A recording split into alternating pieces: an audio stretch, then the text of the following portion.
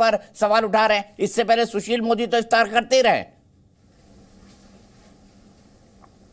देखिए सवाल इस बात का है कि जब बिहार दंगों की आग में जल रहा है तब दंगा पीड़ितों को राहत दिलाने की बजाय सुशील मोदी के खिलाफ क्यों नहीं कोई कार्रवाई करते हैं या उनसे क्यों नहीं इस तरह की मांग करते रहे कि उन्हें इफ्तार नहीं करना चाहिए? देखिए बिहार में सभी तबकों को लेकर नीतीश कुमार जी चलते रहे हैं और इसीलिए ये इफ्तार उसी तरीके से देखा जाना चाहिए राजनीतिक चश्मे से देखने वाले लोगों को पूरी आज़ादी है वो देखें।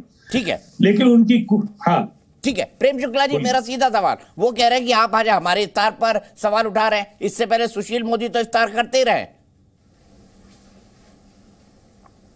देखिए सवाल इस बात का है कि जब बिहार दंगों की आग में जल रहा है तब दंगा पीड़ितों को राहत दिलाने की बजाय श्रीमान नीतीश कुमार इफ्तार करके क्या संदेश दे रहे हैं? क्या नीतीश बाबू रोजा रख रहे हैं कि रोजा रख के रोज इफ्तार करना पड़ रहा है उनको?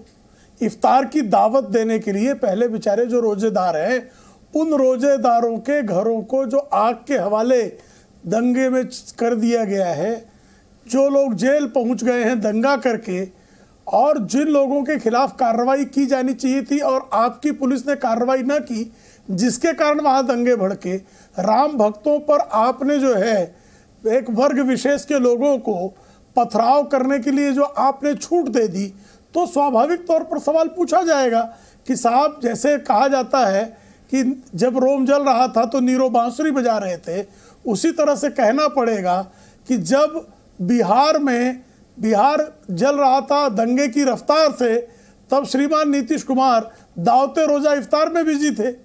तो ये सवाल इसलिए नहीं है कि आप रोजा इफ्तार कर क्यों रहे प्रश्न क्या है? क्या बिहार में दंगे नहीं हैं? और क्या दंगों के समय आपको राहत देने के कार्य में जाना चाहिए कि इफ्तार करना चाहिए, दावत उड़ाना चाहिए? शोक के अवसर पर दावत उड़ाने की परंपरा, इसका विरोध किया जा रहा है। ठीक है, शोक के अवसर पर दावत उड़ाने की परंपरा। चित्रंजन गगन साहब दोनों तरफ़ के लोगों को नुकसान हुआ है हिंदू पक्ष को भी मुसलमान पक्ष को भी। सवाल यह है कि आपकी मुस्लिम तुष्टिकरण की राजनीति के चलते ये आरोप बीजेपी भी लगाती है और ये शब्द मेरे भी हैं। इसी के चलते तो वहाँ पर दंगा हुआ।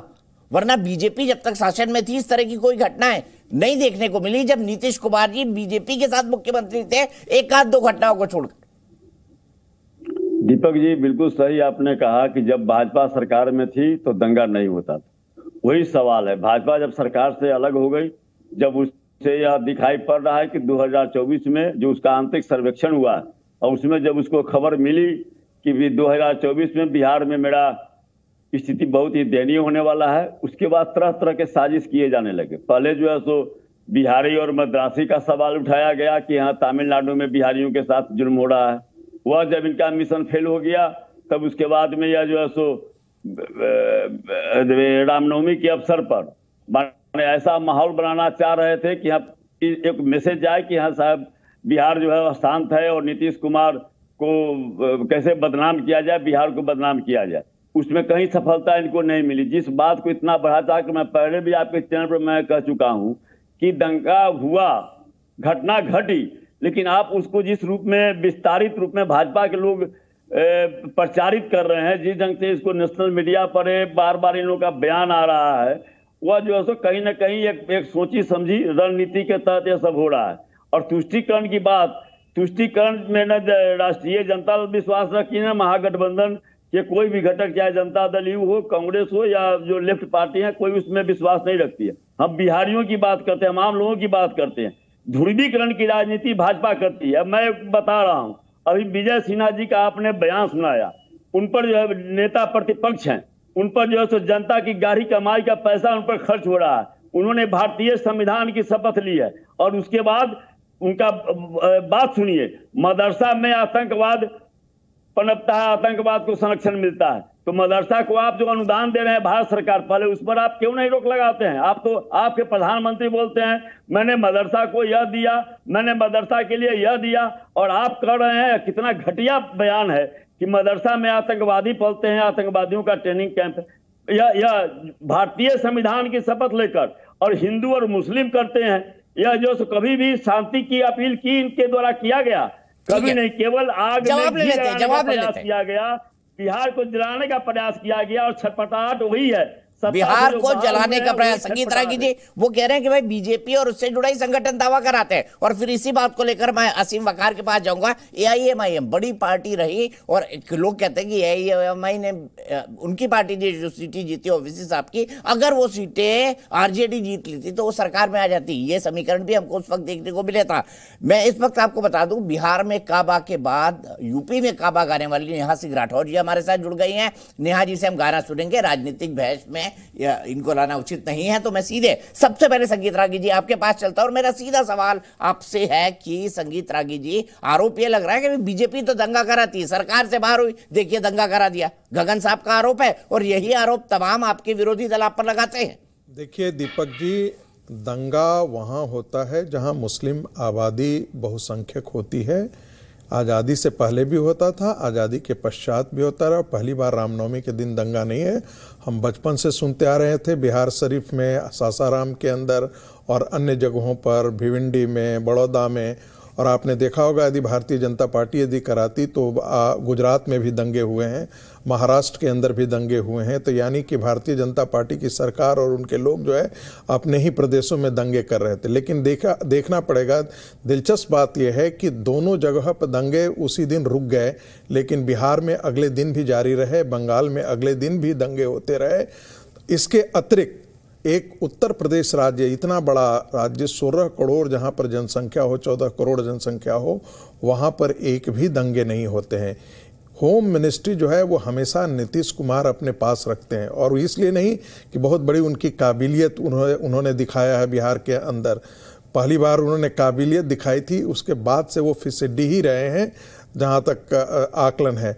आज भी यदि आप देखेंगे, हमें तो शर्म आती है कि एक मुख्यमंत्री, एक व्यक्ति जो सत्रह साल तक मुख्यमंत्री का बागडोर संभाला हो और वो कहता हो कि बिहार को जो है वो स्पेशल पैकेज दिया जाना चाहिए।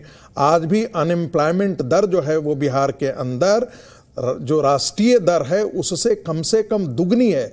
दुगनी, मैं फिर गंभीरता से कह रहा हूँ। इसका नतीजा ये है कि बिहार को आपने गटर में डाल रखा है और गटर में डालने का सबसे बड़ा काम जो है वो नीतीश कुमार ने संगीत। रागी जी उसकी सहयोगी बीजेपी भी रही बिल्कुल। लंबे समय तक देखिए, अगर तो- बिहार गटर में है तो उसके लिए बीजेपी भी उसकी जिम्मेदार मैं है तो मैं तो बीजेपी पर भी ये सवाल उठाते रहा हूँ बिल्कुल सवाते उठा रहा हूँ कि एक ऐसे काहिल आदमी को आपने मुख्यमंत्री दिया जबकि आपकी जन, आपके वोटों की संख्या ज़्यादा थी, आपकी जीत की संख्या ज़्यादा थी।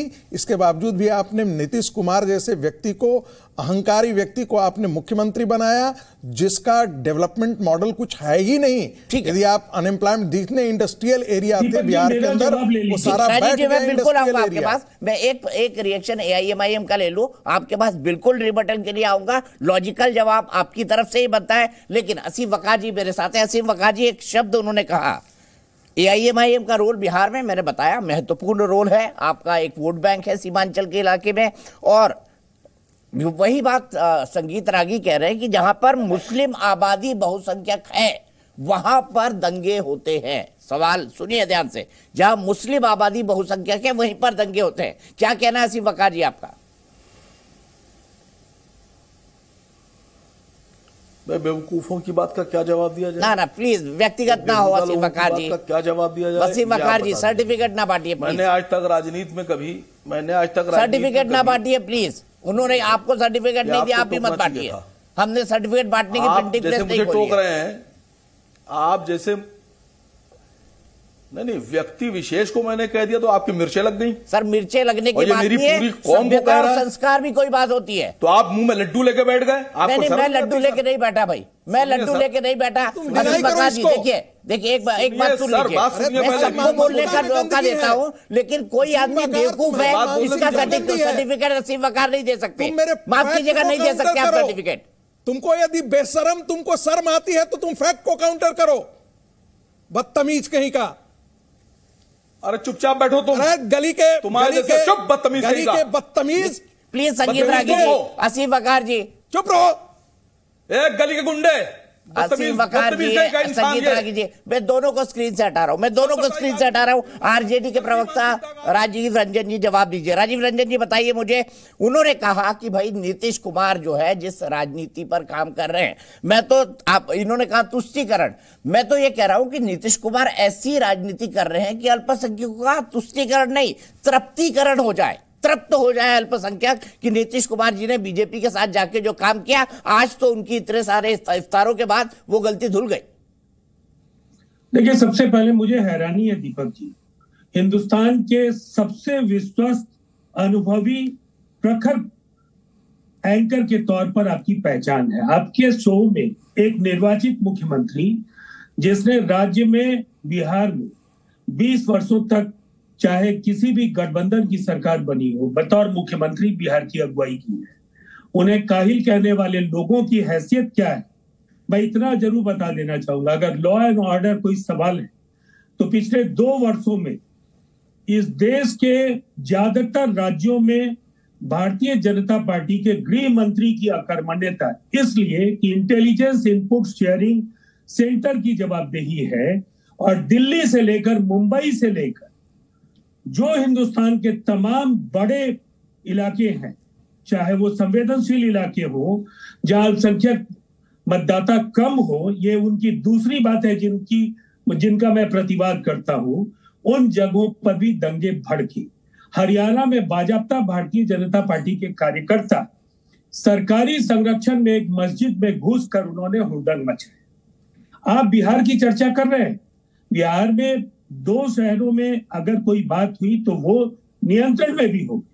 लेकिन आपकी रोटी, वहाँ रोटी आप सेकना चाहते हैं और आपको ये पता है, ये सच है, चितरंजन गगन ने ये कहा, आंतरिक सर्वेक्षण और देश के दो तीन विश्वस्त सर्वेस के ज़रिए। ये इन्हें ज्ञात हो गया है कि बिहार में खाता नहीं खुलेगा।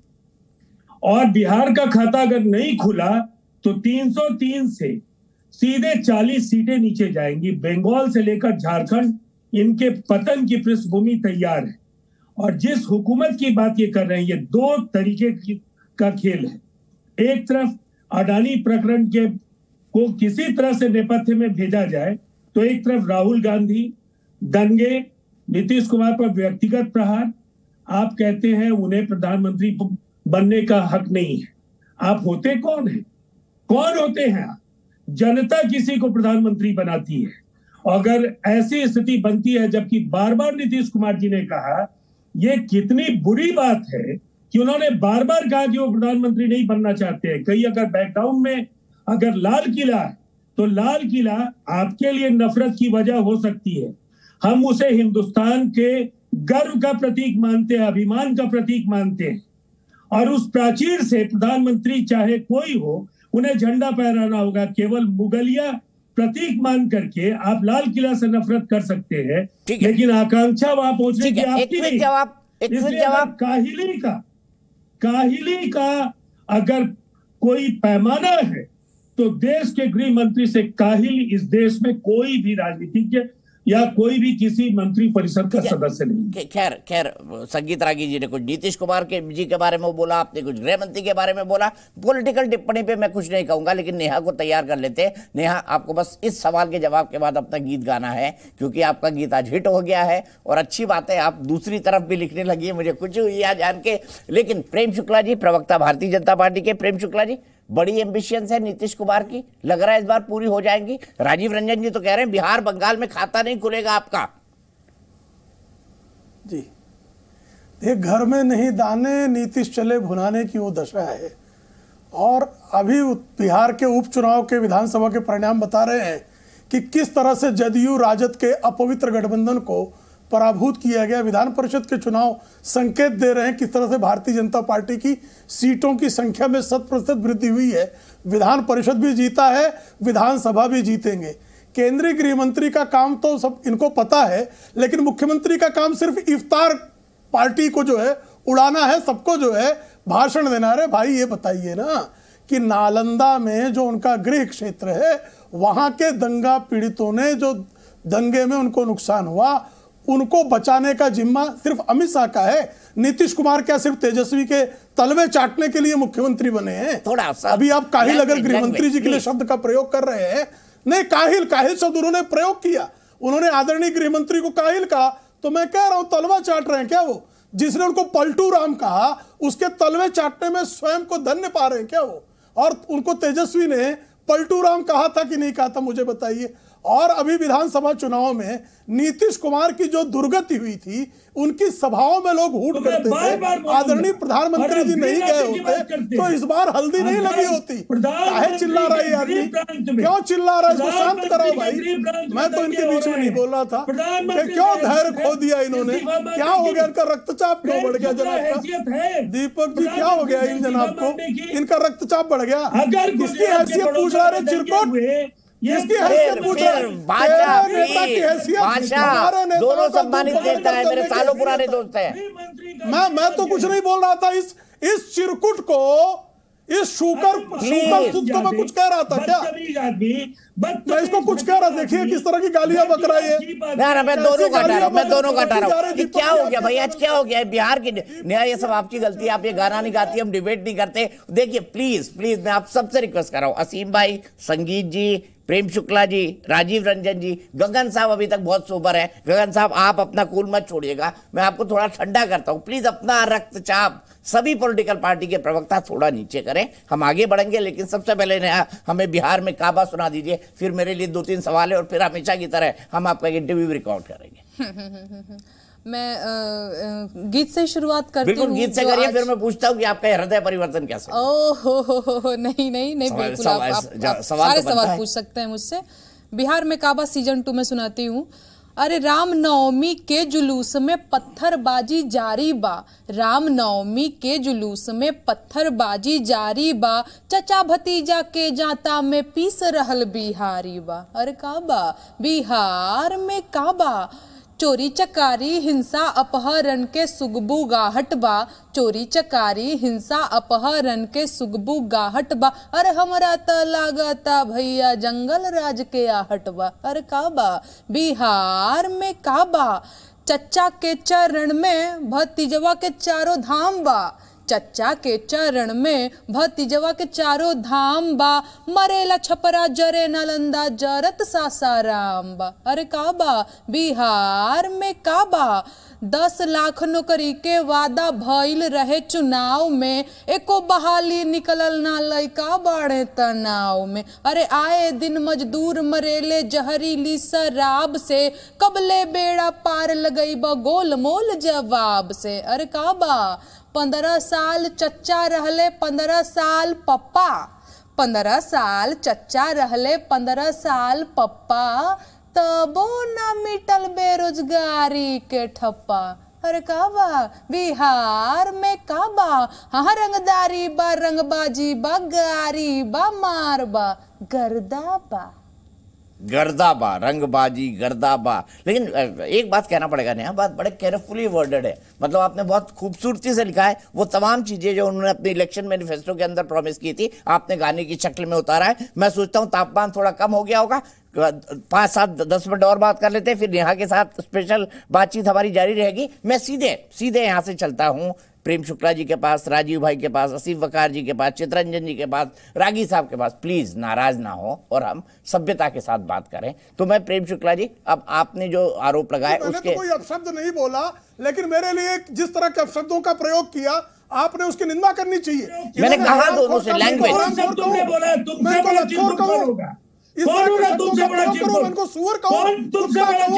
कहूँ, नाली का कीड़ा कहूँ, ये प्रधानमंत्री के बाप को चुनौती दे रहा नहीं था। है। मेरा संस्कार इस तरह का नहीं है संस्कार कैसे? गालियाँ देता है सब्ज़ी कैसे मंडी गली छलकती है। भाई है। इसकी पैदाइश क्या है। भाई भाई थोड़ी देर छोड़ दो दोनों राष्ट्रीय पार्टी के प्रवक्ता है मैं थोड़ी देर के लिए छोड़ दो इस पार्टी के प्रवक्ता है गालियों बकरा आपस में निपट। लेंगे आप एक की औलाद दूसरे से भी कह सकता हूँ। लेकिन मैं सुअर की औलाद कहूँगा तो अरे प्लीज़ अपना नेक्स्ट टीम नहीं अब मैं माफ़ी चाहूँगा इन शब्दों का इस्तेमाल हुआ। मैं वाकई नेहा के इंटरव्यू पे कौन चला जाऊँगा।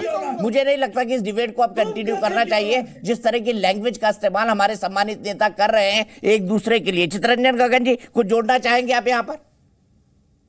नहीं दीपक जी जिस बात पर प्रेम शुक्ला जी को रिएक्शन हो गया मैं कहना चाहता हूँ कि जो आप नीतीश जी पर सवाल उठा रहे हैं राजीव जी ने तो सही कहा हमने कि देखिए गृह विभाग कितना रिस्पॉन्सिबल है कितना गैर जिम्मेदाराना है का प्रयोग कि भाई? सो माननीय नहीं नहीं प्रेम गालियाँ बकी इन्होंने यहाँ चैनल में बैठ के मैं सुअर को भी सुअर नहीं कहता मैं अरे सुअर को भी सुअर कहना थोड़ा लगता है? मुझे लेकिन ये सुअर से भी ज़्यादा नीचे लगता उतर गए लगता है कि सुअर का सुअर से भी ज़्यादा कैसे सुअर कहना चाहता आपको?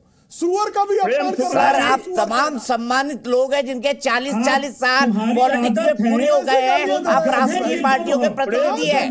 हो? प्लीज़। गालियाँ बकता है चैनल की हो। कै- कै- कैसे गालियाँ बक रहा है ये पागल हो गया भाई। मैं प्रेम सबसे रिक्वेस्ट कर रहा हूँ। हाथ जोड़ के रिक्वेस्ट कर रहा हूँ क्या करूँ मैं? अच्छा आप लोग डिसाइड कर लीजिए शो शो चलेगा कि इसी तरह की व्याकरण का इस्तेमाल होगा विशेषणों का इस्तेमाल होगा। इसी तरह के विशेषणों का इस्तेमाल हो गया।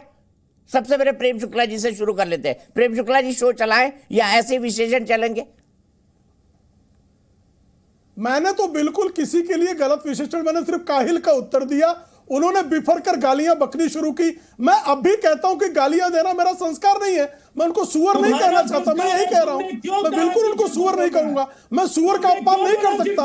मैं जानता हूँ ये सुअर से भी गए गुजरे लोग झूठ बोल रहा हैं? मैं इनको सुअर बिल्कुल नहीं कहना चाहता। ये अनायास चिल्ला रहा है मैं आपको मौका दे रहा हूँ। राजीव जी राजीव जी आप आप आ जाइए। थोड़े टेम्परेचर डाउन करें दोनों लोग प्लीज़ राजीव जी आप भी।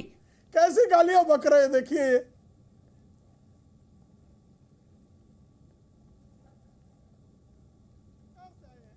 असीम वकार जी हाथ उठा रहे सीधे उनके पास चलता हूँ। मैं फ्रेम नहीं देख पा रहा हूँ। असीम वकार जी।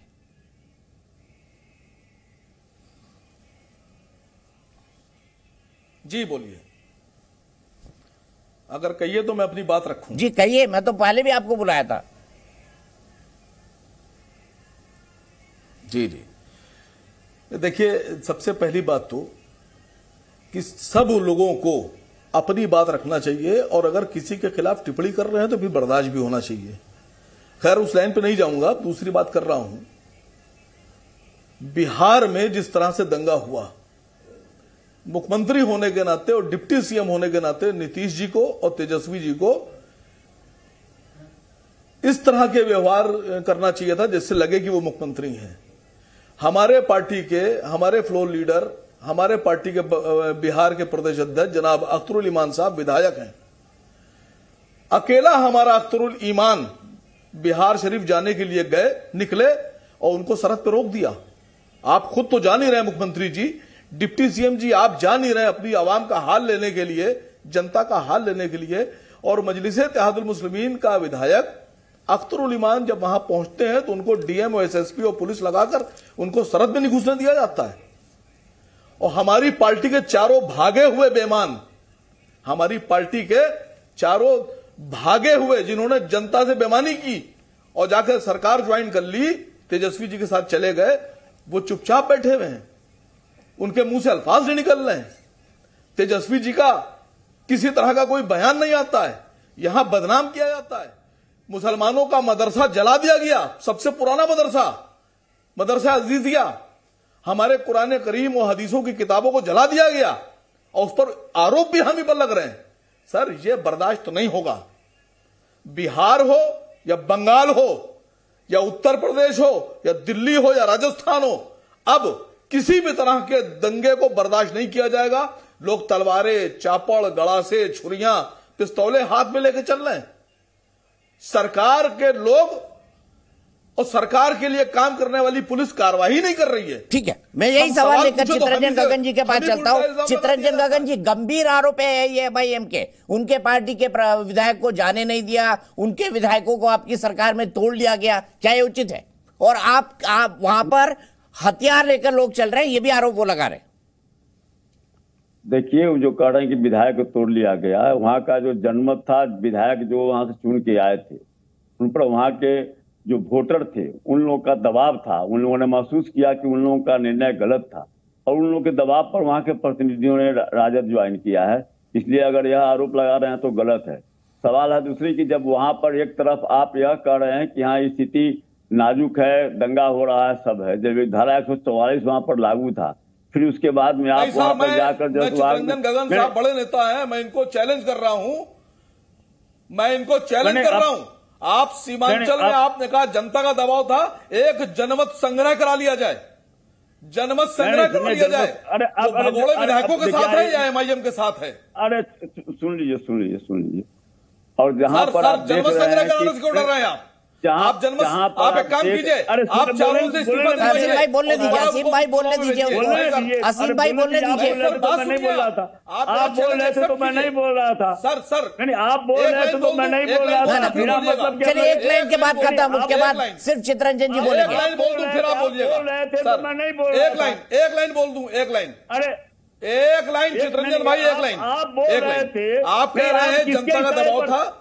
मैं कह रहा हूँ या तो जनमत संग्रह करा लीजिए या चारों विधायकों से इस्तीफा दिला दीजिए और फिर से चुनाव में उनको भेजिए उनकी हैसियत और औकात जनता बता देगी। चुनाव चुनाव आएगा तो पता चल जाएगा। सुनिए चुनाव आएगा पता चल जाएगा। जनता जान रही है लोग जान रहे हैं कि आप क्या कर रहे हैं challenge क्या हरकत है किसके इशारे पर आप काम कर रहे हैं। लोग सारे समझ रहे हैं। लोग सब समझ रहे हैं कि आप किसके हित ऐसी है। सब लोग समझ रहा है या कोई छुपी हुई बात नहीं है। बिहार की जनता जान चुकी है कि यहाँ किसके इशारे पर और कहाँ से आप मैं गाइड कह रहा हैं और कि क्या चच्चा नीतीश किसके साथ थे? है? चच्चा नीतीश। सुन लीजिए पहले। चच्चा नीतीश आपके चच्चा नीतीश। बीजेपी के साथ पंद्रह साल सरकार चलाने के बाद आपको शर्म नहीं आती चित्रंजन जी? आप बेवकूफ़ समझे मुसलमानों को आप आप आप आपको शर्म आती है क्या? मुसलमानों को आप- आपके हरकत से आप बता रहे जनता का दबाव था। मिलता। है आप ताकत कीजिए मेरा challenge। आपके हरकत से आप मेरा accept हैं कीजिए। उन चारों- आप उन चारों गद्दारों से इस्तीफा दिलवाइए। और दोबारा चुनाव में जाइए। देखिए भी आप आपकी हैसियत भाजपा आपकी पार्टी की है। हैसियत और उन भाजपा के को पर आपका राजनीति नहीं समझता मंशा क्या है? आपकी राजनीतिक लाइन क्या है? लोग नहीं समझ रहे सब समझ रहा है। आप हल्ला नहीं कीजिए शांत रहिए। मैं दीपक जी कह रहा था राजीव जी की बात उसको आपने बोल लिया। जी शरीफ व्यक्ति है उनको अपनी बात खत्म कर दीजिए। MRI असीम भाई गलत बात है गलत बात है। आपने बोल लिया ना मैंने मौका दे दिया। चित्रंजन जी खाली बोलेंगे। अब चित्रंजन जी की आवाज़ जाएगी। आवाज़ किसी की नहीं काटी है। मैं असीम भाई से रिक्वेस्ट कर रहा हूँ असीम भाई बोल दिए अपने अपनी बात। अब रिपीट कर। रहे हैं चित्रंजन जी कंटिन्यू करिए अपनी बात। छुपा के तो नहीं रखे हैं। दीपक जी मैं कह रहा था कि राजीव जी ने जो कहा माननीय गृह मंत्री सब जगह चुनावी सभा में भाषण देने दे, देते घूम रहे हैं। लेकिन उनको यह सेंसिटिव मामला, जम्मू कश्मीर जैसे सेंसिटिव जगह पर, एक गुजराती आकर वहाँ पर अपने को यह बताकर कि मैं पीएमओ का ऑफिसर हूँ और वहाँ पर प्रोटोकॉल लेता है, वहाँ पर स्पेशल सुरक्षा लेता है, सीमा पर जाता है, वहाँ के लेफ्टिनेंट गवर्नर के साथ बैठकर मीटिंग करता है मिलिट्री के हाई ऑफिसर के साथ बैठकर मीटिंग करता है। अब यह बताइए कि जिस सरकार का गृह मंत्री, पूरे देश में घूमकर अपने भाजपा का एजेंडा लागू करने के लिए धार्मिक ध्रुवीकरण की राजनीति कर रहे हैं, घूम रहे हैं, लोगों को भड़का रहे हैं और उसी गृह मंत्री के मातहत जम्मू कश्मीर में इतना बड़ा कांड हो गया, किसी ने कोई सवाल उठाया? भाजपा के जवाब देंगे कि वह किरण पटेल जो था, उसका वही नहीं, किरण पटेल के पिताजी जो हैं तो वहाँ सीएम ऑफ़िस में गुजरात के चीफ मिनिस्टर कार्यालय में महत्वपूर्ण पद पर कार्यरत हैं। इतना बड़ा मामला हो गया, महीनों तक हुआ। गृह विभाग मेरा क्या कर रहा था? अरे इसका बिहार से क्या मतलब चित्रंजन जी? मामला हुआ गंभीरता से हुआ सबने दिखाया वो पकड़ा भी गया लेकिन चलिए आपके आरोप है मैं प्रेम शुक्ला जी के पास चलता हूँ। बिहार के अंदर बिहार के अंदर प्रेम शुक्ला जी आपको लग रहा है आज फ़ोन हो गया है नीतीश कुमार जी को फ़ोन कर दिया है मल्लिकार्जुन खड़गे ने। हो सकता है नीतीश जी प्रधानमंत्री पद के उम्मीदवार हो जाए तब तब तो बिहार में वाकई ये राजीव रंजन जी के हालात काफ़ी अच्छे हो जाएँगे। देखिए मुद्दे की बात यह है कि क्या श्रीमान मल्लिकार्जुन खड़गे श्रीमान नीतीश कुमार को प्रधानमंत्री पद का प्रत्याशी प्रस्तावित कर रहे हैं? तो नीतीश कुमार जी तो भयवश खुद ही अपना नाम लेने के लिए तैयार नहीं है, क्योंकि उनको पता है कि अगर राजद जो है उनके लिए प्रधानमंत्री पद का प्रस्ताव कर भी रही है तो उसमें उनको प्रधानमंत्री बनाना उद्देश्य नहीं है। उद्देश्य है किसी तरह से मुख्यमंत्री पद से विदा हो तो मुख्यमंत्री पद से विदाई के लिए राहुल और श्रीमान लालू प्रसाद यादव से उन्होंने फ़ोन पर बात की नीतीश जी ने तो लालू ये समाचार पत्रों में प्रकाशित हुआ बिहार के, कि लालू जी ने उनसे पहला सवाल यही पूछा कि मुख्यमंत्री पद का दायित्व तो आप कब जो है तेजस्वी को दे रहे हैं? तो जहाँ पर लालू प्रसाद यादव अपने पुत्र के लिए और पुत्र के पास निश्चित तौर पर सीटों की संख्या जो है, वो नीतीश की तुलना में ज़्यादा जनादेश जनता ने दिया था। ये तो सबके सामने है। तो अब जो है नीतीश कुमार जी को क्या देश के सारे लोग जो विपक्षी दलों के नेता हैं वो अपने नेतृत्व के रूप में स्वीकार रहे हैं क्या? तो स्वीकार सकते हैं स्वीकारिए। हम तो कह रहे हैं कि स्वीकार ले उनको जिनको बिहार की जनता तीसरे नंबर की पार्टी मानती है और उनको जो है देश की जनता प्रधानमंत्री के रूप में जो है स्वीकार लेगी ये कल्पना अच्छी है। वो कल्पना लोक में विहार करने का अधिकार जो है राजीव रंजन को भी है और चितरंजन गगन को भी है वो कर सकते हैं विहार कल्पना ठीक है मैं सीधे राजीव रंजन जी से लेता हूँ। राजीव जी मेरा सीधा सवाल। मेरा सीधा, चलिए आपने बीजेपी से अलग हो गए, आपने आरजेडी के साथ गठबंधन बना लिया, लेकिन मैं नेहा की गाने की एक लाइन कोट कर रहा हूँ जो उन्होंने बहुत अच्छी लिखी है और जो बीजेपी भी कई बार कहती है, पंद्रह साल पप्पा रहे, पंद्रह साल चच्चा।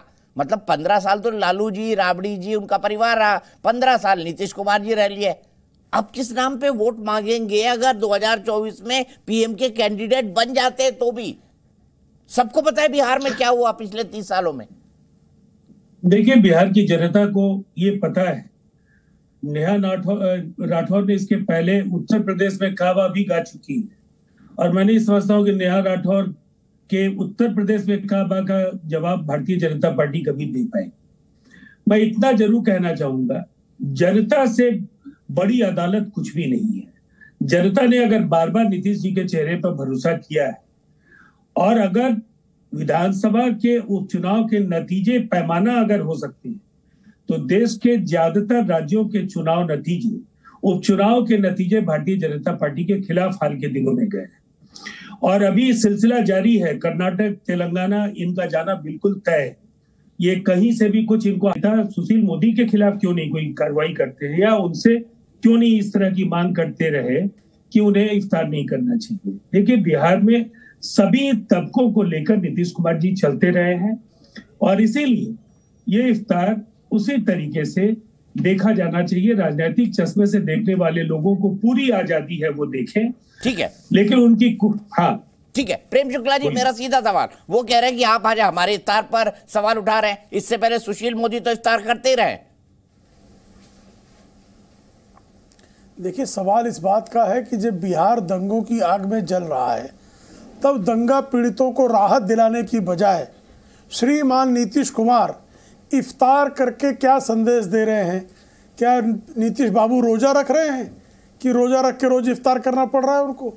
इफ्तार की दावत देने के लिए पहले बेचारे जो रोजेदार हैं, उन रोजेदारों के घरों को जो आग के हवाले दंगे में कर दिया गया है, जो लोग जेल पहुँच गए हैं दंगा करके और जिन लोगों के खिलाफ कार्रवाई की जानी चाहिए थी और आपकी पुलिस ने कार्रवाई न की, जिसके कारण वहाँ दंगे भड़के, राम भक्तों पर आपने जो है, एक वर्ग विशेष के लोगों को पथराव करने के लिए जो आपने छूट दे दी तो स्वाभाविक तौर पर सवाल पूछा जाएगा कि साहब, जैसे कहा जाता है कि जब रोम जल रहा था तो नीरो बांसुरी बजा रहे थे, उसी तरह से कहना पड़ेगा कि जब बिहार में बिहार जल रहा था दंगे की रफ्तार से, तब श्रीमान नीतीश कुमार दावते रोजा इफ्तार में बिज़ी थे। तो ये सवाल इसलिए नहीं है कि आप रोजा इफ्तार कर क्यों रहे? प्रश्न क्या है? क्या बिहार में दंगे नहीं हैं? और क्या दंगों के समय आपको राहत देने के कार्य में जाना चाहिए कि इफ्तार करना चाहिए, दावत उड़ाना चाहिए? शोक के अवसर पर दावत उड़ाने की परंपरा, इसका विरोध किया जा रहा है। ठीक है, शोक के अवसर पर दावत उड़ाने की परंपरा। चितरंजन गगन साहब दोनों तरफ़ के लोगों को नुकसान हुआ है हिंदू पक्ष को भी मुसलमान पक्ष को भी। सवाल यह है कि आपकी मुस्लिम तुष्टिकरण की राजनीति के चलते ये आरोप बीजेपी भी लगाती है और ये शब्द मेरे भी हैं। इसी के चलते तो वहाँ पर दंगा हुआ वरना बीजेपी जब तक शासन में थी इस तरह की कोई घटनाएँ नहीं देखने को मिली। जब नीतीश कुमार जी बीजेपी के साथ मुख्यमंत्री थे एक आध दो घटनाओं को छोड़कर। दीपक जी बिल्कुल सही आपने कहा कि जब भाजपा सरकार में थी तो दंगा नहीं होता था। वही सवाल है। भाजपा जब सरकार से अलग हो गई, जब उससे यह दिखाई पड़ रहा है कि 2024 में जो उसका आंतरिक सर्वेक्षण हुआ, और उसमें जब उसको खबर मिली कि भी 2024 में बिहार में मेरा स्थिति बहुत ही दयनीय होने वाला है, उसके बाद तरह तरह के साजिश किए जाने लगे। पहले जो है सो बिहारी और मद्रासी का सवाल उठाया गया कि यहाँ तमिलनाडु में बिहारियों के साथ जुर्म हो रहा है। वह जब इनका मिशन फेल हो गया, तब उसके बाद में यह जो है सो रामनवमी के अवसर पर। माने ऐसा माहौल बनाना चाह रहे थे कि यहाँ एक मैसेज जाए कि हाँ साहब, बिहार जो है शांत है और नीतीश कुमार को कैसे बदनाम किया जाए, बिहार को बदनाम किया जाए। उसमें कहीं सफलता इनको नहीं मिली। जिस बात को इतना बढ़ा था कि मैं पहले भी आपके चैनल पर मैं कह चुका हूँ कि दंगा हुआ, घटना घटी, लेकिन आप उसको जिस रूप में, विस्तारित रूप में भाजपा के लोग प्रचारित कर रहे हैं। जिस ढंग से इसको नेशनल मीडिया पर बार बार इन लोगों का बयान आ रहा है वह जो है सो कहीं ना कहीं एक, एक सोची समझी रणनीति के तहत यह सब हो रहा है। और तुष्टिकरण की बात तुष्टिकरण में न राष्ट्रीय जनता दल विश्वास रखी न महागठबंधन के कोई भी घटक चाहे जनता दल यू हो कांग्रेस हो या जो लेफ़्ट पार्टी है कोई उसमें विश्वास नहीं रखती है। हम बिहारियों की बात करते हैं हम आम लोगों की बात करते हैं। ध्रुवीकरण की राजनीति भाजपा करती है। मैं बता रहा हूँ अभी विजय सिन्हा जी का आपने बयान सुनाया। उन पर जो है नेता प्रतिपक्ष हैं। उन पर जो है जनता की गाढ़ी कमाई का पैसा उन पर खर्च हो रहा है। उन्होंने भारतीय संविधान की शपथ ली है। और उसके बाद उनका बात सुनिए। मदरसा में आतंकवाद, पनपता है आतंकवाद को संरक्षण मिलता है। तो मदरसा को आप जो अनुदान दे रहे हैं भारत सरकार पहले उस पर आप क्यों नहीं रोक लगाते हैं? आप तो आपके प्रधानमंत्री बोलते हैं मैंने मदरसा को यह दिया मैंने मदरसा के लिए यह दिया और आप कह रहे हैं कितना घटिया बयान है कि मदरसा में आतंकवादी पलते हैं आतंकवादियों का ट्रेनिंग कैंप यह यह भारतीय संविधान की शपथ लेकर और हिंदू और मुस्लिम करते हैं यह जो कभी भी शांति की अपील की इनके द्वारा किया गया कभी नहीं केवल आग जवाब ले लेते हैं, जवाब ले लेते हैं। किया गया बिहार को दिलाने का प्रयास किया गया और छटपटाहट वही है। बिहार को जलाने का प्रयास। संगीत रागी जी वो कह रहे हैं कि भाई बीजेपी और उससे जुड़ा ही संगठन दावा कराते हैं। और फिर इसी बात को लेकर मैं असीम वकार के पास जाऊँगा। ए आई एम एआईएमआईएम बड़ी पार्टी रही और लोग कहते हैं कि एआईएमआई ने उनकी पार्टी ने जो सीटें जीती ओवैसी साहब की अगर वो सीटें आरजेडी जीत लेती तो वो सरकार में आ जाती। ये समीकरण भी हमको उस वक्त देखने को मिला था। मैं इस वक्त आपको बता दूँ बिहार में काबा के बाद यूपी में काबा गाने वाली नेहा सिंह राठौर जी हमारे साथ जुड़ गई हैं। नेहा जी से हम गाना सुनेंगे राजनीतिक बहस में। या इनको लाना उचित नहीं है तो मैं सीधे, सबसे पहले संगीत रागी जी आपके पास चलता और मेरा सीधा सवाल आपसे है कि संगीत रागी जी, आरोप ये लग रहा है कि बीजेपी तो दंगा कराती है सरकार से बाहर हुई। देखिए, दंगा करा दिया। गगन साहब का आरोप है और यही आरोप तमाम आपके विरोधी दल आप पर लगाते हैं। देखिए, दीपक जी, दंगा वहाँ होता है जहाँ मुस्लिम आबादी बहुसंख्यक होती है। आज़ादी से पहले भी होता था, आज़ादी के पश्चात भी होता रहा। पहली बार रामनवमी के दिन दंगा नहीं है।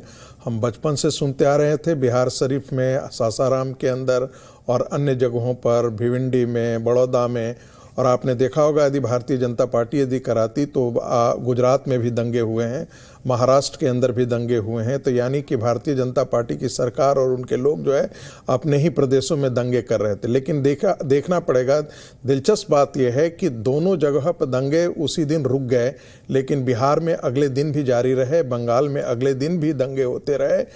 इसके अतिरिक्त एक उत्तर प्रदेश राज्य, इतना बड़ा राज्य, सोलह करोड़ जहाँ पर जनसंख्या हो, चौदह करोड़ जनसंख्या हो, वहाँ पर एक भी दंगे नहीं होते हैं। होम मिनिस्ट्री जो है, वो हमेशा नीतीश कुमार अपने पास रखते हैं। और इसलिए नहीं कि बहुत बड़ी उनकी काबिलियत उन्होंने उन्होंने दिखाया है बिहार के अंदर। पहली बार उन्होंने काबिलियत दिखाई थी, उसके बाद से वो फिसड्डी ही रहे हैं, जहाँ तक आकलन है। आज भी यदि आप देखेंगे, हमें तो शर्म आती है कि एक मुख्यमंत्री, एक व्यक्ति जो सत्रह साल तक मुख्यमंत्री का बागडोर संभाला हो और वो कहता हो कि बिहार को जो है वो स्पेशल पैकेज दिया जाना चाहिए। आज भी अनएम्प्लॉयमेंट दर जो है वो बिहार के अंदर, जो राष्ट्रीय दर है, उससे कम से कम दुगनी है। दुगनी, मैं फिर गंभीरता से कह रहा हूँ। इसका नतीजा ये है कि बिहार को आपने गटर में डाल रखा है। और गटर में डालने का सबसे बड़ा काम जो है वो नीतीश कुमार ने एक संगीत रागी जी उसकी सहयोगी बीजेपी भी रही बिल्कुल। लंबे समय तक। देखिए, मैं अगर तो- बिहार गटर में है तो उसके लिए बीजेपी भी उसकी जिम्मेदार है। तो मैं तो बीजेपी पर भी ये सवाल उठाते रहा हूँ बिल्कुल सवाते उठा रहा हूँ कि एक ऐसे काहिल आदमी को आपने मुख्यमंत्री दिया जबकि आपकी जन आपके वोटों की संख्या ज़्यादा थी आपकी जीत की संख्या ज़्यादा थी। इसके बावजूद भी आपने नीतीश कुमार जैसे व्यक्ति को अहंकारी व्यक्ति को आपने मुख्यमंत्री बनाया जिसका डेवलपमेंट मॉडल कुछ है ही नहीं। ठीक यदि आप अनएम्प्लॉयमेंट दिखने इंडस्ट्रियल एरिया थे बिहार के अंदर वो सारा बिल्कुल आऊँगा आपके पास। मैं एक एक रिएक्शन एआईएमआईएम का ले लूँ। आपके पास बिल्कुल रिबटन के लिए आऊँगा। लॉजिकल जवाब आपकी तरफ़ से ही बनता है। लेकिन असीम वका जी मेरे साथ हैं। असीम वकार जी एक शब्द उन्होंने कहा एआईएमआईएम का रोल बिहार में मैंने बताया महत्वपूर्ण रोल है। आपका एक वोट बैंक है सीमांचल के इलाके में। और वही बात संगीत रागी कह रहे हैं कि जहाँ पर मुस्लिम आबादी बहुसंख्यक है वहाँ पर दंगे होते हैं। सवाल सुनिए ध्यान से। जहाँ मुस्लिम आबादी बहुसंख्यक है वहीं पर दंगे होते हैं। क्या कहना है आसिफ वकार जी आपका?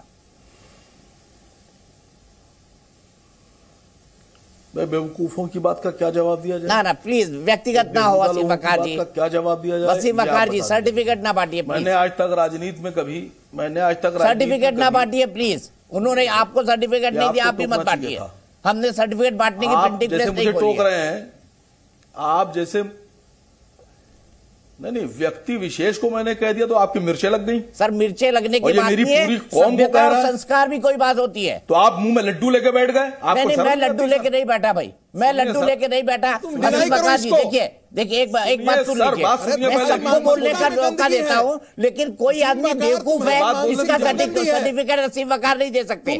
माफ़ कीजिएगा नहीं दे सकते आप सर्टिफिकेट तुमको यदि बेशरम तुमको शर्म आती है तो तुम फैक्ट को काउंटर करो। बदतमीज कहीं का। अरे चुपचाप बैठो तुम। अरे गली के तुम्हारे गली के चुप बदतमीज गली के बदतमीज। प्लीज़ संगीत रागी जी। असीफ असीम वकार जी। चुप रहो।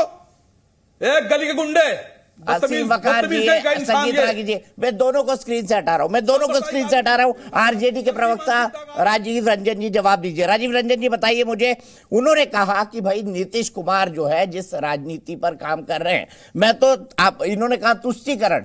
मैं तो ये कह रहा हूँ कि नीतीश कुमार ऐसी राजनीति कर रहे हैं कि अल्पसंख्यकों का तुष्टिकरण नहीं तृप्तिकरण हो जाए। तृप्त हो जाए अल्पसंख्यक कि नीतीश कुमार जी ने बीजेपी के साथ जाके जो काम किया, आज तो उनकी इतने सारे इफ्तारों के बाद वो गलती धुल गई। देखिए, सबसे पहले मुझे हैरानी है दीपक जी।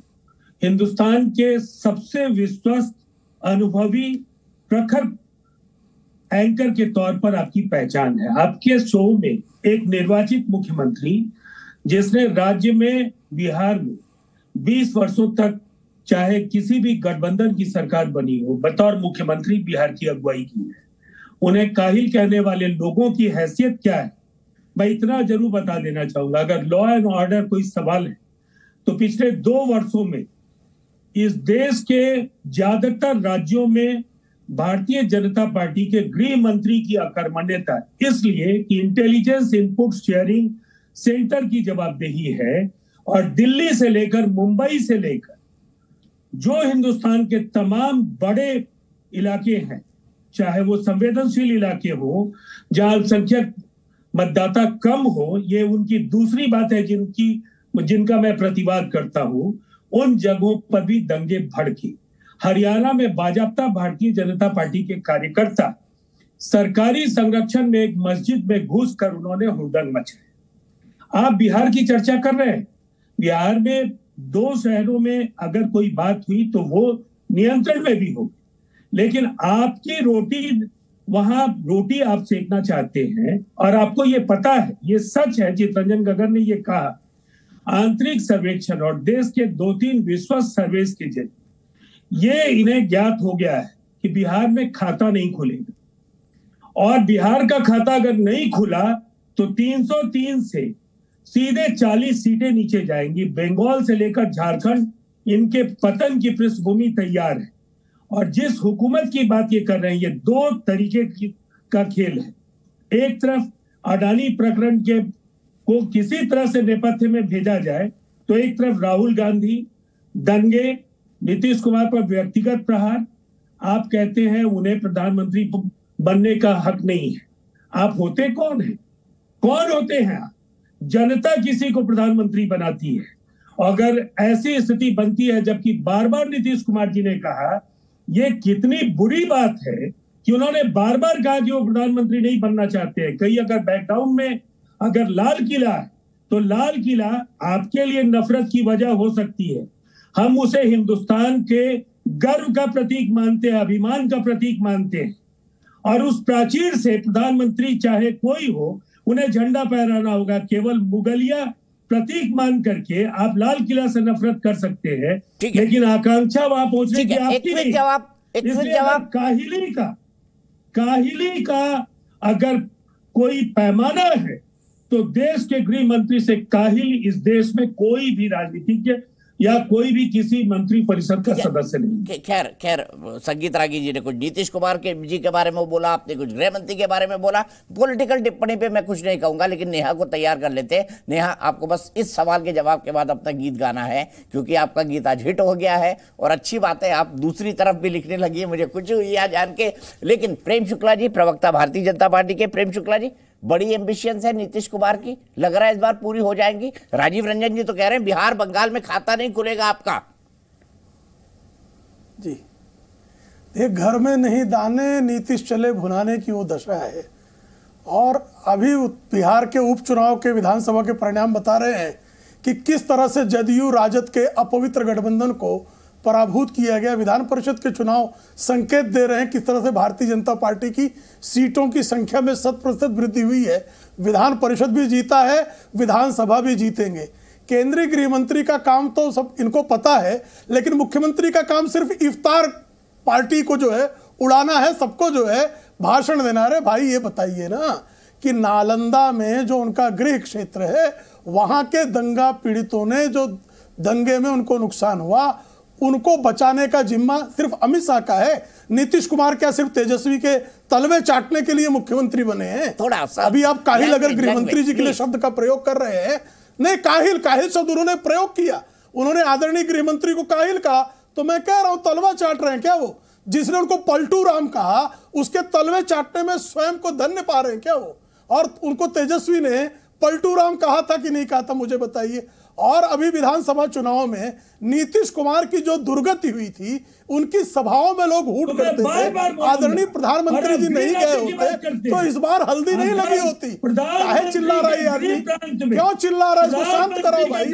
में तो इनके बीच में नहीं। बोल रहा था। क्यों धैर्य खो दिया इन्होंने? क्या हो गया? इनका रक्तचाप क्यों बढ़ गया जनाब? का दीपक जी क्या हो गया इन जनाब को? इनका रक्तचाप बढ़ गया। किसकी हैसियत पूछ रहा है? चिरकुट? हुए, ये किसकी हैसियत पूछ। फिर रहा बादशाह तेरे नेता की हैसियत हमारे दोनों सम्मानित नेता है मेरे सालों पुराने। दोस्त हैं। मैं मैं तो कुछ नहीं बोल रहा था इस इस चिरकुट को इस शुकर शुकर सुत को मैं कुछ कह रहा था क्या? मैं इसको कुछ कह रहा देखिए किस तरह की गालियाँ बक रहा है ना मैं दोनों का रहा हूँ मैं दोनों का बक रहा हूँ। क्या हो गया भाई? आज क्या हो गया? बिहार की नया ये सब आपकी गलती है आप ये गाना नहीं गाती हम डिबेट नहीं करते। देखिए प्लीज़ प्लीज़ मैं आप सबसे रिक्वेस्ट कर रहा हूँ असीम भाई संगीत जी प्रेम शुक्ला जी, राजीव रंजन जी, गगन साहब अभी तक बहुत सोबर है। गगन साहब, आप अपना कूल मत छोड़िएगा। मैं आपको थोड़ा ठंडा करता हूँ। प्लीज़ अपना रक्तचाप। सभी पॉलिटिकल पार्टी के प्रवक्ता थोड़ा नीचे करें। हम आगे बढ़ेंगे, लेकिन सबसे पहले नया, हमें बिहार में काबा सुना दीजिए। फिर मेरे लिए दो तीन सवाल है और फिर हमेशा की तरह हम आपका इंटरव्यू रिकॉर्ड करेंगे। मैं गीत से शुरुआत करती बिल्कुल हूँ गीत से करिए फिर मैं पूछता हूँ कि आपका हृदय परिवर्तन कैसा हुआ? ओ हो हो हो नहीं नहीं नहीं बिल्कुल आप, सवाल- आप, आप सवाल सारे तो सवाल पूछ सकते हैं मुझसे। बिहार में काबा सीज़न टू में सुनाती हूँ। अरे राम नवमी के जुलूस में पत्थरबाजी जारी बा। राम नवमी के जुलूस में पत्थरबाजी जारी बा। चचा भतीजा के जाता में पीस रहल बिहारी बा। अरे काबा? बिहार में काबा? चोरी चकारी हिंसा अपहरण के सुगबू गाहट बा। चोरी चकारी हिंसा अपहरण के सुगबू गाहट बा। अरे हमारा त लागता भैया जंगल राज के आहट बा। अरे का बा? बिहार में का बा? चच्चा के चरण में भतीजवा के चारों धाम बा। चच्चा के चरण में भतीजवा के चारों धाम बा मरेला छपरा जरे नालंदा, जरत सासाराम बा अरे का बा बिहार में का बा दस लाख नौकरी के वादा भइल रहे चुनाव में, एको बहाली निकलल ना लइका बाड़े तनाव में। अरे आए दिन मजदूर मरेले जहरीली शराब से, कबले बेड़ा पार लगई बा गोल मोल जवाब से। अरे का बा पंद्रह साल चच्चा रहले, पंद्रह साल पप्पा। पंद्रह साल चच्चा रहले, पंद्रह साल पप्पा। तबो न मिटल बेरोजगारी के ठप्पा। अरे का बा बिहार में का बा हाँ रंगदारी बा, रंगबाजी बा, गारी बा, मार बा, गर्दा बा। गर्दाबा, रंगबाजी, गर्दाबा। लेकिन एक बात कहना पड़ेगा नया बात बड़े केयरफुली वर्डेड है। मतलब आपने बहुत खूबसूरती से लिखा है, वो तमाम चीज़ें जो उन्होंने अपने इलेक्शन मैनिफेस्टो के अंदर प्रॉमिस की थी, आपने गाने की शक्ल में उतारा है। मैं सोचता हूँ तापमान थोड़ा कम हो गया होगा, पाँच सात, दस मिनट और बात कर लेते हैं, फिर नेहा के साथ स्पेशल बातचीत हमारी जारी रहेगी। मैं सीधे सीधे यहाँ से चलता हूँ प्रेम शुक्ला जी के पास राजीव भाई के पास असीफ वकार जी के पास चित्रंजन जी के पास रागी साहब के पास प्लीज़ नाराज़ ना हो और हम सभ्यता के साथ बात करें। तो मैं प्रेम शुक्ला जी अब आपने जो आरोप लगाए मैंने उसके तो कोई अपशब्द नहीं बोला लेकिन मेरे लिए जिस तरह के अपशब्दों का प्रयोग किया आपने उसकी निंदा करनी चाहिए। मैंने कहा दोनों से?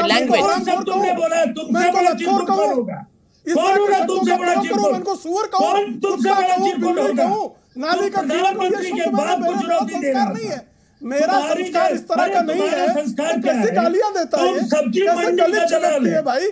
में जन्मा क्या। इसकी पैदाइश है। थोड़ी देर छोड़ दो।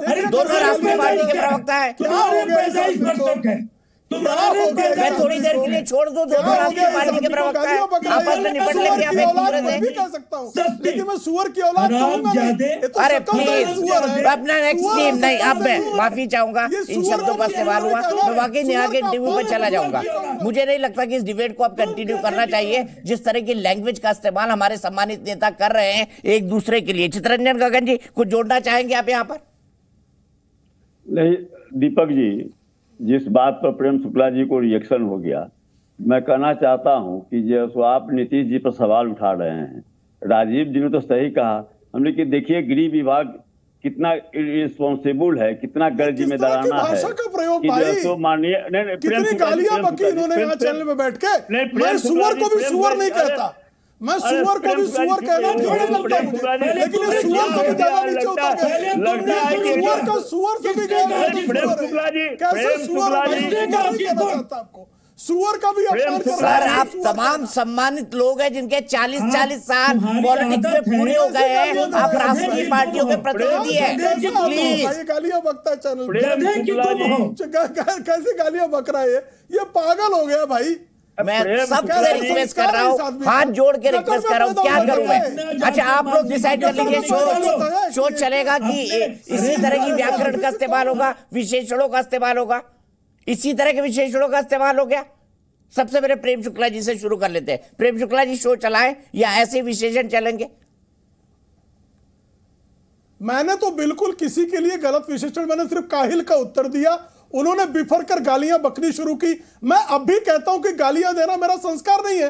मैं उनको सुअर नहीं कहना चाहता मैं यही कह रहा हूँ। मैं बिल्कुल उनको सुअर नहीं कहूँगा मैं सुअर का अपमान नहीं कर सकता। मैं जानता हूँ ये सुअर से भी गए बोला गुजरे लोग हैं। मैं इनको सुअर बिल्कुल नहीं कहना चाहता। ये अनायास चिल्ला रहा है भाई। प्लीज़ मैं आपको मौका दे रहा हूँ। राजीव जी राजीव जी आप आप आ जाइए। थोड़े टेम्परेचर डाउन करें दोनों लोग प्लीज़ राजीव जी आप भी। कैसी गालियाँ बक रहे हैं देखिए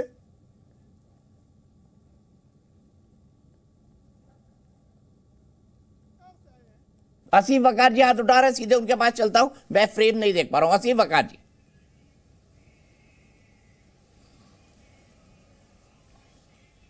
जी बोलिए।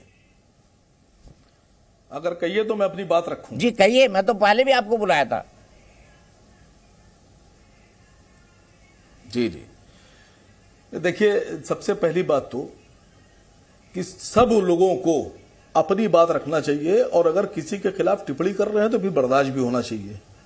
खैर, उस लाइन पे नहीं जाऊँगा, दूसरी बात कर रहा हूँ। बिहार में जिस तरह से दंगा हुआ, मुख्यमंत्री होने के नाते और डिप्टी सीएम होने के नाते नीतीश जी को और तेजस्वी जी को इस तरह के व्यवहार करना चाहिए था जिससे लगे कि वो मुख्यमंत्री हैं।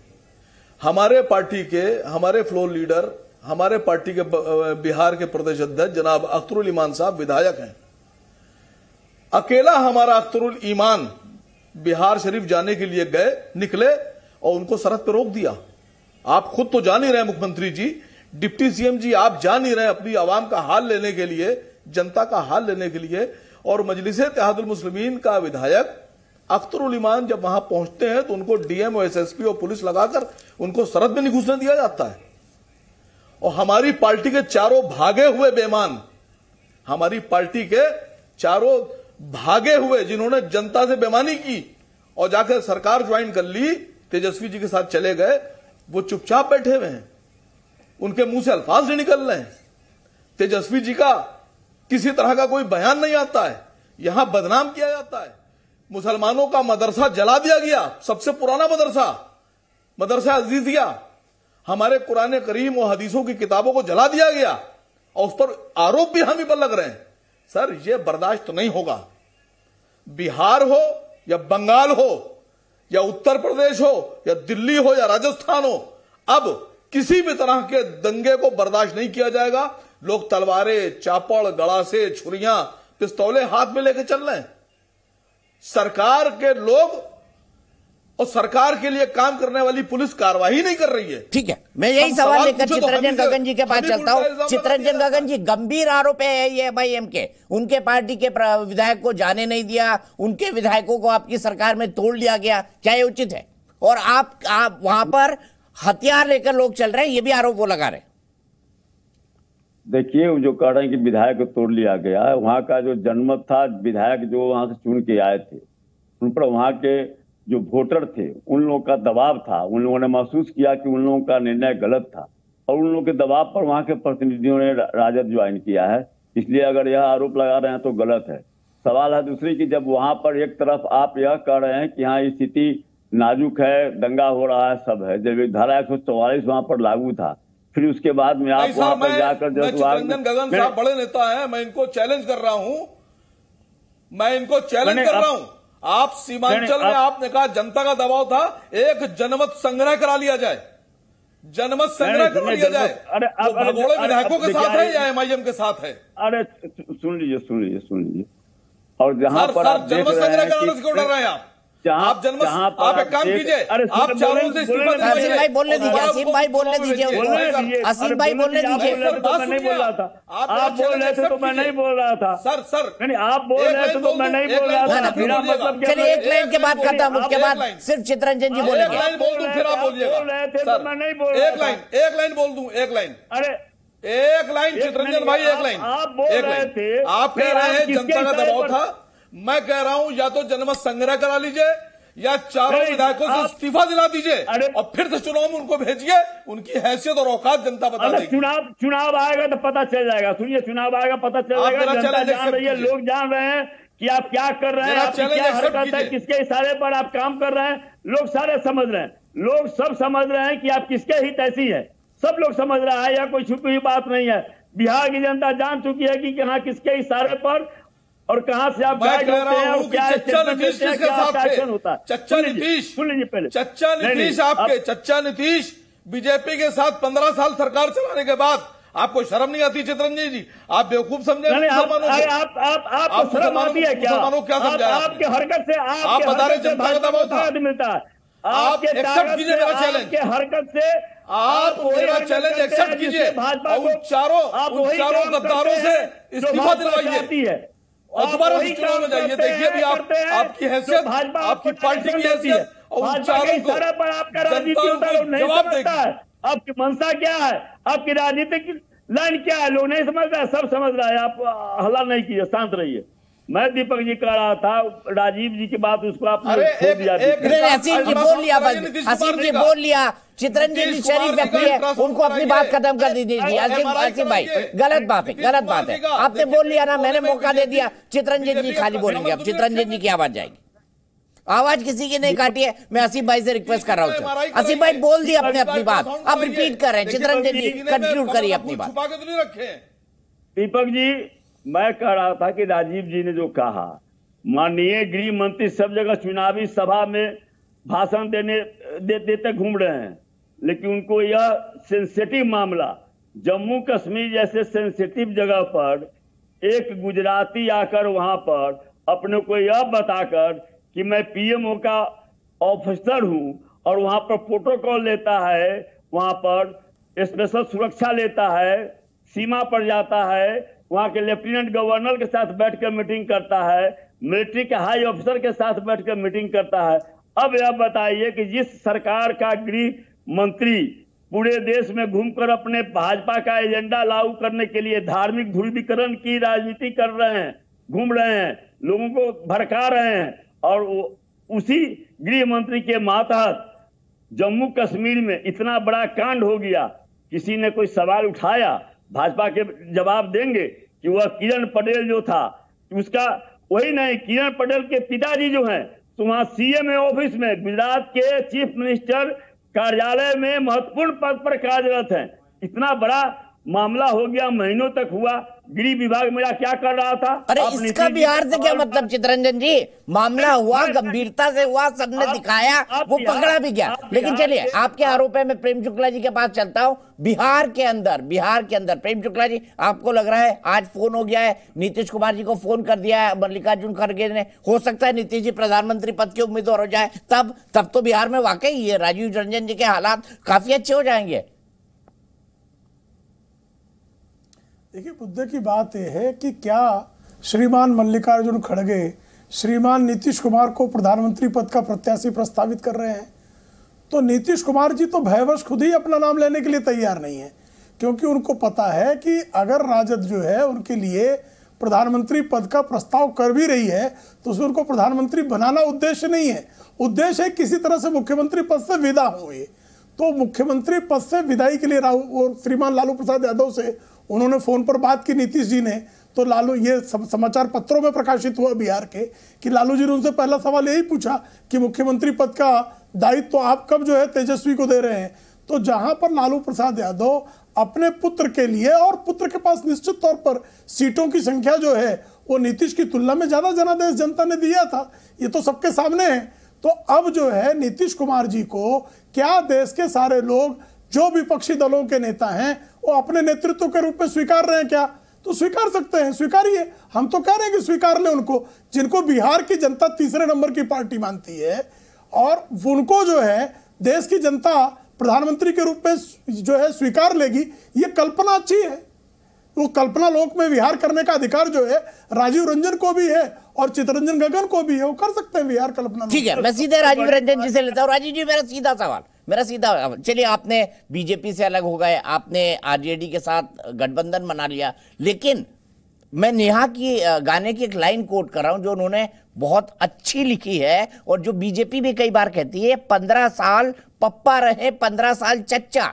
मतलब पंद्रह साल तो लालू जी, राबड़ी जी, उनका परिवार रहा, पंद्रह साल नीतीश कुमार जी रह लिए। अब किस नाम पे वोट मांगेंगे? अगर 2024 में पीएम के कैंडिडेट बन जाते तो भी। सबको पता है बिहार में क्या हुआ पिछले तीस सालों में? देखिए, बिहार की जनता को ये पता है, नेहा राठौर ने इसके पहले उत्तर प्रदेश में काबा भी गा चुकी है। और मैं नहीं समझता हूँ कि नेहा राठौर के उत्तर प्रदेश में काबा का जवाब भारतीय जनता पार्टी कभी दे पाए। मैं इतना ज़रूर कहना चाहूँगा, जनता से बड़ी अदालत कुछ भी नहीं है। जनता ने अगर बार बार नीतीश जी के चेहरे पर भरोसा किया है और अगर विधानसभा के उपचुनाव के नतीजे पैमाना अगर हो सकते हैं तो देश के ज़्यादातर राज्यों के चुनाव नतीजे, उपचुनाव के नतीजे भारतीय जनता पार्टी के खिलाफ हाल के दिनों में गए और अभी सिलसिला जारी है, कर्नाटक, तेलंगाना, इनका जाना बिल्कुल तय है। ये कहीं से भी कुछ इनको आता सुशील मोदी के खिलाफ क्यों नहीं कोई कार्रवाई करते हैं, या उनसे क्यों नहीं इस तरह की मांग करते रहे कि उन्हें इफ्तार नहीं करना चाहिए? देखिए, बिहार में सभी तबकों को लेकर नीतीश कुमार जी चलते रहे हैं और इसीलिए ये इफ्तार उसी तरीके से देखा जाना चाहिए। राजनीतिक चश्मे से देखने वाले लोगों को पूरी आज़ादी है वो देखें। ठीक है। लेकिन उनकी हाँ। ठीक है। प्रेम शुक्ला जी मेरा सीधा सवाल। वो कह रहे हैं कि आप आज हमारे इफ्तार पर सवाल उठा रहे हैं। इससे पहले सुशील मोदी तो इफ्तार करते ही रहे।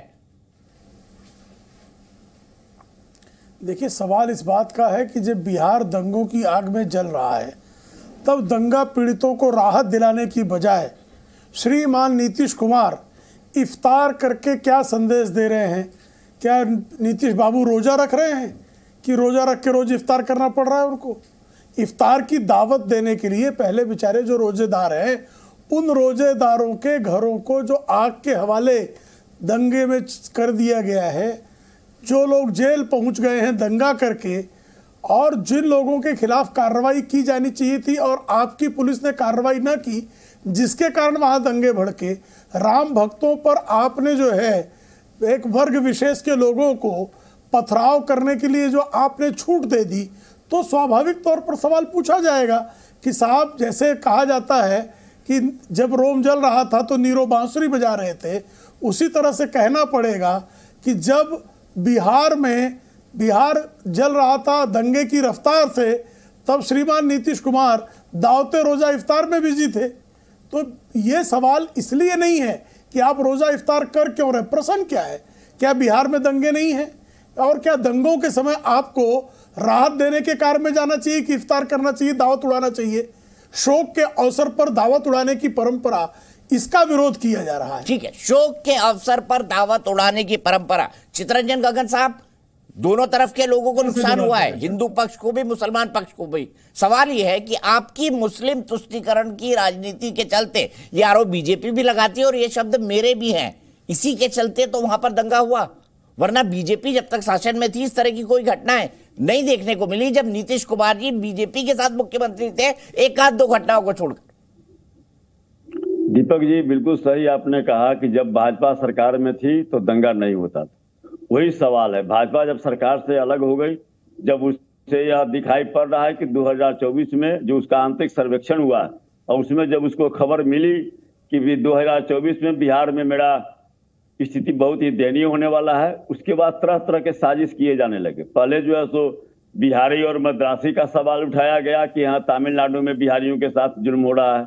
वह जब इनका मिशन फेल हो गया, तब उसके बाद में यह जो है सो रामनवमी के अवसर पर माने ऐसा माहौल बनाना चाह रहे थे कि एक मैसेज जाए कि हाँ साहब बिहार जो है शांत है और नीतीश कुमार को कैसे बदनाम किया जाए, बिहार को बदनाम किया जाए। उसमें कहीं सफलता इनको नहीं मिली। जिस बात को इतना बढ़ा था कि मैं पहले भी आपके चैनल पर मैं कह चुका हूँ कि दंगा हुआ, घटना घटी, लेकिन आप उसको जिस रूप में, विस्तारित रूप में भाजपा के लोग प्रचारित कर रहे हैं। जिस ढंग से इसको नेशनल मीडिया पर बार बार इन लोगों का बयान आ रहा है वह जो है सो कहीं ना कहीं एक, एक सोची समझी रणनीति के तहत यह सब हो रहा है। और तुष्टिकरण की बात तुष्टिकरण में न राष्ट्रीय जनता दल विश्वास रखी न महागठबंधन के कोई भी घटक चाहे जनता दल यू हो कांग्रेस हो या जो लेफ़्ट पार्टी है कोई उसमें विश्वास नहीं रखती है। हम बिहारियों की बात करते हैं हम आम लोगों की बात करते हैं। ध्रुवीकरण की राजनीति भाजपा करती है। मैं बता रहा हूँ अभी विजय सिन्हा जी का आपने बयान सुनाया। उन पर जो है नेता प्रतिपक्ष हैं। उन पर जो है सो जनता की गाढ़ी कमाई का पैसा उन पर खर्च हो रहा है। उन्होंने भारतीय संविधान की शपथ ली है। और उसके बाद उनका बात सुनिए। मदरसा में आतंकवाद पनपता है आतंकवाद को संरक्षण मिलता है। तो मदरसा को आप जो अनुदान दे रहे हैं, भारत सरकार, पहले उस पर आप क्यों नहीं रोक लगाते हैं? आप तो आपके प्रधानमंत्री बोलते हैं, मैंने मदरसा को यह दिया, मैंने मदरसा के लिए यह दिया, और आप कह रहे हैं, कितना घटिया बयान है कि मदरसा में आतंकवादी पलते हैं, आतंकवादियों का ट्रेनिंग कैंप यह यह भारतीय संविधान की शपथ लेकर और हिंदू और मुस्लिम करते हैं, यह जो कभी भी शांति की अपील की इनके द्वारा किया गया कभी नहीं केवल आग जवाब ले लेते जवाब ले लेते किया गया बिहार को जलाने का प्रयास किया गया और छटपटाहट वही है। बिहार को जलाने का प्रयास संगीत रागी जी वो कह रहे हैं कि भाई बीजेपी और उससे जुड़ा ही संगठन दावा कराते हैं। और फिर इसी बात को लेकर मैं असीम वकार के पास जाऊँगा। एआईएमआईएम बड़ी पार्टी रही और लोग कहते हैं कि एआईएमआई ने उनकी पार्टी ने जो सीटें जीती ओवीसी साहब की अगर वो सीटें आरजेडी जीत ली थी तो वो सरकार में आ जाती। ये समीकरण भी हमको उस वक्त देखने को मिले था। मैं इस वक्त आपको बता दूँ बिहार में काबा के बाद यूपी में काबा गाने वाली नेहा सिंह राठौर जी हमारे साथ जुड़ गई हैं। नेहा जी से हम गाना सुनेंगे राजनीतिक बहस में या इनको लाना उचित नहीं है तो मैं सीधे, सबसे पहले संगीत रागी जी आपके पास चलता हूँ और मेरा सीधा सवाल आपसे है कि संगीत रागी जी, आरोप ये लग रहा है कि बीजेपी तो दंगा कराती है, सरकार से बाहर हुई, देखिए दंगा करा दिया। गगन साहब का आरोप है और यही आरोप तमाम आपके विरोधी दल आप पर लगाते हैं। देखिए, दीपक जी, दंगा वहाँ होता है जहाँ मुस्लिम आबादी बहुसंख्यक होती है। आज़ादी से पहले भी होता था, आज़ादी के पश्चात भी होता रहा। पहली बार रामनवमी के दिन दंगा नहीं है। हम बचपन से सुनते आ रहे थे बिहार शरीफ में, सासाराम के अंदर और अन्य जगहों पर, भिवंडी में, बड़ौदा में और आपने देखा होगा, यदि भारतीय जनता पार्टी यदि कराती तो गुजरात में भी दंगे हुए हैं, महाराष्ट्र के अंदर भी दंगे हुए हैं। तो यानी कि भारतीय जनता पार्टी की सरकार और उनके लोग जो है, अपने ही प्रदेशों में दंगे कर रहे थे। लेकिन देखा, देखना पड़ेगा, दिलचस्प बात यह है कि दोनों जगह पर दंगे उसी दिन रुक गए, लेकिन बिहार में अगले दिन भी जारी रहे, बंगाल में अगले दिन भी दंगे होते रहे। इसके अतिरिक्त एक उत्तर प्रदेश राज्य, इतना बड़ा राज्य, सोलह करोड़ जहाँ पर जनसंख्या हो, चौदह करोड़ जनसंख्या हो, वहाँ पर एक भी दंगे नहीं होते हैं। होम मिनिस्ट्री जो है, वो हमेशा नीतीश कुमार अपने पास रखते हैं और इसलिए नहीं कि बहुत बड़ी उनकी काबिलियत उन्होंने उन्होंने दिखाया है बिहार के अंदर। पहली बार उन्होंने काबिलियत दिखाई थी, उसके बाद से वो फिसड्डी ही रहे हैं, जहाँ तक आकलन है। आज भी यदि आप देखेंगे, हमें तो शर्म आती है कि एक मुख्यमंत्री, एक व्यक्ति जो सत्रह साल तक मुख्यमंत्री का बागडोर संभाला हो और वो कहता हो कि बिहार को जो है वो स्पेशल पैकेज दिया जाना चाहिए। आज भी अनएम्प्लॉयमेंट दर जो है वो बिहार के अंदर, जो राष्ट्रीय दर है, उससे कम से कम दुगनी है। दुगनी, मैं फिर गंभीरता से कह रहा हूँ। इसका नतीजा ये है कि बिहार को आपने गटर में डाल रखा है और गटर में डालने का सबसे बड़ा काम जो है वो नीतीश कुमार ने किया है। उसकी सहयोगी बीजेपी भी रही बिल्कुल। लंबे समय तक देखिए, अगर तो- बिहार गटर में है तो उसके लिए बीजेपी भी उसकी मैं जिम्मेदार है तो मैं तो बीजेपी पर भी ये सवाल उठाते रहा हूँ बिल्कुल सवाते उठा रहा हूँ कि एक ऐसे काहिल आदमी को आपने मुख्यमंत्री दिया जबकि आपकी जन आपके वोटों की संख्या ज़्यादा थी, आपकी जीत की संख्या ज़्यादा थी।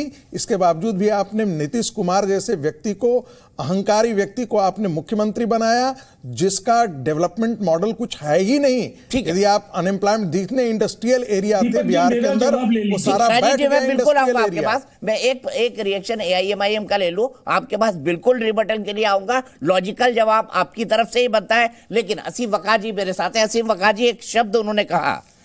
एआईएमआईएम का रोल बिहार में मैंने बताया। महत्वपूर्ण रोल है। आपका एक वोट बैंक है सीमांचल के इलाके में।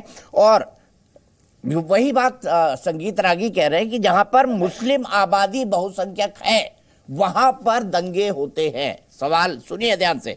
जहाँ मुस्लिम आबादी बहुसंख्यक है वहीं पर दंगे होते हैं। क्या कहना है असीम वकार जी आपका? मैं बेवकूफों की बात का क्या जवाब दिया जाए? ना ना प्लीज़ व्यक्तिगत ना हो लोगों वकार जी। का क्या जवाब दिया जाए? आप वकार जी सर्टिफिकेट ना बांटिए मैंने आज तक राजनीति में कभी मैंने आज तक सर्टिफिकेट ना बांटिए प्लीज़ उन्होंने आपको सर्टिफिकेट नहीं दिया आप भी मत बांटिए।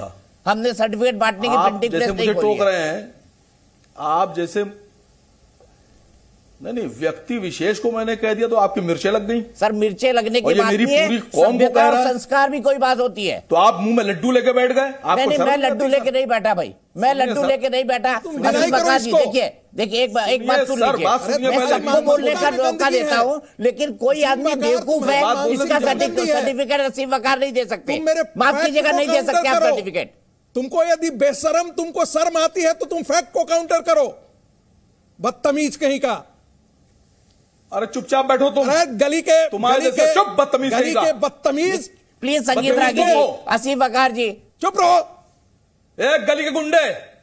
वकार जी संगीत। मैं दोनों को स्क्रीन से हटा रहा हूँ मैं दोनों को स्क्रीन से हटा रहा हूँ। आरजेडी के प्रवक्ता राजीव रंजन जी जवाब दीजिए। राजीव रंजन जी बताइए मुझे उन्होंने कहा कि भाई नीतीश कुमार जो है जिस राजनीति पर काम कर रहे हैं मैं तो आप इन्होंने कहा तुष्टिकरण।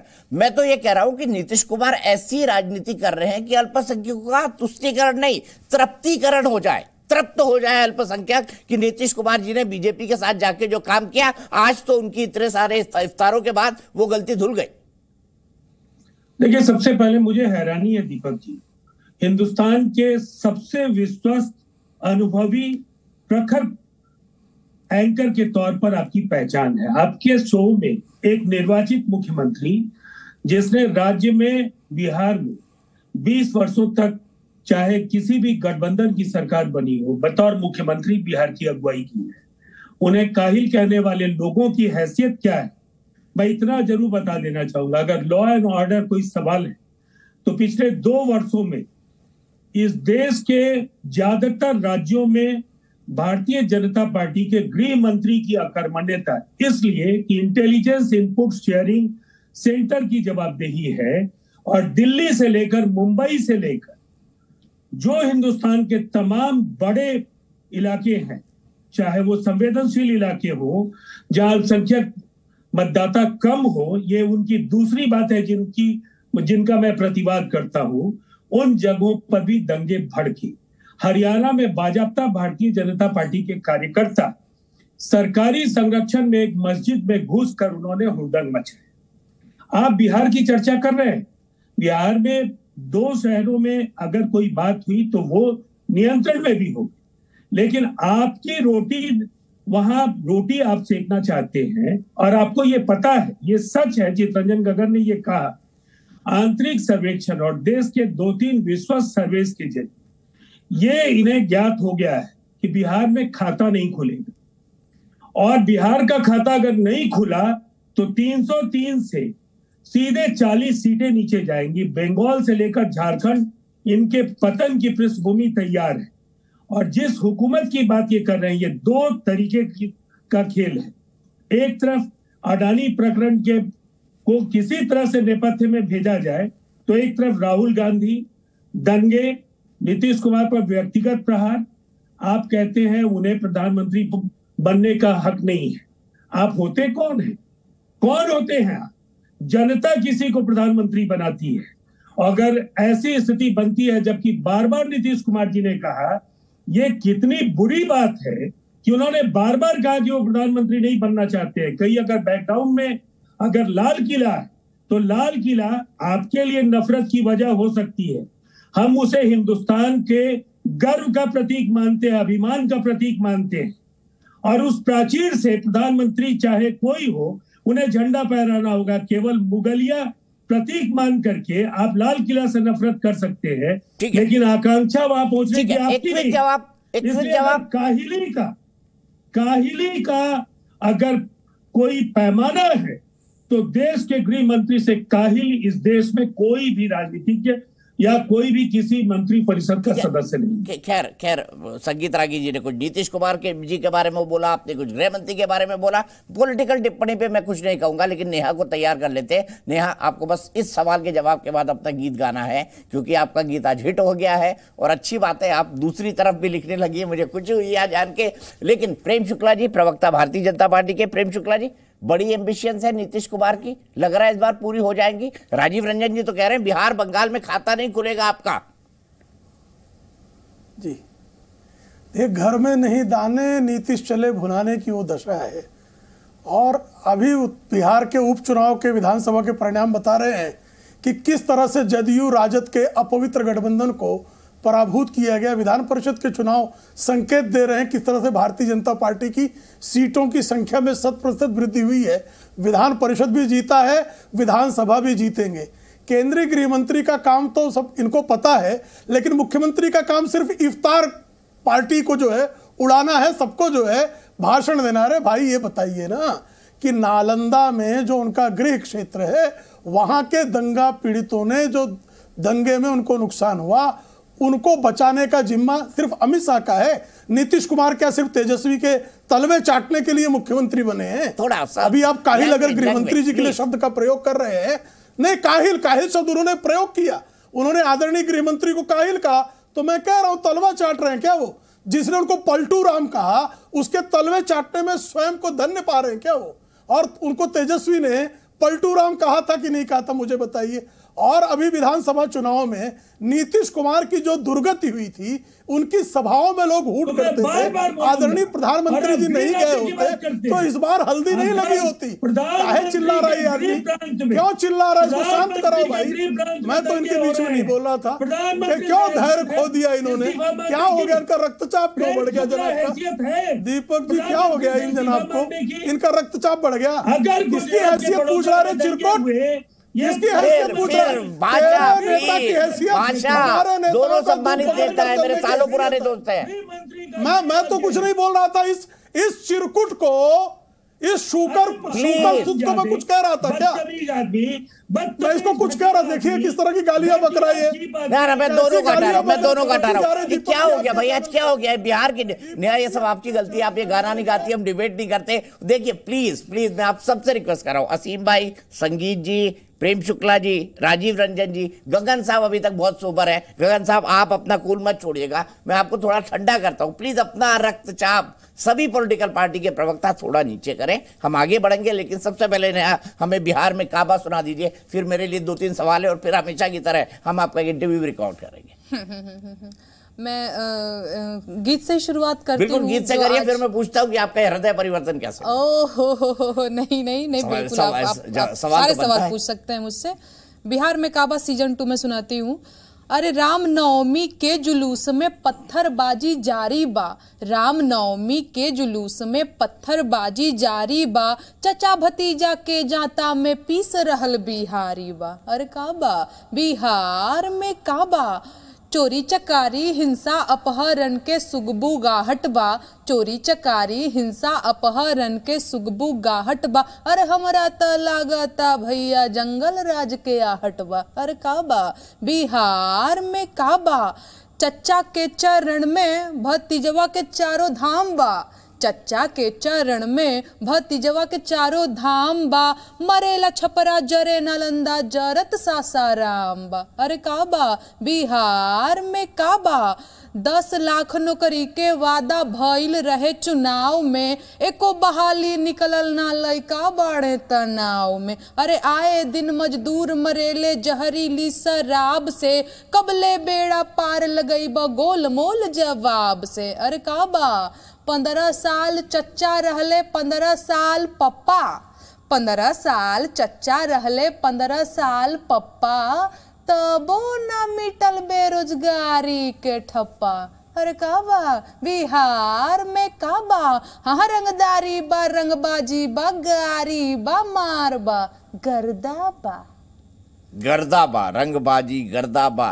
लेकिन एक बात कहना पड़ेगा नया बात बड़े केयरफुली वर्डेड है। मतलब आपने बहुत खूबसूरती से लिखा है, वो तमाम चीज़ें जो उन्होंने अपने इलेक्शन मैनिफेस्टो के अंदर प्रॉमिस की थी, आपने गाने की शक्ल में उतारा है। मैं सोचता हूँ तापमान थोड़ा कम हो गया होगा पाँच सात, दस मिनट और बात कर लेते हैं, फिर नेहा के साथ स्पेशल बातचीत हमारी जारी रहेगी। मैं सीधे सीधे यहाँ से चलता हूँ प्रेम शुक्ला जी के पास राजीव भाई के पास असीफ वकार जी के पास चित्रंजन जी के पास रागी साहब के पास प्लीज़ नाराज़ ना हो और हम सभ्यता के साथ बात करें। तो मैं प्रेम शुक्ला जी अब आपने जो आरोप लगाया मैंने उसके तो कोई अपशब्द नहीं बोला लेकिन मेरे लिए जिस तरह के अपशब्दों का प्रयोग किया आपने उसकी निंदा करनी चाहिए।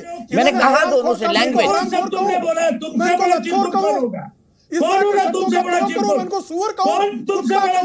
कहूँ, नाली का रहा नहीं है। मेरा संस्कार इस तरह का नहीं है। संस्कार तो कैसे? गालियाँ देता है? सब्ज़ी कैसे मंडी गली चलाती है। भाई? तुम में जन्मा क्या? का दलाल। इसकी पैदाइश घटिया हुई भाई? थोड़ी देर छोड़ दो। दोनों राष्ट्रीय पार्टी के प्रवक्ता है। क्या हो गया है हो मैं थोड़ी देर के लिए छोड़ दो दोनों राष्ट्रीय पार्टी के प्रवक्ता है आपस में निपट सुअर लेते आप एक दूसरे से कह सकता हूँ। लेकिन मैं सुअर की औलाद कहूँगा नहीं हरामजादे। ये तो अरे प्लीज़ अपना नेक्स्ट टीम नहीं अब मैं माफ़ी चाहूँगा इन शब्दों का इस्तेमाल हुआ। मैं वाकई नेहा के इंटरव्यू पे कौन चला जाऊँगा। मुझे नहीं लगता कि इस डिबेट को अब कंटिन्यू करना चाहिए। जिस तरह की लैंग्वेज का इस्तेमाल हमारे सम्मानित नेता कर रहे हैं एक दूसरे के लिए। चित्रंजन गगन जी कुछ जोड़ना चाहेंगे आप यहाँ पर? नहीं दीपक जी जिस बात पर प्रेम शुक्ला जी को रिएक्शन हो गया मैं कहना चाहता हूँ कि जो आप नीतीश जी पर सवाल उठा रहे हैं राजीव जी ने तो सही कहा हमने कि देखिए गृह विभाग कितना रिस्पॉन्सिबल है कितना गैर की जिम्मेदाराना है। प्रेम शुक्ला जी, गालियाँ प्रेम प्रेम- यहाँ प्रेम- चैनल में बैठ के। नहीं, प्रेम मैं शुक्ला सुअर जी, को भी प्रेम मैं जी। सुअर कहना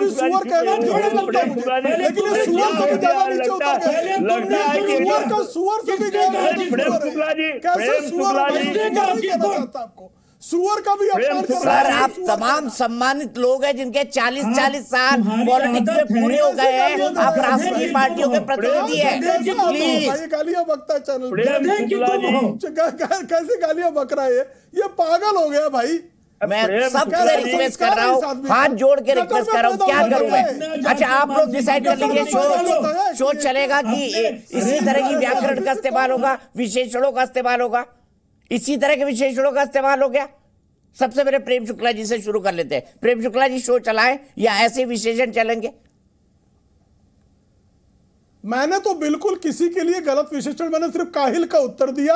उन्होंने बिफर कर गालियाँ बकनी शुरू की। मैं अब भी कहता हूँ कि गालियाँ देना मेरा संस्कार नहीं है। मैं उनको सुअर नहीं कहना चाहता मैं यही कह रहा हूँ। मैं बिल्कुल उनको सुअर नहीं कहूँगा मैं सुअर का अपमान नहीं कर सकता? मैं जानता हूँ ये सुअर से भी गए लोग हैं। मैं इनको सुअर बिल्कुल नहीं कहना चाहता। ये अनायास चिल्ला रहा है प्लीज़ मैं आपको मौका दे रहा हूँ। राजीव जी राजीव जी आप आप आ जाइए। थोड़े टेम्परेचर डाउन करें दोनों लोग प्लीज़ राजीव जी आप भी। कैसी गालियाँ बक रहे हैं देखिए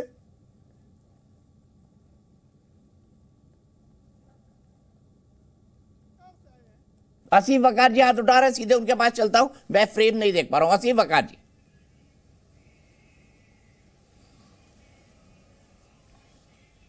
जी बोलिए। अगर कहिए तो मैं अपनी बात रखूँ। जी कहिए मैं तो पहले भी आपको बुलाया था।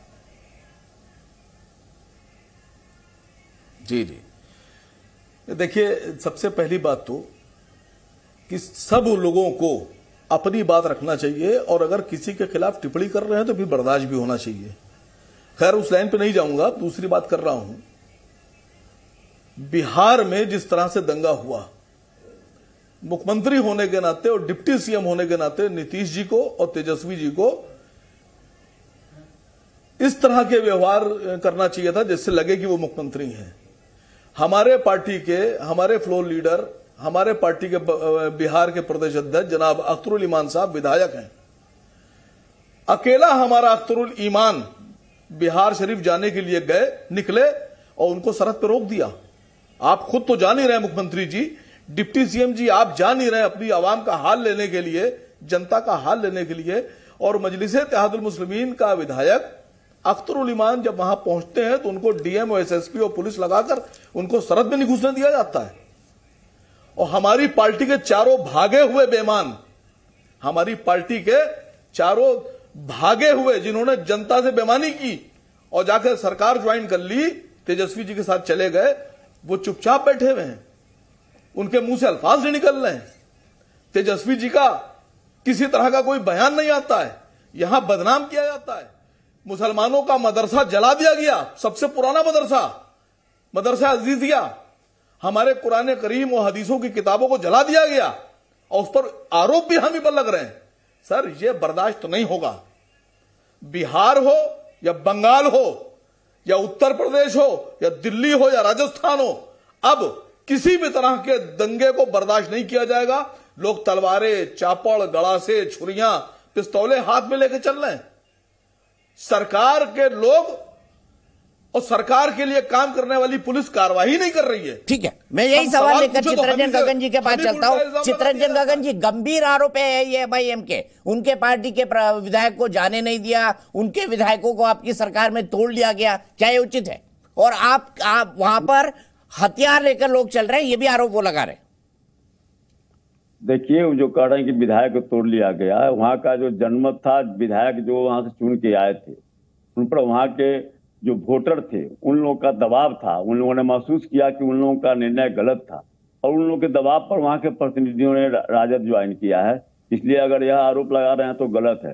सवाल है दूसरी कि जब वहाँ पर एक तरफ़ आप यह कह रहे हैं कि यहाँ स्थिति नाजुक है दंगा हो रहा है सब है। जब धारा एक सौ चौवालीस वहाँ पर लागू था फिर उसके बाद में आप वहाँ पर जाकर जब गगन साहब बड़े नेता है मैं इनको चैलेंज कर रहा हूँ।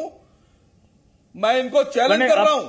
आप सीमांचल में आप- आपने कहा जनता का दबाव था एक जनमत संग्रह करा लिया जाए। जनमत संग्रह करा लिया जाए। अरे, अब- भगोड़े विधायकों के साथ है या एमआईएम के साथ है? अरे सुन लीजिए सुन लीजिए सुन लीजिए। और जहाँ पर आप जनमत संग्रह कराने से क्यों डर रहे हैं आप? जहां- आप जन्म आप एक काम कीजिए। अरे, आप चारों से इस्तीफा दीजिए। भाई बोलने दीजिए, असीम भाई बोलने दीजिए। असीम भाई बोलने दीजिए। तो मैं नहीं बोल रहा आप। था आप आप बोल रहे थे तो मैं नहीं बोल रहा था। Sir sir. नहीं आप बोल एक रहे थे लाइन तो मैं नहीं बोल रहा था। मेरा मतलब क्या चलिए एक लाइन के बाद लाइन खत्म उसके बाद सिर्फ़ चित्रंजन जी बोलेंगे। एक लाइन बोल दूँ फिर आप बोलिएगा बोल रहे थे तो मैं नहीं बोल रहा एक लाइन एक लाइन बोल दूँ एक लाइन। अरे एक लाइन चित्रंजन भाई एक लाइन। आप बोल एक रहे लाइन। थे, आप कह फिर रहे हैं जनता का दबाव था। मैं कह रहा हूँ या तो जनमत संग्रह करा लीजिए या चारों विधायकों से इस्तीफा दिला दीजिए और फिर से चुनाव में उनको भेजिए उनकी हैसियत और औकात जनता बता देगी। चुनाव चुनाव आएगा तो पता चल जाएगा। सुनिए चुनाव आएगा पता चल जाएगा। जनता जान रही है लोग जान रहे हैं कि आप क्या कर रहे हैं आपकी क्या हरकत है किसके इशारे पर आप काम कर रहे हैं लोग सारे समझ रहे हैं। लोग सब समझ रहे हैं कि आप किसके हित ऐसी है। सब लोग समझ रहा है या कोई छुपी हुई बात नहीं है। बिहार की जनता जान चुकी है कि यहाँ किसके इशारे पर और कहाँ से आप गाइड होते हैं और कि क्या चच्चा नीतीश किसके साथ थे? एक्शन होता है? चच्चा नीतीश। सुन लीजिए पहले। चच्चा नीतीश आपके चच्चा नीतीश। बीजेपी के साथ पंद्रह साल सरकार चलाने के बाद आपको शर्म नहीं आती चित्रंजन जी? आप बेवकूफ़ समझे आप मुसलमानों आप आप आप शर्म आती है क्या? आप- आपके हरकत से आप बता रहे जनता का दबाव था। मिलता है। आप ताकत कीजिए मेरा। आपके हरकत से आप मेरा accept हैं कीजिए। भाजपा उन चारों- आप उन चारों गद्दारों से इस्तीफा दिलवाइए।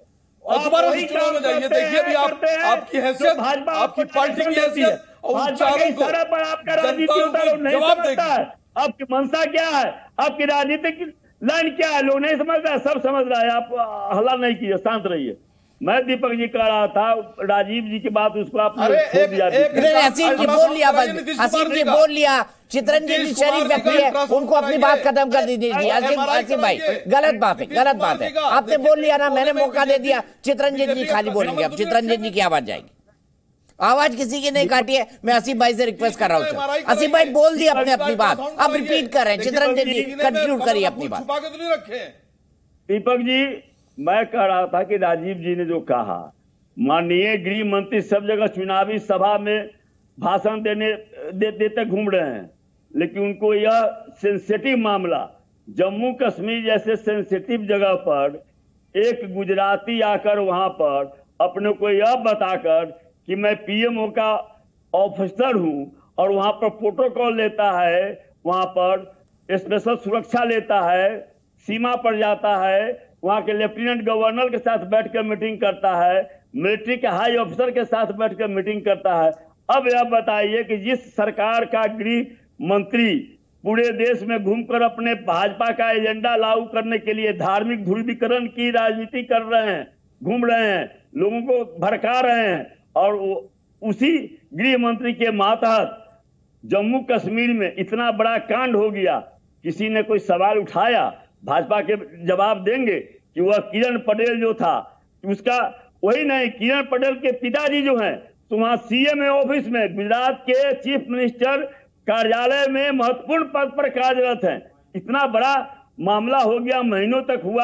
गृह विभाग मेरा क्या कर रहा था? अरे इसका बिहार से क्या मतलब चित्रंजन जी? मामला हुआ गंभीरता से हुआ सबने दिखाया आप वो पकड़ा भी गया। लेकिन चलिए आपके आरोप है मैं प्रेम शुक्ला जी के पास चलता हूँ। बिहार के अंदर बिहार के अंदर प्रेम शुक्ला जी आपको लग रहा है आज फ़ोन हो गया है नीतीश कुमार जी को फ़ोन कर दिया है मल्लिकार्जुन खड़गे ने। हो सकता है नीतीश जी प्रधानमंत्री पद के उम्मीदवार हो जाए तब तब तो बिहार में वाकई ये राजीव रंजन जी के हालात काफ़ी अच्छे हो जाएँगे। देखिए मुद्दे की बात यह है कि क्या श्रीमान मल्लिकार्जुन खड़गे श्रीमान नीतीश कुमार को प्रधानमंत्री पद का प्रत्याशी प्रस्तावित कर रहे हैं? तो नीतीश कुमार जी तो भयवश खुद ही अपना नाम लेने के लिए तैयार नहीं है, क्योंकि उनको पता है कि अगर राजद जो है उनके लिए प्रधानमंत्री पद का प्रस्ताव कर भी रही है तो उसमें उनको प्रधानमंत्री बनाना उद्देश्य नहीं है। उद्देश्य है किसी तरह से मुख्यमंत्री पद से विदा हुए। तो मुख्यमंत्री पद से विदाई के लिए राहुल और श्रीमान लालू प्रसाद यादव से उन्होंने फ़ोन पर बात की, नीतीश जी ने। तो लालू, ये समाचार पत्रों में प्रकाशित हुआ बिहार के कि लालू जी ने उनसे पहला सवाल यही पूछा कि मुख्यमंत्री पद का दायित्व तो आप कब जो है तेजस्वी को दे रहे हैं? तो जहाँ पर लालू प्रसाद यादव अपने पुत्र के लिए और पुत्र के पास निश्चित तौर पर सीटों की संख्या जो है, वो नीतीश की तुलना में ज़्यादा जनादेश जनता ने दिया था। ये तो सबके सामने है। तो अब जो है नीतीश कुमार जी को क्या देश के सारे लोग, जो विपक्षी दलों के नेता हैं वो अपने नेतृत्व के रूप में स्वीकार रहे हैं क्या? तो स्वीकार सकते हैं, स्वीकारिए। हम तो कह रहे हैं कि स्वीकार ले उनको, जिनको बिहार की जनता तीसरे नंबर की पार्टी मानती है, और उनको जो है, देश की जनता प्रधानमंत्री के रूप में जो है, स्वीकार लेगी, ये कल्पना अच्छी है। वो कल्पना लोक में विहार करने का अधिकार जो है, राजीव रंजन को भी है, और चितरंजन गगन को भी है, वो कर सकते हैं विहार कल्पना ठीक है, मैं सीधे राजीव रंजन जी से लेता हूँ। राजीव जी, मेरा सीधा सवाल। मेरा सीधा, चलिए आपने बीजेपी से अलग हो गए, आपने आरजेडी के साथ गठबंधन बना लिया। लेकिन मैं नेहा की गाने की एक लाइन कोट कर रहा हूँ जो उन्होंने बहुत अच्छी लिखी है और जो बीजेपी भी कई बार कहती है, पंद्रह साल पप्पा रहे, पंद्रह साल चच्चा। मतलब पंद्रह साल तो लालू जी, राबड़ी जी, उनका परिवार रहा, पंद्रह साल नीतीश कुमार जी रह लिए। अब किस नाम पे वोट मांगेंगे? अगर 2024 में पीएम के कैंडिडेट बन जाते तो भी। सबको पता है बिहार में क्या हुआ पिछले तीस सालों में? देखिए, बिहार की जनता को ये पता है। नेहा राठौर ने इसके पहले उत्तर प्रदेश में काबा भी गा चुकी है। और मैं नहीं समझता हूँ कि नेहा राठौर के उत्तर प्रदेश में काबा का जवाब भारतीय जनता पार्टी कभी दे पाए। मैं इतना ज़रूर कहना चाहूँगा, जनता से बड़ी अदालत कुछ भी नहीं है।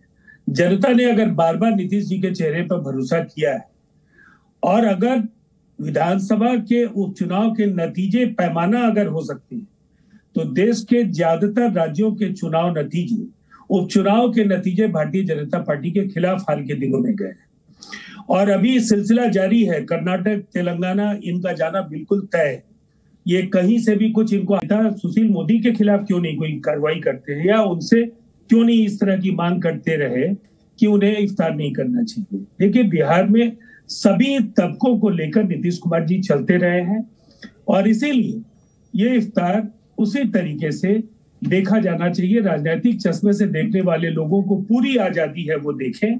ठीक है। लेकिन उनकी हाँ। ठीक है। प्रेम शुक्ला जी मेरा सीधा सवाल। वो कह रहे हैं कि आप आज हमारे इफ्तार पर सवाल उठा रहे हैं। इससे पहले सुशील मोदी तो इफ्तार करते ही रहे। देखिए सवाल इस बात का है कि जब बिहार दंगों की आग में जल रहा है तब दंगा पीड़ितों को राहत दिलाने की बजाय श्रीमान नीतीश कुमार इफ्तार करके क्या संदेश दे रहे हैं? क्या नीतीश बाबू रोजा रख रहे हैं कि रोजा रख के रोज इफ्तार करना पड़ रहा है उनको? इफ्तार की दावत देने के लिए पहले बेचारे जो रोजेदार हैं, उन रोजेदारों के घरों को जो आग के हवाले दंगे में कर दिया गया है, जो लोग जेल पहुँच गए हैं दंगा करके और जिन लोगों के खिलाफ कार्रवाई की जानी चाहिए थी और आपकी पुलिस ने कार्रवाई ना की, जिसके कारण वहाँ दंगे भड़के, राम भक्तों पर आपने जो है, एक वर्ग विशेष के लोगों को पथराव करने के लिए जो आपने छूट दे दी तो स्वाभाविक तौर पर सवाल पूछा जाएगा कि साहब, जैसे कहा जाता है कि जब रोम जल रहा था तो नीरो बांसुरी बजा रहे थे, उसी तरह से कहना पड़ेगा कि जब बिहार में बिहार जल रहा था दंगे की रफ्तार से, तब श्रीमान नीतीश कुमार दावते रोजा इफ्तार में बिज़ी थे। तो ये सवाल इसलिए नहीं है कि आप रोजा इफ्तार कर क्यों रहे? प्रश्न क्या है? क्या बिहार में दंगे नहीं हैं? और क्या दंगों के समय आपको राहत देने के कार्य में जाना चाहिए कि इफ्तार करना चाहिए, दावत उड़ाना चाहिए? शोक के अवसर पर दावत उड़ाने की परंपरा, इसका विरोध किया जा रहा है। ठीक है, शोक के अवसर पर दावत उड़ाने की परंपरा। चित्रंजन गगन साहब दोनों तरफ़ के लोगों को नुकसान हुआ है हिंदू पक्ष को भी मुसलमान पक्ष को भी। सवाल यह है कि आपकी मुस्लिम तुष्टिकरण की राजनीति के चलते ये आरोप बीजेपी भी लगाती है और ये शब्द मेरे भी हैं। इसी के चलते तो वहाँ पर दंगा हुआ। वरना बीजेपी जब तक शासन में थी इस तरह की कोई घटनाएँ नहीं देखने को मिली जब नीतीश कुमार जी बीजेपी के साथ मुख्यमंत्री थे एक आध दो घटनाओं को छोड़कर। दीपक जी बिल्कुल सही आपने कहा कि जब भाजपा सरकार में थी तो दंगा नहीं होता था। वही सवाल है। भाजपा जब सरकार से अलग हो गई, जब उससे यह दिखाई पड़ रहा है कि 2024 में जो उसका आंतरिक सर्वेक्षण हुआ और उसमें जब उसको खबर मिली कि भी 2024 में बिहार में मेरा स्थिति बहुत ही दयनीय होने वाला है, उसके बाद तरह तरह के साजिश किए जाने लगे। पहले जो है सो बिहारी और मद्रासी का सवाल उठाया गया कि यहाँ तमिलनाडु में बिहारियों के साथ जुर्म हो रहा है। वह जब इनका मिशन फेल हो गया, तब उसके बाद में यह जो है सो रामनवमी के अवसर पर माने ऐसा माहौल बनाना चाह रहे थे कि यहाँ एक मैसेज जाए कि हाँ साहब, बिहार जो है शांत है और नीतीश कुमार को कैसे बदनाम किया जाए, बिहार को बदनाम किया जाए। उसमें कहीं सफलता इनको नहीं मिली। जिस बात को इतना बढ़ा था कि मैं पहले भी आपके चैनल पर मैं कह चुका हूँ कि दंगा हुआ, घटना घटी, लेकिन आप उसको जिस रूप में, विस्तारित रूप में भाजपा के लोग प्रचारित कर रहे हैं। जिस ढंग से इसको नेशनल मीडिया पर बार बार इन लोगों का बयान आ रहा है। वह जो है सो कहीं ना कहीं एक एक सोची समझी रणनीति के तहत यह सब हो रहा है। और तुष्टिकरण की बात, तुष्टिकरण में न राष्ट्रीय जनता दल विश्वास रखी है महागठबंधन के कोई भी घटक, चाहे जनता दल यू हो, कांग्रेस हो, या जो लेफ़्ट पार्टी है, कोई उसमें विश्वास नहीं रखती है। हम बिहारियों की बात करते हैं, हम आम लोगों की बात करते हैं। ध्रुवीकरण की राजनीति भाजपा करती है। मैं बता रहा हूँ अभी विजय सिन्हा जी का आपने बयान सुनाया। उन पर जो है नेता प्रतिपक्ष हैं। उन पर जो है सो जनता की गाढ़ी कमाई का पैसा उन पर खर्च हो रहा है। उन्होंने भारतीय संविधान की शपथ ली है। और उसके बाद उनका बात सुनिए। मदरसा में आतंकवाद, पनपता है आतंकवाद को संरक्षण मिलता है। तो मदरसा को आप जो अनुदान दे रहे हैं भारत सरकार पहले उस पर आप क्यों नहीं रोक लगाते हैं? आप तो आपके प्रधानमंत्री बोलते हैं मैंने मदरसा को यह दिया मैंने मदरसा के लिए यह दिया और आप कह रहे हैं कितना घटिया बयान है कि मदरसा में आतंकवादी पलते हैं आतंकवादियों का ट्रेनिंग कैंप यह यह भारतीय संविधान की शपथ लेकर और हिंदू और मुस्लिम करते हैं यह जो कभी भी शांति की अपील की इनके द्वारा किया गया कभी नहीं केवल आग जवाब ले लेते जवाब ले लेते किया गया बिहार को दिलाने का प्रयास किया गया और छटपटाहट वही है। बिहार को जलाने का प्रयास संगीत रागी जी वो कह रहे हैं कि भाई बीजेपी और उससे जुड़ा ही संगठन दावा कराते हैं। और फिर इसी बात को लेकर मैं असीम वकार के पास जाऊँगा। एआईएमआईएम बड़ी पार्टी रही और लोग कहते हैं कि एआईएमआई ने उनकी पार्टी ने जो सीटें जीती ओवीसी साहब की अगर वो सीटें आरजेडी जीत लेती तो वो सरकार में आ जाती। ये समीकरण भी हमको उस वक्त देखने को मिले था। मैं इस वक्त आपको बता दूँ बिहार में काबा के बाद यूपी में काबा गाने वाली नेहा सिंह राठौर जी हमारे साथ जुड़ गई हैं। नेहा जी से हम गाना सुनेंगे राजनीतिक बहस में या इनको लाना उचित नहीं है तो मैं सीधे, सबसे पहले संगीत रागी जी आपके पास चलता और मेरा सीधा सवाल आपसे है कि संगीत रागी जी, आरोप ये लग रहा है कि बीजेपी तो दंगा कराती है सरकार से बाहर हुई। देखिए, दंगा करा दिया। गगन साहब का आरोप है और यही आरोप तमाम आपके विरोधी दल आप पर लगाते हैं। देखिए, दीपक जी, दंगा वहाँ होता है जहाँ मुस्लिम आबादी बहुसंख्यक होती है। आज़ादी से पहले भी होता था, आज़ादी के पश्चात भी होता रहा। पहली बार रामनवमी के दिन दंगा नहीं है। हम बचपन से सुनते आ रहे थे बिहार शरीफ में, सासाराम के अंदर और अन्य जगहों पर, भिवंडी में, बड़ौदा में। और आपने देखा होगा यदि भारतीय जनता पार्टी यदि कराती तो गुजरात में भी दंगे हुए हैं। महाराष्ट्र के अंदर भी दंगे हुए हैं तो यानी कि भारतीय जनता पार्टी की सरकार और उनके लोग जो है, अपने ही प्रदेशों में दंगे कर रहे थे। लेकिन देखा, देखना पड़ेगा, दिलचस्प बात यह है कि दोनों जगह पर दंगे उसी दिन रुक गए, लेकिन बिहार में अगले दिन भी जारी रहे, बंगाल में अगले दिन भी दंगे होते रहे।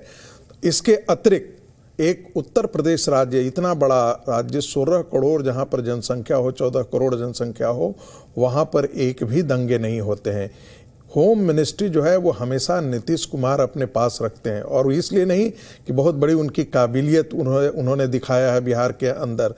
पहली बार उन्होंने काबिलियत दिखाई थी, उसके बाद से वो फिसडी ही रहे हैं, जहाँ तक आकलन है। आज भी यदि आप देखेंगे, हमें तो शर्म आती है कि एक मुख्यमंत्री, एक व्यक्ति जो सत्रह साल तक मुख्यमंत्री का बागडोर संभाला हो और वो कहता हो कि बिहार को जो है वो स्पेशल पैकेज दिया जाना चाहिए। आज भी अनएम्प्लॉयमेंट दर जो है वो बिहार के अंदर जो राष्ट्रीय दर है, उससे कम से कम दुगनी है। दुगनी, मैं फिर गंभीरता से कह रहा हूँ। इसका नतीजा ये है कि बिहार को आपने गटर में डाल रखा है और गटर में डालने का सबसे बड़ा काम जो है वो नीतीश कुमार ने संगीत। रागी जी उसकी सहयोगी बीजेपी भी रही बिल्कुल। लंबे समय तक देखिए, अगर तो- बिहार गटर में है तो उसके लिए बीजेपी भी उसकी जिम्मेदार मैं है तो मैं तो बीजेपी पर भी ये सवाल उठाते रहा हूँ बिल्कुल सवाते उठा रहा हूँ कि एक ऐसे काहिल आदमी को आपने मुख्यमंत्री दिया जबकि आपकी जन, आपके वोटों की संख्या ज़्यादा थी, आपकी जीत की संख्या ज़्यादा थी।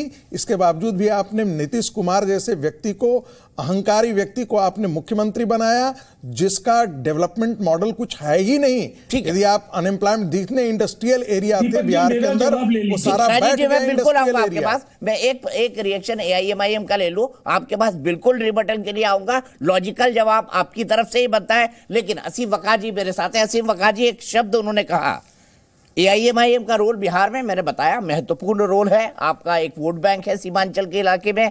और वही बात संगीत रागी कह रहे हैं कि जहाँ पर मुस्लिम आबादी बहुसंख्यक है वहाँ पर दंगे होते हैं। सवाल सुनिए ध्यान से। जहाँ मुस्लिम आबादी बहुसंख्यक है वहीं पर दंगे होते हैं। क्या कहना है असीम वकार जी आपका?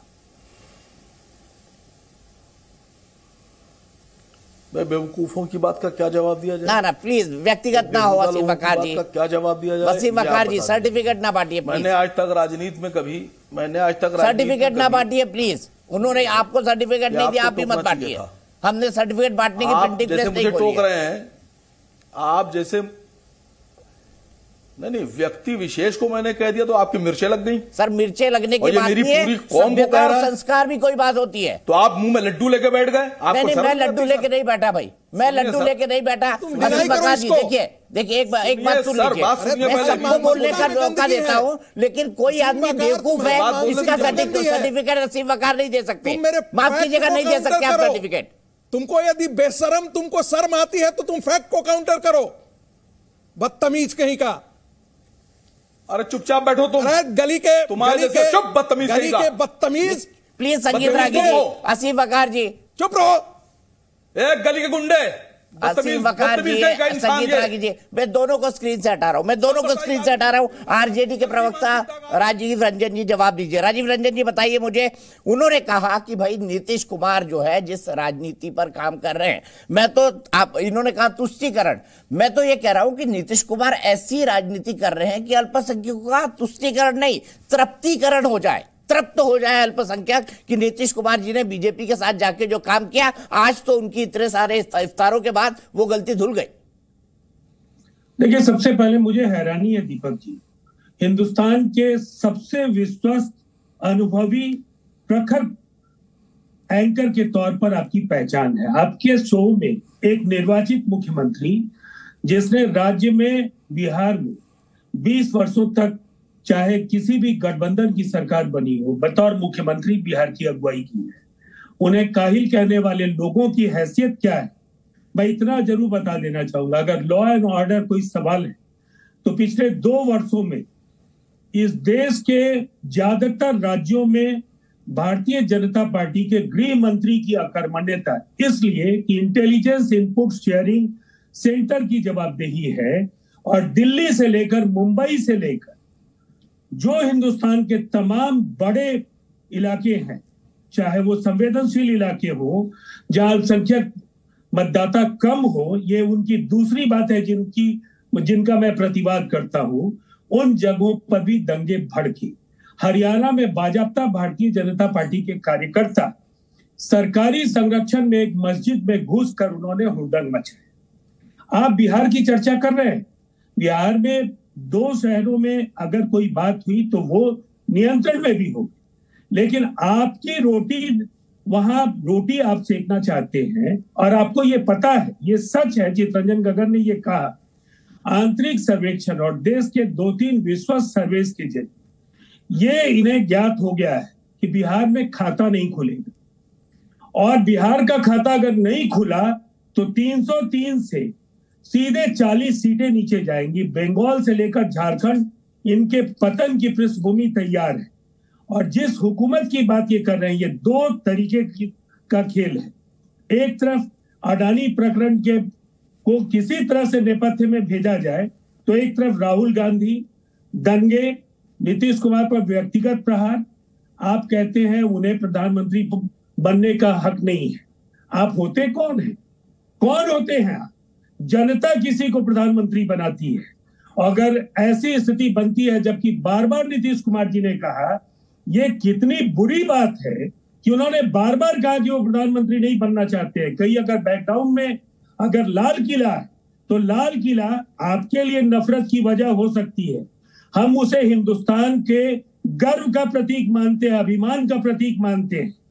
और उस प्राचीर से प्रधानमंत्री चाहे कोई हो उन्हें झंडा फहराना होगा केवल मुगलिया प्रतीक मान करके आप लाल किला से नफरत कर सकते हैं। लेकिन आकांक्षा वहाँ पहुँचने की आपकी नहीं। जवाब इसलिए जवाब। काहिली का काहिली का अगर कोई पैमाना है तो देश के गृह मंत्री से काहिल इस देश में कोई भी राजनीतिज्ञ या कोई भी किसी मंत्री परिषद का सदस्य नहीं। खैर खैर संगीत रागी जी ने कुछ नीतीश कुमार के जी के बारे में बोला आपने कुछ गृह मंत्री के बारे में बोला। पॉलिटिकल टिप्पणी पे मैं कुछ नहीं कहूँगा लेकिन नेहा को तैयार कर लेते हैं। नेहा आपको बस इस सवाल के जवाब के बाद अपना गीत गाना है क्योंकि आपका गीत आज हिट हो गया है और अच्छी बात है आप दूसरी तरफ़ भी लिखने लगी है मुझे कुछ हुई जान के। लेकिन प्रेम शुक्ला जी प्रवक्ता भारतीय जनता पार्टी के प्रेम शुक्ला जी बड़ी एम्बिशियंस है नीतीश कुमार की। लग रहा है इस बार पूरी हो जाएँगी। राजीव रंजन जी तो कह रहे हैं, बिहार बंगाल में खाता नहीं खुलेगा आपका। जी। ये घर में नहीं दाने, नीतीश चले भुनाने की वो दशा है। और अभी बिहार के उपचुनाव के विधानसभा के परिणाम बता रहे हैं कि किस तरह से जदयू, राजद के अपवित्र गठबंधन को पराभूत किया गया। विधान परिषद के चुनाव संकेत दे रहे हैं किस तरह से भारतीय जनता पार्टी की सीटों की संख्या में शत प्रतिशत वृद्धि हुई है। विधान परिषद भी जीता है, विधानसभा भी जीतेंगे। केंद्रीय गृह मंत्री का काम तो सब इनको पता है, लेकिन मुख्यमंत्री का काम सिर्फ़ इफ्तार पार्टी को जो है, उड़ाना है, सबको जो है, भाषण देना है। भाई, ये बताइए ना कि नालंदा में जो उनका गृह क्षेत्र है, वहाँ के दंगा पीड़ितों ने जो दंगे में उनको नुकसान हुआ उनको बचाने का जिम्मा सिर्फ़ अमित शाह का है। नीतीश कुमार क्या सिर्फ़ तेजस्वी के तलवे चाटने के लिए मुख्यमंत्री बने हैं? थोड़ा सा। अभी आप काहिल अगर language, गृह मंत्री जी के लिए शब्द का प्रयोग कर रहे हैं। नहीं काहिल काहिल शब्द उन्होंने प्रयोग किया। उन्होंने आदरणीय गृह मंत्री को काहिल कहा। तो मैं कह रहा हूँ तलवा चाट रहे हैं क्या वो? जिसने उनको पलटू राम कहा उसके तलवे चाटने में स्वयं को धन्य पा रहे हैं क्या वो? और उनको तेजस्वी ने पलटू राम कहा था कि नहीं कहा था मुझे बताइए। और अभी विधानसभा चुनाव में नीतीश कुमार की जो दुर्गति हुई थी उनकी सभाओं में लोग हूट तो करते थे। आदरणीय प्रधानमंत्री जी नहीं गए होते तो इस बार हल्दी नहीं लगी होती। काहे चिल्ला रहा है आदमी क्यों चिल्ला रहा है? इसको शांत कराओ भाई। में तो इनके बीच में नहीं। बोल रहा था। क्यों धैर्य खो दिया इन्होंने? क्या हो गया? इनका रक्तचाप क्यों बढ़ गया जनाब का? दीपक जी क्या हो गया इन जनाब को? इनका रक्तचाप बढ़ गया। किसकी हैसियत पूछ रहा है? चिरकुट? दंगे हुए, ये किसकी फिर- हैसियत पूछ रहा फिर बादशाह तेरे नेता की प्लीज़ हैसियत हमारे बादशाह नेताओं दोनों सम्मानित नेता है मेरे सालों पुराने दोस्त हैं। मैं मैं तो कुछ नहीं बोल रहा था इस इस चिरकुट को इस शुकर शुकर सुद को मैं कुछ कह रहा था क्या? मैं इसको कुछ कह रहा देखिए किस तरह की गालियाँ बक रहा है ये ना ना मैं दोनों का हटा रहा हूँ मैं दोनों का हटा रहा हूँ। क्या हो गया भाई? क्या आज क्या हो गया? बिहार की नया ये सब आपकी गलती है आप ये गाना नहीं गाती हम डिबेट नहीं करते। देखिए प्लीज़ प्लीज़ मैं आप सबसे रिक्वेस्ट कर रहा हूँ। असीम भाई संगीत जी प्रेम शुक्ला जी, राजीव रंजन जी, गगन साहब अभी तक बहुत सोबर है। गगन साहब, आप अपना कूल मत छोड़िएगा। मैं आपको थोड़ा ठंडा करता हूँ। प्लीज़ अपना रक्तचाप, सभी पॉलिटिकल पार्टी के प्रवक्ता थोड़ा नीचे करें। हम आगे बढ़ेंगे, लेकिन सबसे पहले नया हमें बिहार में काबा सुना दीजिए। फिर मेरे लिए दो तीन सवाल है और फिर हमेशा की तरह हम आपका इंटरव्यू रिकॉर्ड करेंगे। मैं गीत से शुरुआत करती हूँ गीत से करिए फिर मैं पूछता हूँ कि आपका हृदय परिवर्तन कैसे? ओह हो हो हो हो, नहीं नहीं नहीं सवाल- बिल्कुल सवाल- आप, आप, आप सवाल सारे तो सवाल पूछ सकते हैं मुझसे। बिहार में काबा सीज़न टू में सुनाती हूँ।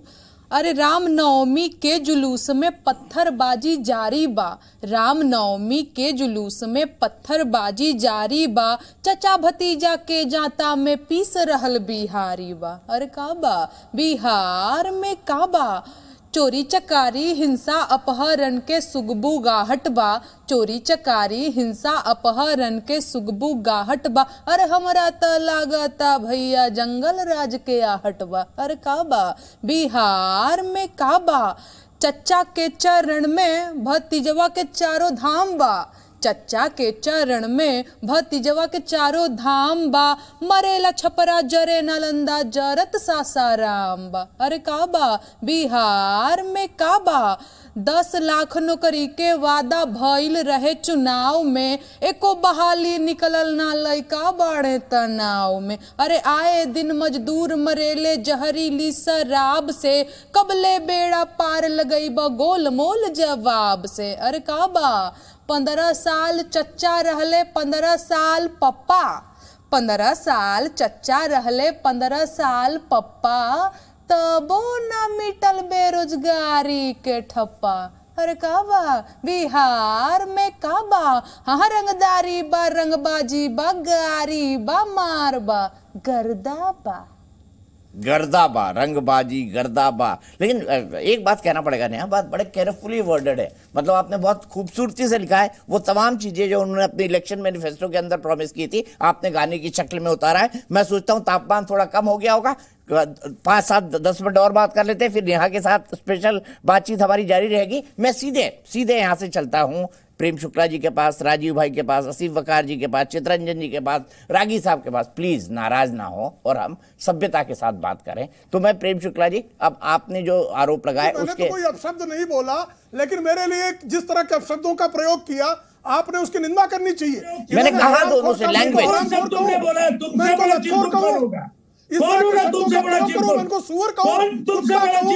कहूँ, नाली का कीड़ा कहूँ, ये प्रधानमंत्री के शब्द को चुनौती दे रहा नहीं था। है।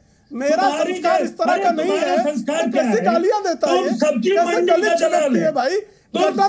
क्या। है। इसकी पैदाइश क्या है। थोड़ी देर छोड़ दो। दोनों राष्ट्रीय पार्टी के प्रवक्ता है। मैं थोड़ी देर के लिए छोड़ दो दोनों राष्ट्रीय पार्टी के प्रवक्ता है गालियों बकरा आपस में निपट लेंगे आप एक दूसरे से हूँ। लेकिन मैं सुअर की औलाद तो अरे प्लीज़ अपना नेक्स्ट टीम नहीं अब मैं माफ़ी चाहूँगा इन शब्दों का इस्तेमाल हुआ मैं वाकई नेहा के इंटरव्यू पे कौन चला जाऊँगा। मुझे नहीं लगता कि इस डिबेट को अब कंटिन्यू करना चाहिए जिस तरह की लैंग्वेज का इस्तेमाल हमारे सम्मानित नेता कर रहे हैं एक दूसरे के लिए। चित्रंजन गगन जी कुछ जोड़ना चाहेंगे आप यहाँ पर? नहीं दीपक जी जिस बात पर प्रेम शुक्ला जी को रिएक्शन हो गया मैं कहना चाहता हूँ कि जो आप नीतीश जी पर सवाल उठा रहे हैं राजीव जी ने तो सही कहा हमने कि देखिए गृह विभाग कितना रिस्पॉन्सिबल है कितना गैर जिम्मेदाराना है का प्रयोग कि भाई? सो माननीय नहीं नहीं प्रेम गालियाँ बकी इन्होंने यहाँ चैनल में बैठ के मैं सुअर को भी सुअर नहीं कहता मैं सुअर को भी सुअर कहना क्यों लगता मुझे लेकिन ये सुअर से भी ज़्यादा नीचे उतर गए लगता है कि सुअर का सुअर से भी प्रेम गया शुक्ला जी, कैसे सुअर कहना चाहता आपको? सुअर का भी अपमान कर रहा सर आप तमाम सम्मानित लोग हैं जिनके 40 हाँ, 40 साल तुम्हारी पॉलिटिक्स में पूरे हो गए हैं। आप गालियाँ राष्ट्रीय पार्टियों के प्रतिनिधि हैं। हो? प्लीज़। गालियाँ बकता है चैनल की हो। कै- कै- कैसे गालियाँ बक रहा है? ये पागल हो गया भाई। मैं प्रेम सबसे रिक्वेस्ट कर रहा हूँ। हाथ जोड़ के रिक्वेस्ट कर रहा हूँ क्या करूँ मैं? अच्छा आप लोग डिसाइड कर लीजिए शो शो चलेगा कि इसी तरह की व्याकरण का इस्तेमाल होगा विशेषणों का इस्तेमाल होगा। इसी तरह के विशेषणों का इस्तेमाल हो गया। सबसे पहले प्रेम शुक्ला जी से शुरू कर लेते हैं। प्रेम शुक्ला जी शो चलाएँ या ऐसे विशेषण चलेंगे? मैंने तो बिल्कुल किसी के लिए गलत विशेषण मैंने सिर्फ़ काहिल का उत्तर दिया उन्होंने बिफर कर गालियाँ बकनी शुरू की। मैं अब भी कहता हूँ कि गालियाँ देना मेरा संस्कार नहीं है। मैं उनको सुअर नहीं कहना चाहता मैं यही कह रहा हूँ। मैं बिल्कुल उनको सुअर नहीं कहूँगा मैं सुअर का अपमान नहीं कर सकता। मैं जानता हूँ ये सुअर से भी गए गुजरे लोग झूठ बोल रहा हैं। मैं इनको सुअर बिल्कुल नहीं कहना चाहता। ये अनायास चिल्ला रहा है मैं आपको मौका दे रहा हूँ। राजीव जी राजीव जी आप आप आ जाइए। थोड़े टेम्परेचर डाउन करें दोनों लोग प्लीज़ राजीव जी आप भी। कैसी गालियाँ बक रहे हैं देखिए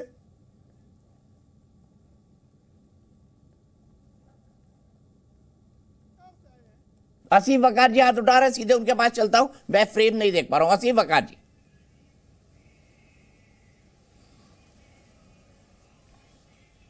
जी बोलिए। अगर कहिए तो मैं अपनी बात रखूँ। जी कहिए। मैं तो पहले भी आपको बुलाया था। जी जी।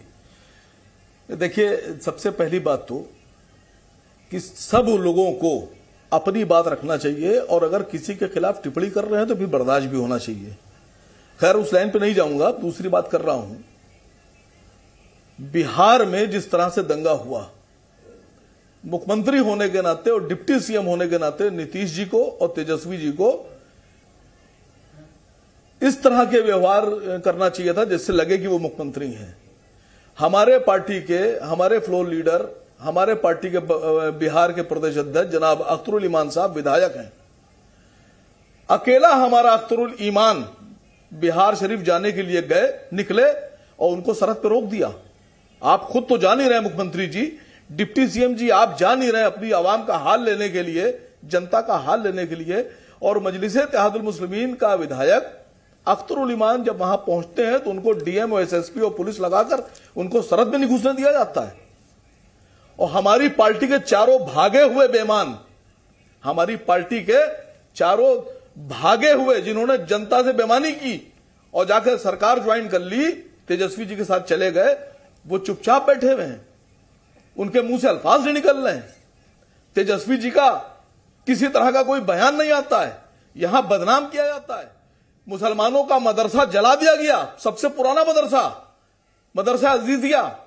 हमारे कुरान करीम और हदीसों की किताबों को जला दिया गया और उस पर आरोप भी हम ही पर लग रहे हैं। सर, ये बर्दाश्त तो नहीं होगा। बिहार हो या बंगाल हो या उत्तर प्रदेश हो या दिल्ली हो या राजस्थान हो, अब किसी भी तरह के दंगे को बर्दाश्त नहीं किया जाएगा। लोग तलवारें, चापड़ गड़ासे छुरियाँ, पिस्तौले हाथ में लेके चल रहे हैं। सरकार के लोग और सरकार के लिए काम करने वाली पुलिस कार्रवाई नहीं कर रही है। ठीक है मैं यही सवाल लेकर तो चित्रंजन गगन जी के पास चलता हूँ। चित्रंजन गगन जी गंभीर आरोप है ये एम के उनके पार्टी के विधायक को जाने नहीं दिया उनके विधायकों को आपकी सरकार में तोड़ लिया गया क्या ये उचित है? और आप, आप वहाँ पर हथियार लेकर लोग चल रहे हैं ये भी आरोप वो लगा रहे हैं। देखिए वो जो कह रहे हैं कि विधायक को तोड़ लिया गया है वहाँ का जो जनमत था विधायक जो वहाँ से चुन के आए थे उन पर वहाँ के जो वोटर थे उन लोगों का दबाव था। उन लोगों ने महसूस किया कि उन लोगों का निर्णय गलत था। और उन लोगों के दबाव पर वहाँ के प्रतिनिधियों ने राजद ज्वाइन किया है। इसलिए अगर यह आरोप लगा रहे हैं तो गलत है। सवाल है दूसरी कि जब वहाँ पर एक तरफ़ आप यह कह रहे हैं कि हाँ स्थिति नाजुक है दंगा हो रहा है सब है। जब धारा एक सौ वहाँ पर लागू था फिर उसके बाद में आप वहाँ पर जाकर में- गगन साहब बड़े नेता है मैं इनको चैलेंज कर रहा हूँ। मैं इनको चैलेंज कर रहा हूँ। आप सीमांचल में आपने कहा जनता का दबाव था एक जनमत संग्रह करा लिया जाए। जनमत संग्रह करा लिया जाए। अरे भगोड़े विधायकों के साथ है या एमआईएम के साथ है? अरे सुन लीजिए सुन लीजिए सुन लीजिए। और जहाँ पर आप जनमत संग्रह कराने कि से क्यों डर रहे हैं आप? जहां- आप पर आप एक काम कीजिए। आप चारों से इस्तीफा बोले- भाई बोलने दीजिए, आसिम भाई बोलने दीजिए, अरे भाई बोलने आप दीजिए। तो नहीं बोल रहा था। आप आप बोल रहे थे तो मैं नहीं बोल रहा था। Sir sir. नहीं आप बोल रहे थे तो मैं नहीं बोल रहा था। मेरा मतलब चलिए एक लाइन के बाद बोलिए, खत्म उसके बाद सिर्फ़ चित्ररंजन जी एक बोलेंगे। लाइन बोल दूँ फिर आप आप बोलिएगा। बोल रहे थे तो मैं नहीं बोल एक लाइन एक लाइन बोल दूँ एक लाइन। अरे एक लाइन चित्रंजन भाई एक लाइन। आप बोल एक रहे लाइन। थे। आप कह रहे हैं जनता का दबाव था? मैं कह रहा हूँ या तो जनमत संग्रह करा लीजिए या चारों विधायकों से इस्तीफा दिला दीजिए और फिर से चुनाव में उनको भेजिए उनकी हैसियत और औकात जनता बता देगी। चुनाव चुनाव आएगा तो पता चल जाएगा। सुनिए चुनाव आएगा पता चल जाएगा। जनता जान रही है लोग जान रहे हैं कि आप क्या कर रहे हैं challenge क्या हरकत है किसके इशारे पर आप काम कर रहे हैं लोग सारे समझ रहे हैं। लोग सब समझ रहे हैं कि आप किसके हित ऐसी है। सब लोग समझ रहा है या कोई छुपी हुई बात नहीं है। बिहार की जनता जान चुकी है कि यहाँ किसके इशारे पर और कहाँ से आप मैं कह रहा हैं कि चच्चा नीतीश किसके साथ थे? होता है? चच्चा नीतीश। सुन लीजिए पहले। चच्चा नीतीश आपके चच्चा नीतीश बीजेपी के साथ पंद्रह साल सरकार चलाने के बाद आपको शर्म नहीं आती चित्रंजन जी? आप बेवकूफ़ समझे मुसलमानों को? आप आप आप आपको शर्म आती है क्या? मुसलमानों क्या आप- आपके हरकत से आप बता रहे से जनता का दबाव था। मिलता। है आप ताकत कीजिए मेरा। आपके हरकत से आप मेरा accept जिससे कीजिए। और उन चारों- उन चारों गद्दारों से इस्तीफा दिलवाइए। और दोबारा चुनाव में जाइए। देखिए भी आप आपकी हैसियत आपकी पार्टी की। हैसियत और उच्चारण के जवाब देगा। है। आपकी मंशा क्या है? आपकी राजनीतिक लाइन क्या है? लोग नहीं समझ रहा सब समझ रहा है। आप हल्ला नहीं कीजिए शांत रहिए। मैं दीपक जी कह रहा था राजीव जी की बात उसको आपने असीम जी बोल लिया असीम जी बोल लिया। चित्रंजन जी नीतीश शरीफ व्यक्ति है उनको अपनी बात खत्म कर दीजिए। असीम असीम भाई गलत बात है गलत बात है। आपने बोल लिया ना मैंने मौका दे दिया। चित्रंजन जी खाली बोलेंगे। अब प्रधानमंत्री चित्रंजन जी की आवाज़ जाएगी। आवाज़ किसी की नहीं काटी है। मैं असीम भाई से रिक्वेस्ट कर रहा हूँ असीम भाई बोल दिया अपने अपनी बात। अल्ट्रासाउंड अब रिपीट कर। रहे हैं चित्रंजन जी कंटिन्यू करिए अपनी बात। छुपा के तो नहीं रखे। दीपक जी मैं कह रहा था कि राजीव जी ने जो कहा माननीय गृह मंत्री सब जगह चुनावी सभा में भाषण देने दे, देते घूम रहे हैं। लेकिन उनको यह सेंसिटिव मामला जम्मू कश्मीर जैसे सेंसिटिव जगह पर एक गुजराती आकर वहाँ पर अपने को यह बताकर कि मैं पीएमओ का ऑफिसर हूँ और वहाँ पर प्रोटोकॉल लेता है वहाँ पर स्पेशल सुरक्षा लेता है सीमा पर जाता है वहाँ के लेफ्टिनेंट गवर्नर के साथ बैठकर मीटिंग करता है, मिलिट्री के हाई ऑफिसर के साथ बैठकर मीटिंग करता है। अब यह बताइए कि जिस सरकार का गृह मंत्री पूरे देश में घूमकर अपने भाजपा का एजेंडा लागू करने के लिए धार्मिक ध्रुवीकरण की राजनीति कर रहे हैं, घूम रहे हैं, लोगों को भड़का रहे हैं, और उसी गृह मंत्री के मातहत जम्मू कश्मीर में इतना बड़ा कांड हो गया, किसी ने कोई सवाल उठाया?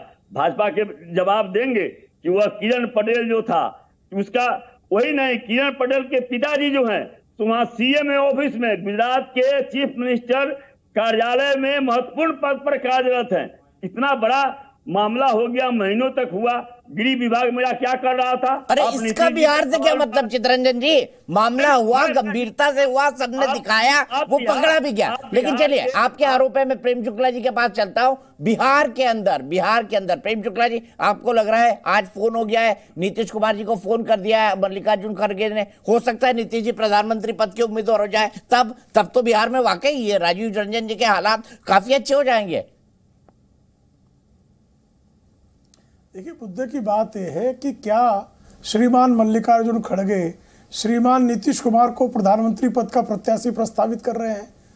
तो नीतीश कुमार जी तो भयवश खुद ही अपना नाम लेने के लिए तैयार नहीं है, क्योंकि उनको पता है कि अगर राजद जो है उनके लिए प्रधानमंत्री पद का प्रस्ताव कर भी रही है तो उसमें उनको प्रधानमंत्री बनाना उद्देश्य नहीं है।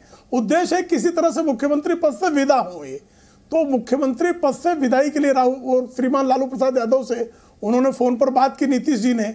तो लालू, ये समाचार पत्रों में प्रकाशित हुआ बिहार के कि लालू जी ने उनसे पहला सवाल यही पूछा कि मुख्यमंत्री पद का दायित्व तो आप कब जो है तेजस्वी को दे रहे हैं? तो जहाँ पर लालू प्रसाद यादव अपने पुत्र के लिए और पुत्र के पास निश्चित तौर पर सीटों की संख्या जो है, वो नीतीश की तुलना में ज़्यादा जनादेश जनता ने दिया था। ये तो सबके सामने है। तो अब जो है नीतीश कुमार जी को क्या देश के सारे लोग जो विपक्षी दलों के नेता हैं वो अपने नेतृत्व के रूप में स्वीकार रहे हैं क्या?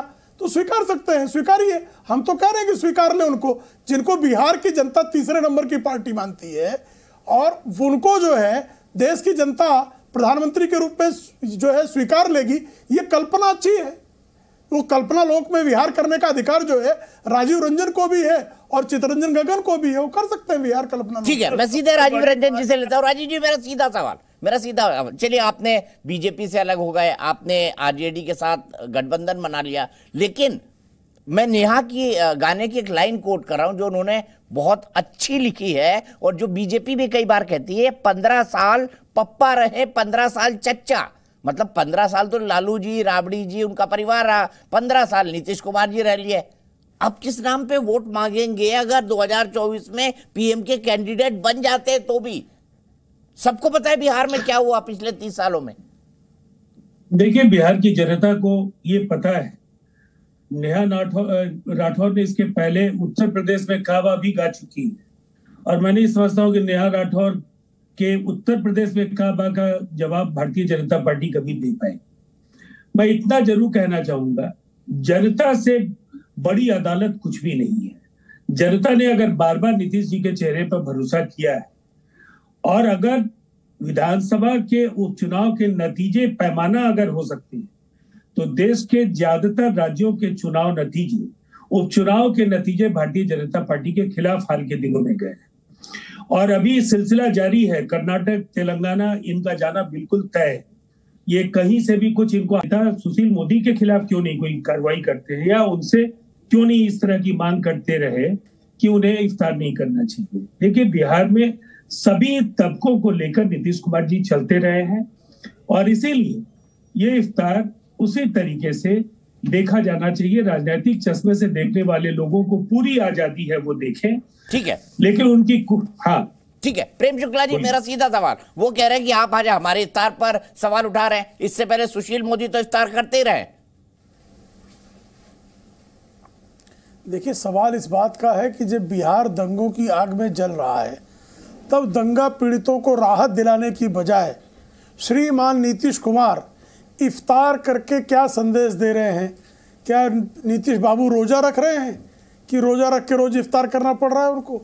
इफ्तार की दावत देने के लिए पहले बेचारे जो रोजेदार हैं, उन रोजेदारों के घरों को जो आग के हवाले दंगे में कर दिया गया है, जो लोग जेल पहुँच गए हैं दंगा करके और जिन लोगों के खिलाफ कार्रवाई की जानी चाहिए थी और आपकी पुलिस ने कार्रवाई न की, जिसके कारण वहाँ दंगे भड़के, राम भक्तों पर आपने जो है, एक वर्ग विशेष के लोगों को पथराव करने के लिए जो आपने छूट दे दी तो स्वाभाविक तौर पर सवाल पूछा जाएगा कि साहब, जैसे कहा जाता है कि जब रोम जल रहा था तो नीरो बांसुरी बजा रहे थे, उसी तरह से कहना पड़ेगा कि जब बिहार में बिहार जल रहा था दंगे की रफ्तार से, तब श्रीमान नीतीश कुमार दावते रोजा इफ्तार में बिज़ी थे। तो ये सवाल इसलिए नहीं है कि आप रोजा इफ्तार कर क्यों रहे? प्रश्न क्या है? क्या बिहार में दंगे नहीं हैं? और क्या दंगों के समय आपको राहत देने के कार्य में जाना चाहिए कि इफ्तार करना चाहिए, दावत उड़ाना चाहिए? शोक के अवसर पर दावत उड़ाने की परंपरा, इसका विरोध किया जा रहा है। ठीक है, शोक के अवसर पर दावत उड़ाने की परंपरा। चितरंजन गगन साहब दोनों तरफ़ के लोगों को नुकसान हुआ है हिंदू पक्ष को भी मुसलमान पक्ष को भी। सवाल यह है कि आपकी मुस्लिम तुष्टिकरण की राजनीति के चलते ये आरोप बीजेपी भी लगाती है और ये शब्द मेरे भी हैं। इसी के चलते तो वहाँ पर दंगा हुआ। वरना बीजेपी जब तक शासन में थी इस तरह की कोई घटनाएँ नहीं देखने को मिली। जब नीतीश कुमार जी बीजेपी के साथ मुख्यमंत्री थे एक आध दो घटनाओं को छोड़कर। दीपक जी बिल्कुल सही आपने कहा कि जब भाजपा सरकार में थी तो दंगा नहीं होता था। वही सवाल है। भाजपा जब सरकार से अलग हो गई, जब उससे यह दिखाई पड़ रहा है कि 2024 में जो उसका आंतरिक सर्वेक्षण हुआ, और उसमें जब उसको खबर मिली कि भी 2024 में बिहार में मेरा स्थिति बहुत ही दयनीय होने वाला है, उसके बाद तरह तरह के साजिश किए जाने लगे। पहले जो है सो बिहारी और मद्रासी का सवाल उठाया गया कि यहाँ तमिलनाडु में बिहारियों के साथ जुर्म हो रहा है। वह जब इनका मिशन फेल हो गया, तब उसके बाद में यह जो है सो रामनवमी के अवसर पर। माने ऐसा माहौल बनाना चाह रहे थे कि यहाँ एक मैसेज जाए कि हाँ साहब, बिहार जो है शांत है और नीतीश कुमार को कैसे बदनाम किया जाए, बिहार को बदनाम किया जाए। उसमें कहीं सफलता इनको नहीं मिली। जिस बात को इतना बढ़ा था कि मैं पहले भी आपके चैनल पर मैं कह चुका हूँ कि दंगा हुआ, घटना घटी, लेकिन आप उसको जिस रूप में, विस्तारित रूप में भाजपा के लोग प्रचारित कर रहे हैं। जिस ढंग से इसको नेशनल मीडिया पर बार बार इन लोगों का बयान आ रहा है वह जो है सो कहीं ना कहीं एक, एक सोची समझी रणनीति के तहत यह सब हो रहा है। और तुष्टिकरण की बात तुष्टिकरण में न राष्ट्रीय जनता विश्वास रखी न महागठबंधन के कोई भी घटक चाहे जनता दल यू हो कांग्रेस हो या जो लेफ़्ट पार्टी है कोई उसमें विश्वास नहीं रखती है। हम बिहारियों की बात करते हैं हम आम लोगों की बात करते हैं। ध्रुवीकरण की राजनीति भाजपा करती है। मैं बता रहा हूँ अभी विजय सिन्हा जी का आपने बयान सुनाया। उन पर जो है नेता प्रतिपक्ष हैं। उन पर जो है सो जनता की गाढ़ी कमाई का पैसा उन पर खर्च हो रहा है। उन्होंने भारतीय संविधान की शपथ ली है। और उसके बाद उनका बात सुनिए। मदरसा में आतंकवाद, पनपता है आतंकवाद को संरक्षण मिलता है। तो मदरसा को आप जो अनुदान दे रहे हैं भारत सरकार पहले उस पर आप क्यों नहीं रोक लगाते हैं? आप तो आपके प्रधानमंत्री बोलते हैं मैंने मदरसा को यह दिया मैंने मदरसा के लिए यह दिया और आप कह रहे हैं कितना घटिया बयान है कि मदरसा में आतंकवादी पलते हैं आतंकवादियों का ट्रेनिंग कैंप यह यह भारतीय संविधान की शपथ लेकर और हिंदू और मुस्लिम करते हैं यह जो कभी भी शांति की अपील की इनके द्वारा किया गया कभी नहीं केवल आग जवाब ले लेते हैं, जवाब ले लेते हैं। किया गया बिहार को दिलाने का प्रयास किया गया और छटपटाहट वही है। बिहार को जलाने का प्रयास संगीत रागी जी वो कह रहे हैं कि भाई बीजेपी और उससे जुड़ा ही संगठन दावा कराते हैं। और फिर इसी बात को लेकर मैं असीम वकार के पास जाऊँगा। ए आई एम एआईएमआईएम बड़ी पार्टी रही और लोग कहते हैं कि एआईएमआई ने उनकी पार्टी ने जो सीटें जीती ओवैसी साहब की अगर वो सीटें आरजेडी जीत लेती तो वो सरकार में आ जाती। ये समीकरण भी हमको उस वक्त देखने को मिला था।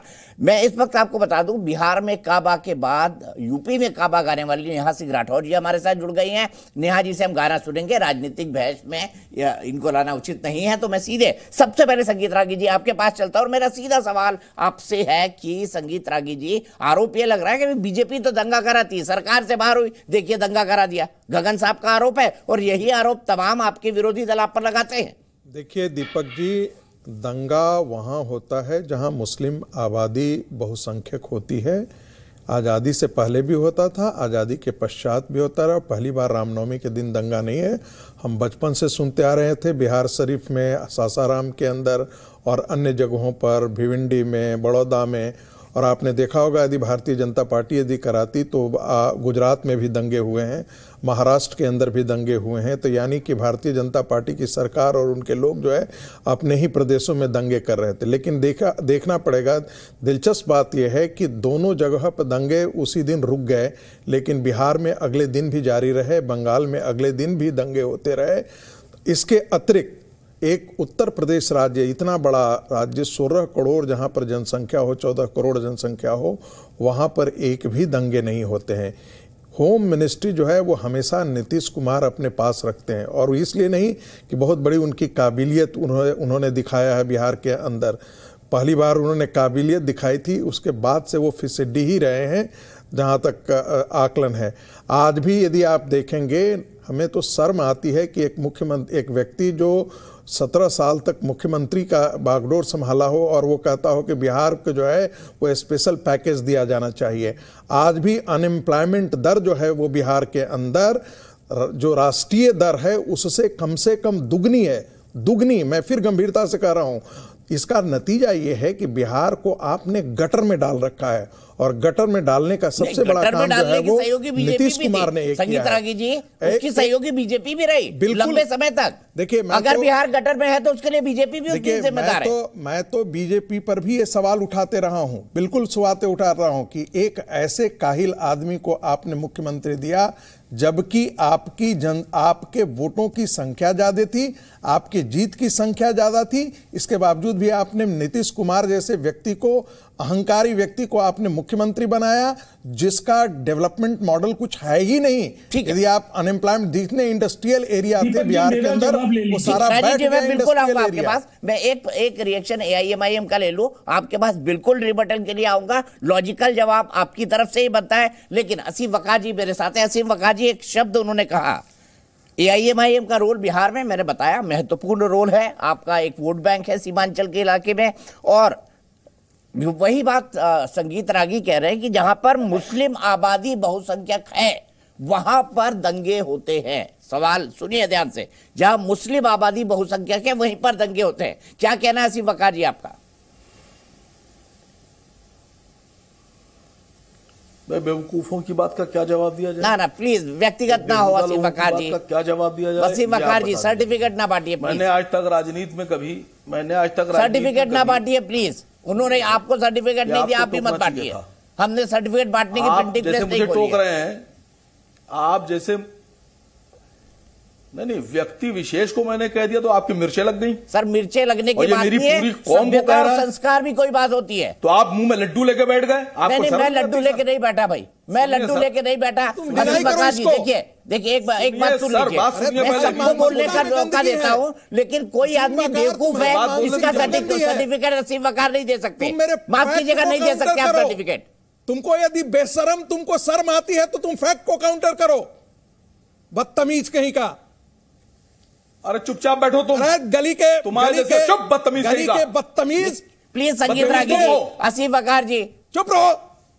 एक गली के गुंडे। बदतमीज वकार जी बदतमीज कहीं का इंसान संगीत रागी जी मैं दोनों को स्क्रीन से हटा रहा हूँ। मैं दोनों को स्क्रीन से हटा रहा हूँ। आरजेडी के प्रवक्ता राजीव रंजन जी जवाब दीजिए। राजीव रंजन जी बताइए मुझे उन्होंने कहा कि भाई नीतीश कुमार जो है जिस राजनीति पर काम कर रहे हैं मैं तो आप इन्होंने कहा तुष्टिकरण। मैं तो ये कह रहा हूँ कि नीतीश कुमार ऐसी राजनीति कर रहे हैं कि अल्पसंख्यकों का तुष्टिकरण नहीं तृप्तिकरण हो जाए। तृप्त हो जाए अल्पसंख्यक कि नीतीश कुमार जी ने बीजेपी के साथ जाके जो काम किया, आज तो उनकी इतने सारे इफ्तारों के बाद वो गलती धुल गई। देखिए, सबसे पहले मुझे हैरानी है दीपक जी। हिंदुस्तान के सबसे विश्वस्त अनुभवी प्रखर एंकर के तौर पर आपकी पहचान है। आपके शो में एक निर्वाचित मुख्यमंत्री, जिसने राज्य में, बिहार में 20 वर्षों तक चाहे किसी भी गठबंधन की सरकार बनी हो, बतौर मुख्यमंत्री बिहार की अगुवाई की है। उन्हें काहिल कहने वाले लोगों की हैसियत क्या है? मैं इतना ज़रूर बता देना चाहूँगा, अगर लॉ एंड ऑर्डर कोई सवाल है तो पिछले दो वर्षों में इस देश के ज़्यादातर राज्यों में भारतीय जनता पार्टी के गृह मंत्री की अकर्मण्यता, इसलिए कि इंटेलिजेंस इनपुट शेयरिंग सेंटर की जवाबदेही है, और दिल्ली से लेकर मुंबई से लेकर जो हिंदुस्तान के तमाम बड़े इलाके हैं, चाहे वो संवेदनशील इलाके हो, जहाँ अल्पसंख्यक मतदाता कम हो, ये उनकी दूसरी बात है जिनकी, जिनका मैं प्रतिवाद करता हूँ, उन जगहों पर भी दंगे भड़के। हरियाणा में बाजाप्ता भारतीय जनता पार्टी के कार्यकर्ता सरकारी संरक्षण में एक मस्जिद में घुस कर उन्होंने हुड़दंग मचाया आप बिहार की चर्चा कर रहे हैं? बिहार में दो शहरों में अगर कोई बात हुई तो वो नियंत्रण में भी होगी। लेकिन आपकी रोटी, वहाँ रोटी आप सेकना चाहते हैं और आपको ये पता है, ये सच है, चितरंजन गगन ने ये कहा, आंतरिक सर्वेक्षण और देश के दो तीन विश्वस्त सर्वेस के ज़रिए। ये इन्हें ज्ञात हो गया है कि बिहार में खाता नहीं खुलेगा। और बिहार का खाता अगर नहीं खुला तो 303 से सीधे 40 सीटें नीचे जाएँगी। बंगाल से लेकर झारखंड, इनके पतन की पृष्ठभूमि तैयार है। और जिस हुकूमत की बात ये कर रहे हैं, ये दो तरीके की का खेल है। एक तरफ़ अडानी प्रकरण के को किसी तरह से नेपथ्य में भेजा जाए तो एक तरफ़ राहुल गांधी, दंगे, नीतीश कुमार पर व्यक्तिगत प्रहार। आप कहते हैं उन्हें प्रधानमंत्री बनने का हक नहीं है। आप होते कौन है? कौन होते हैं आप? जनता किसी को प्रधानमंत्री बनाती है। अगर ऐसी स्थिति बनती है, जबकि बार बार नीतीश कुमार जी ने कहा यह कितनी बुरी बात है कि उन्होंने बार बार कहा कि वो प्रधानमंत्री नहीं बनना चाहते हैं। कहीं अगर बैकग्राउंड में अगर लाल किला है तो लाल किला आपके लिए नफरत की वजह हो सकती है। हम उसे हिंदुस्तान के गर्व का प्रतीक मानते हैं, अभिमान का प्रतीक मानते हैं। और उस प्राचीर से प्रधानमंत्री चाहे कोई हो उन्हें झंडा फहराना होगा। केवल मुगलिया प्रतीक मान करके आप लाल किला से नफरत कर सकते हैं। लेकिन आकांक्षा वहाँ पहुँचने की आपकी नहीं। जवाब। काहिली का काहिली का अगर कोई पैमाना है तो देश के गृह मंत्री से काहिल इस देश में कोई भी राजनीतिज्ञ या कोई भी किसी मंत्री परिषद का सदस्य नहीं। खैर खैर संगीत रागी जी ने कुछ नीतीश कुमार के जी के बारे में बोला आपने कुछ गृह मंत्री के बारे में बोला। पॉलिटिकल टिप्पणी पे मैं कुछ नहीं कहूँगा लेकिन नेहा को तैयार कर लेते हैं। नेहा आपको बस इस सवाल के जवाब के बाद अपना गीत गाना है क्योंकि आपका गीत आज हिट हो गया है और अच्छी बात है आप दूसरी तरफ़ भी लिखने लगी है मुझे कुछ हुई जान के। लेकिन प्रेम शुक्ला जी प्रवक्ता भारतीय जनता पार्टी के प्रेम शुक्ला जी बड़ी एम्बिशियंस है नीतीश कुमार की। लग रहा है इस बार पूरी हो जाएँगी। राजीव रंजन जी तो कह रहे हैं, बिहार बंगाल में खाता नहीं खुलेगा आपका। जी। ये घर में नहीं दाने, नीतीश चले भुनाने की वो दशा है।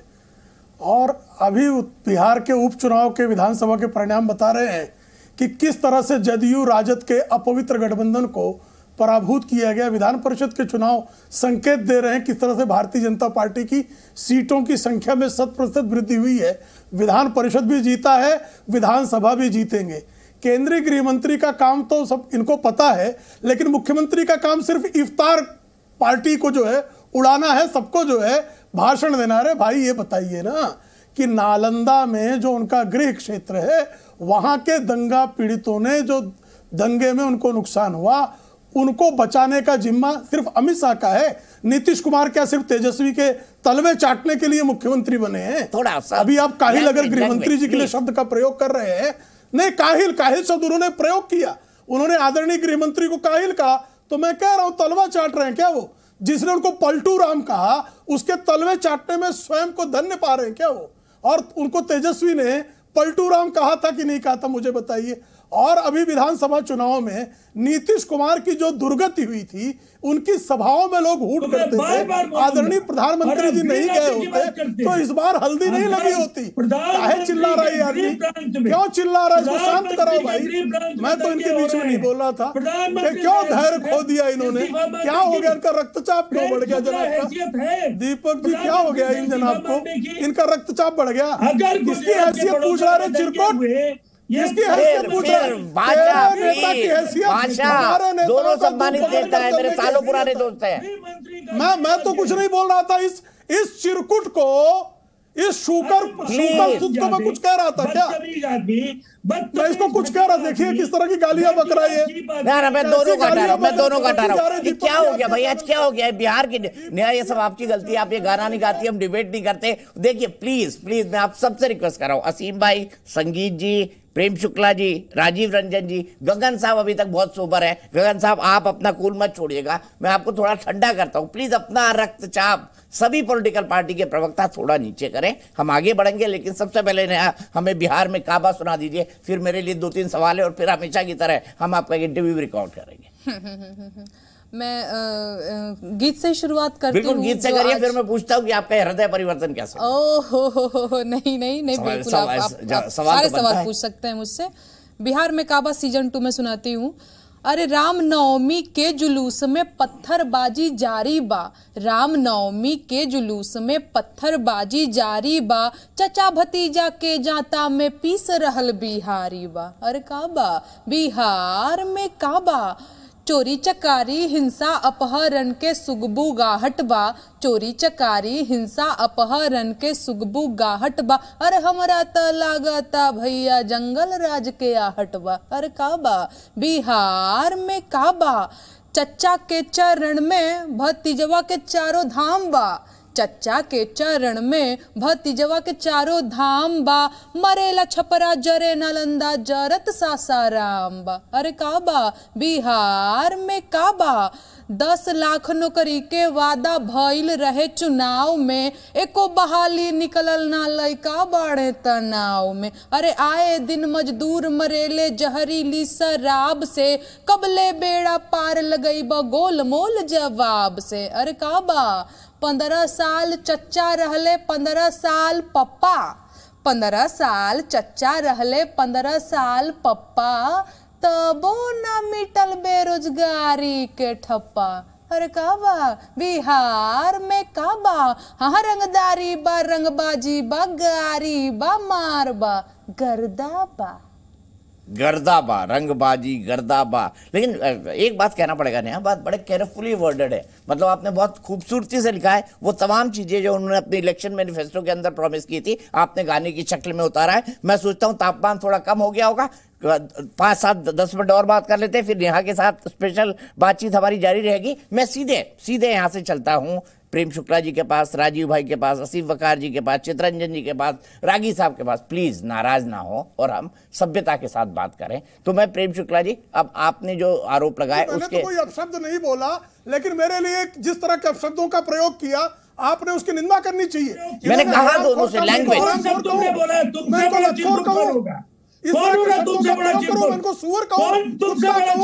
कहूँ, नाली का तुम कीड़ा प्रधानमंत्री के शब्द मेरा को चुनौती दे रहा नहीं है। मेरा संस्कार इस तरह का नहीं है। संस्कार कैसे है? गालियाँ देता है? कैसे गली छिड़कती है। भाई? थोड़ी देर छोड़ दो। दोनों राष्ट्रीय पार्टी के प्रवक्ता है? क्या हो गया है हो मैं थोड़ी देर के लिए छोड़ दो हो पार्टी के प्रवक्ता है। आपस में? निपट लेंगे आप एक औलाद दूसरे मैं भी कह सकता हूँ। लेकिन मैं सुअर की औलाद कहूँगा तो अरे प्लीज़ अपना नेक्स्ट टीम नहीं अब मैं माफ़ी चाहूँगा। इन शब्दों का इस्तेमाल हुआ। मैं वाकई के इंटरव्यू पर चला जाऊँगा। मुझे नहीं लगता कि इस डिबेट को अब कंटिन्यू करना चाहिए। जिस तरह की लैंग्वेज का इस्तेमाल हमारे सम्मानित नेता कर रहे हैं एक दूसरे के लिए। चित्रंजन गगन जी कुछ जोड़ना चाहेंगे आप यहाँ पर? नहीं दीपक जी जिस बात पर प्रेम शुक्ला जी को रिएक्शन हो गया मैं कहना चाहता हूँ कि जो आप नीतीश जी पर सवाल उठा रहे हैं राजीव जी ने तो सही कहा हमने कि देखिए गृह विभाग कितना रिस्पॉन्सिबल है कितना गैर जिम्मेदाराना है का प्रयोग कि भाई? माननीय नहीं नहीं प्रेम शुक्ला जी, गालियाँ बकी इन्होंने चैनल में बैठ के मैं सुअर को भी सुअर नहीं कहता मैं सुअर को भी सुअर कहना क्यों नहीं। लगता मुझे। लेकिन ये सुअर से भी ज़्यादा नीचे उतर गए है- लगता सुअर का सुअर से भी ज़्यादा नीचे कि उतर प्रेम शुक्ला जी, गए। कैसे सुअर कि कहना? चाहता आपको। सुअर का भी अपमान कर सर आप तमाम सम्मानित लोग हैं जिनके 40 हाँ, 40 साल पॉलिटिक्स में पूरे हो गए हैं। आप राष्ट्रीय पार्टियों के प्रतिनिधि हैं। प्लीज़ भाई गालियाँ बकता चैनल पे। प्रेम गधे की शुक्ला तुम जी हो। कै- कै- कैसे गालियाँ बक रहा है ये पागल हो गया भाई। मैं प्रेम सबसे रिक्वेस्ट कर रहा हूँ। हाथ जोड़ के रिक्वेस्ट कर रहा हूँ। क्या करूँ मैं? अच्छा आप लोग डिसाइड कर लीजिए शो। शो चलेगा कि इसी तरह की व्याकरण का इस्तेमाल होगा विशेषणों का इस्तेमाल होगा। इसी तरह के विशेषणों का इस्तेमाल हो गया। सबसे पहले प्रेम शुक्ला जी से शुरू कर लेते हैं। प्रेम शुक्ला जी शो चलाएँ या ऐसे विशेषण चलेंगे? मैंने तो बिल्कुल किसी के लिए गलत विशेषण मैंने सिर्फ़ काहिल का उत्तर दिया।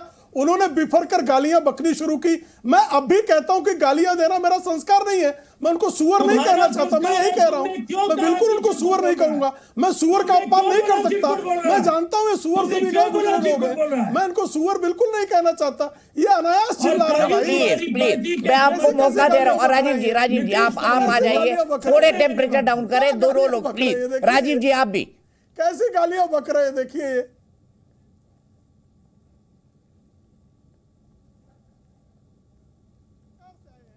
असीम वकार जी हाथ उठा रहे सीधे उनके पास चलता हूँ। मैं फ्रेम नहीं देख पा रहा हूँ। असीम वकार जी।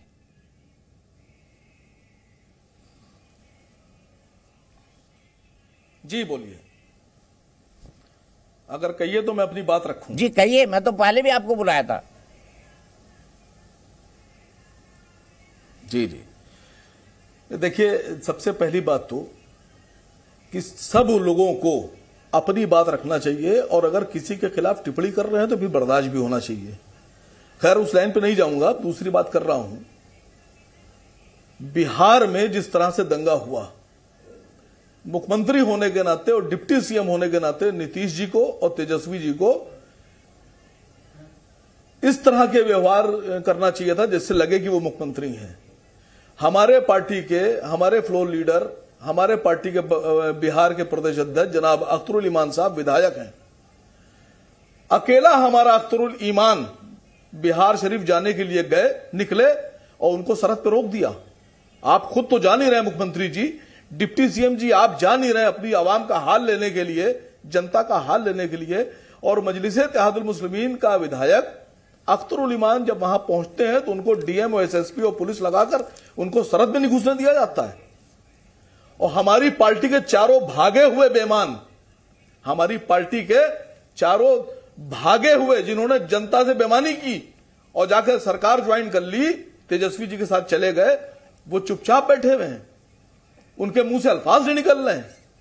तेजस्वी जी का किसी तरह का कोई बयान नहीं आता है। यहाँ बदनाम किया जाता है। मुसलमानों का मदरसा जला दिया गया, सबसे पुराना मदरसा मदरसा अजीजिया। हमारे कुरान करीम और हदीसों की किताबों को जला दिया गया और उस पर आरोप भी हम ही पर लग रहे हैं। सर यह बर्दाश्त नहीं होगा। बिहार हो या बंगाल हो या उत्तर प्रदेश हो या दिल्ली हो या राजस्थान हो, अब किसी भी तरह के दंगे को बर्दाश्त नहीं किया जाएगा। लोग तलवारें, चापड़ गड़ासे छुरियाँ, पिस्तौलें हाथ में लेकर चल रहे हैं। सरकार के लोग और सरकार के लिए काम करने वाली पुलिस कार्रवाई नहीं कर रही है। ठीक है मैं यही सवाल लेकर तो चित्रंजन गगन जी के पास चलता हूँ। चित्रंजन गगन जी गंभीर आरोप है ये भाई एम के। उनके पार्टी के विधायक को जाने नहीं दिया उनके विधायकों को आपकी सरकार में तोड़ लिया गया क्या ये उचित है? और आप, आप वहाँ पर हथियार लेकर लोग चल रहे हैं ये भी आरोप वो लगा रहे हैं। देखिए जो कह रहे हैं कि विधायक को तोड़ लिया गया वहाँ का जो जनमत था विधायक जो वहाँ से चुन के आए थे उन पर वहाँ के जो वोटर थे उन लोगों का दबाव था। उन लोगों ने महसूस किया कि उन लोगों का निर्णय गलत था। और उन लोगों के दबाव पर वहाँ के प्रतिनिधियों ने राजद ज्वाइन किया है। इसलिए अगर यह आरोप लगा रहे हैं तो गलत है। सवाल है दूसरी कि जब वहाँ पर एक तरफ़ आप यह कह रहे हैं कि हाँ स्थिति नाजुक है दंगा हो रहा है सब है। जब धारा एक सौ वहाँ पर लागू था फिर उसके बाद में आप वहाँ पर जाकर जसवाल गगन साहब बड़े नेता है मैं इनको चैलेंज कर रहा हूँ। मैं इनको चैलेंज कर रहा हूँ। आप सीमांचल में आप- आपने कहा जनता का दबाव था एक जनमत संग्रह करा लिया जाए। जनमत संग्रह करा लिया जाए। अरे, आप अब- भगोड़े विधायकों के साथ है या एमआईएम के साथ है? अरे सुन लीजिए सुन लीजिए सुन लीजिए। और जहाँ पर आप जनमत संग्रह कराने से क्यों डर रहे हैं आप? आप पर आप एक काम कीजिए अरे आप चारों से इस्तीफा असीम भाई बोलने दीजिए असीम भाई बोलने दीजिए। असीम भाई बोलने दीजिए। तो मैं नहीं बोल रहा आप। था आप बोल रहे थे तो मैं नहीं बोल रहा था। Sir sir. नहीं आप बोल रहे थे तो मैं नहीं बोल रहा था। मेरा मतलब क्या चलिए एक लाइन के बाद खत्म। उसके बाद सिर्फ़ चित्रंजन जी एक बोलेंगे। बोल दूँ फिर आप आप बोलिएगा। बोल रहे थे तो सर, मैं नहीं बोल एक लाइन एक लाइन बोल दूँ एक लाइन। अरे एक लाइन चित्रंजन भाई एक लाइन। आप बोल एक रहे लाइन। थे। आप कह रहे हैं जनता का दबाव था मैं कह रहा हूँ या तो जनमत संग्रह करा लीजिए या चारों विधायकों से इस्तीफा दिला दीजिए और फिर से चुनाव में उनको भेजिए उनकी हैसियत और औकात जनता बता देगी। चुनाव चुनाव आएगा तो पता चल जाएगा। सुनिए चुनाव आएगा पता चल जाएगा। जनता जान रही है लोग जान रहे हैं कि आप क्या कर रहे हैं challenge क्या हरकत है किसके इशारे पर आप काम कर रहे हैं लोग सारे समझ रहे हैं। लोग सब समझ रहे हैं कि आप किसके हित ऐसी है। सब लोग समझ रहा है या कोई छुपी हुई बात नहीं है। बिहार की जनता जान चुकी है कि यहाँ किसके इशारे पर और कहाँ से आप गाइड होते हैं? और क्या चच्चा नीतीश किसके साथ थे? चच्चा नीतीश। सुन लीजिए पहले। चच्चा नीतीश आपके चच्चा नीतीश बीजेपी के साथ पंद्रह साल सरकार चलाने के बाद आपको शर्म नहीं आती चित्रंजन जी? आप बेवकूफ़ समझे आप मुसलमानों को? आप आप आप शर्म आती है क्या? मुसलमानों क्या समझाया आपके हरकत से आप बता रहे जनता का दबाव था। मिलता है। आप आपके accept कीजिए मेरा। आपके हरकत से आप मेरा accept हैं कीजिए। और उन चारों- उन चारों गद्दारों से इस्तीफा दिलवाइए। और दोबारा से चुनाव में जाइए देखिए भी आप आपकी हैसियत आपकी पार्टी की है। हैसियत और भाजपा के जवाब देगा। है। आपकी मंशा क्या है? आपकी राजनीतिक लाइन क्या है? लोग नहीं समझ रहा हैं, सब समझ रहा है। आप हल्ला नहीं कीजिए शांत रहिए। मैं दीपक जी कह रहा था राजीव जी की बात उसको आपने अरे छोड़ एक- दिया। में। जी बोल लिया कुमार जी बोल लिया। चित्रंजन जी शरीफ व्यक्ति है उनको अपनी बात खत्म कर दीजिए। अरे, असीम भाई गलत बात है गलत बात है। आपने बोल लिया ना मैंने मौका दे दिया। चित्रंजन जी खाली बोलेंगे अब प्रधानमंत्री चित्रंजन जी की आवाज़ जाएगी। आवाज़ किसी की नहीं काटी है मैं असीम भाई से रिक्वेस्ट कर रहा हूँ असीम भाई बोल दिया अपने अपनी बात। अब रिपीट कर रहे हैं चित्रंजन जी कंक्लूड करिए अपनी बात। तो दीपक जी मैं कह रहा था कि राजीव जी ने जो कहा माननीय गृह मंत्री सब जगह चुनावी सभा में भाषण देने दे, देते घूम रहे हैं। लेकिन उनको यह सेंसिटिव मामला जम्मू कश्मीर जैसे सेंसिटिव जगह पर एक गुजराती आकर वहाँ पर अपने को यह बताकर कि मैं पीएमओ का ऑफिसर हूँ और वहाँ पर प्रोटोकॉल लेता है वहाँ पर स्पेशल सुरक्षा लेता है सीमा पर जाता है वहाँ के लेफ्टिनेंट गवर्नर के साथ बैठ कर मीटिंग करता है, मिलिट्री के हाई ऑफिसर के साथ बैठ कर मीटिंग करता है।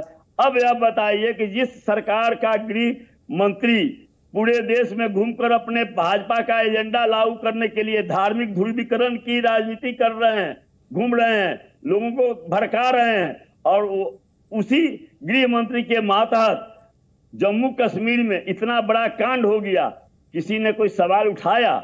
भाजपा के जवाब देंगे? कि वह किरण पटेल जो था उसका वही नहीं, किरण पटेल के पिताजी जो हैं तो वहाँ सीएम ऑफ़िस में, गुजरात के चीफ मिनिस्टर कार्यालय में महत्वपूर्ण पद पर कार्यरत हैं। इतना बड़ा मामला हो गया, महीनों तक हुआ। गृह विभाग मेरा क्या कर रहा था? अरे इसका बिहार से क्या मतलब चितरंजन जी? मामला हुआ गंभीरता से हुआ सबने दिखाया वो पकड़ा भी गया। लेकिन चलिए आपके आरोप है मैं प्रेम शुक्ला जी के पास चलता हूँ। बिहार के अंदर बिहार के अंदर प्रेम शुक्ला जी आपको लग रहा है आज फ़ोन हो गया है नीतीश कुमार जी को फ़ोन कर दिया है मल्लिकार्जुन खड़गे ने। हो सकता है नीतीश जी प्रधानमंत्री पद के उम्मीदवार हो जाए तब तब तो बिहार में वाकई ये राजीव रंजन जी के हालात काफ़ी अच्छे हो जाएँगे। देखिए मुद्दे की बात यह है कि क्या श्रीमान मल्लिकार्जुन खड़गे श्रीमान नीतीश कुमार को प्रधानमंत्री पद का प्रत्याशी प्रस्तावित कर रहे हैं? तो नीतीश कुमार जी तो भयवश खुद ही अपना नाम लेने के लिए तैयार नहीं है, क्योंकि उनको पता है कि अगर राजद जो है उनके लिए प्रधानमंत्री पद का प्रस्ताव कर भी रही है तो उसमें उनको प्रधानमंत्री बनाना उद्देश्य नहीं है। उद्देश्य है किसी तरह से मुख्यमंत्री पद से विदा हुए तो मुख्यमंत्री पद से विदाई के लिए राहुल और श्रीमान लालू प्रसाद यादव से उन्होंने फ़ोन पर बात की, नीतीश जी ने। तो लालू, ये समाचार पत्रों में प्रकाशित हुआ बिहार के कि लालू जी ने उनसे पहला सवाल यही पूछा कि मुख्यमंत्री पद का दायित्व तो आप कब जो है तेजस्वी को दे रहे हैं? तो जहाँ पर लालू प्रसाद यादव अपने पुत्र के लिए और पुत्र के पास निश्चित तौर पर सीटों की संख्या जो है, वो नीतीश की तुलना में ज़्यादा जनादेश जनता ने दिया था। ये तो सबके सामने है। तो अब जो है नीतीश कुमार जी को क्या देश के सारे लोग, जो विपक्षी दलों के नेता हैं वो अपने नेतृत्व के रूप में स्वीकार रहे हैं क्या? तो स्वीकार सकते हैं, स्वीकारिए। हम तो कह रहे हैं कि स्वीकार लें उनको, जिनको बिहार की जनता तीसरे नंबर की पार्टी मानती है, और उनको जो है, देश की जनता प्रधानमंत्री के रूप में जो है, स्वीकार लेगी।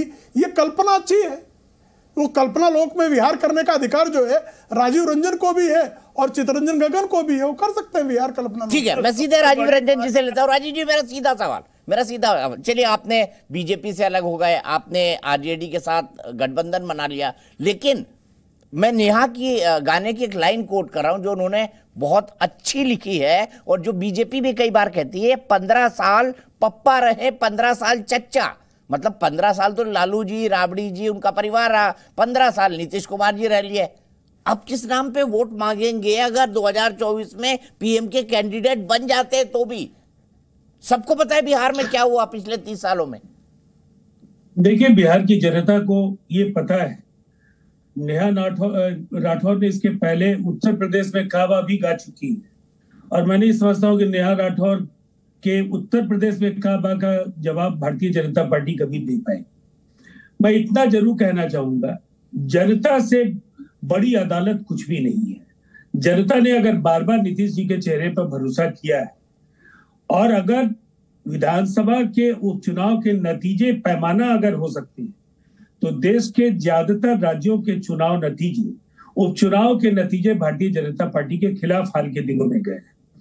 और अभी सिलसिला जारी है, कर्नाटक, तेलंगाना, इनका जाना बिल्कुल तय। ये कहीं से भी कुछ इनको आता सुशील मोदी के खिलाफ क्यों नहीं कोई कार्रवाई करते हैं? या उनसे क्यों नहीं इस तरह की मांग करते रहे कि उन्हें इफ्तार नहीं करना चाहिए? देखिए, बिहार में सभी तबकों को लेकर नीतीश कुमार जी चलते रहे हैं और इसीलिए ये इफ्तार उसी तरीके से देखा जाना चाहिए राजनीतिक चश्मे से देखने वाले लोगों को पूरी आज़ादी है वो देखें। ठीक है। लेकिन उनकी हाँ। ठीक है प्रेम शुक्ला जी मेरा सीधा सवाल। वो कह रहे हैं कि आप आज हमारे इफ्तार पर सवाल उठा रहे हैं। इससे पहले सुशील मोदी तो इफ्तार करते ही रहे। देखिए सवाल इस बात का है कि जब बिहार दंगों की आग में जल रहा है तब दंगा पीड़ितों को राहत दिलाने की बजाय श्रीमान नीतीश कुमार इफ्तार करके क्या संदेश दे रहे हैं? क्या नीतीश बाबू रोजा रख रहे हैं कि रोजा रख के रोज इफ्तार करना पड़ रहा है उनको? इफ्तार की दावत देने के लिए पहले बेचारे जो रोजेदार हैं, उन रोजेदारों के घरों को जो आग के हवाले दंगे में कर दिया गया है, जो लोग जेल पहुँच गए हैं दंगा करके, और जिन लोगों के खिलाफ कार्रवाई की जानी चाहिए थी और आपकी पुलिस ने कार्रवाई ना की, जिसके कारण वहाँ दंगे भड़के राम भक्तों पर आपने जो है, एक वर्ग विशेष के लोगों को पथराव करने के लिए जो आपने छूट दे दी तो स्वाभाविक तौर पर सवाल पूछा जाएगा कि साहब, जैसे कहा जाता है कि जब रोम जल रहा था तो नीरो बांसुरी बजा रहे थे, उसी तरह से कहना पड़ेगा कि जब बिहार में, बिहार जल रहा था दंगे की रफ्तार से, तब श्रीमान नीतीश कुमार दावते रोजा इफ्तार में बिज़ी थे। तो ये सवाल इसलिए नहीं है कि आप रोजा इफ्तार कर क्यों रहे प्रश्न क्या है? क्या बिहार में दंगे नहीं हैं? और क्या दंगों के समय आपको राहत देने के कार्य में जाना चाहिए कि इफ्तार करना चाहिए, दावत उड़ाना चाहिए? शोक के अवसर पर दावत उड़ाने की परंपरा, इसका विरोध किया जा रहा है। ठीक है, शोक के अवसर पर दावत उड़ाने की परंपरा। चित्रंजन गगन साहब दोनों तरफ़ के लोगों को नुकसान हुआ है हिंदू पक्ष को भी मुसलमान पक्ष को भी। सवाल यह है कि आपकी मुस्लिम तुष्टिकरण की राजनीति के चलते ये आरोप बीजेपी भी लगाती है और ये शब्द मेरे भी हैं। इसी के चलते तो वहाँ पर दंगा हुआ। वरना बीजेपी जब तक शासन में थी इस तरह की कोई घटनाएँ नहीं देखने को मिली जब नीतीश कुमार जी बीजेपी के साथ मुख्यमंत्री थे एक आध दो घटनाओं को छोड़कर। दीपक जी बिल्कुल सही आपने कहा कि जब भाजपा सरकार में थी तो दंगा नहीं होता था। वही सवाल है। भाजपा जब सरकार से अलग हो गई, जब उससे यह दिखाई पड़ रहा है कि 2024 में जो उसका आंतरिक सर्वेक्षण हुआ और उसमें जब उसको खबर मिली कि भी 2024 में बिहार में मेरा स्थिति बहुत ही दयनीय होने वाला है, उसके बाद तरह तरह के साजिश किए जाने लगे। पहले जो है सो बिहारी और मद्रासी का सवाल उठाया गया कि यहाँ तमिलनाडु में बिहारियों के साथ जुर्म हो रहा है। वह जब इनका मिशन फेल हो गया, तब उसके बाद में यह जो है सो रामनवमी के अवसर पर माने ऐसा माहौल बनाना चाह रहे थे कि एक मैसेज जाए कि हाँ साहब बिहार जो है शांत है और नीतीश कुमार को कैसे बदनाम किया जाए, बिहार को बदनाम किया जाए।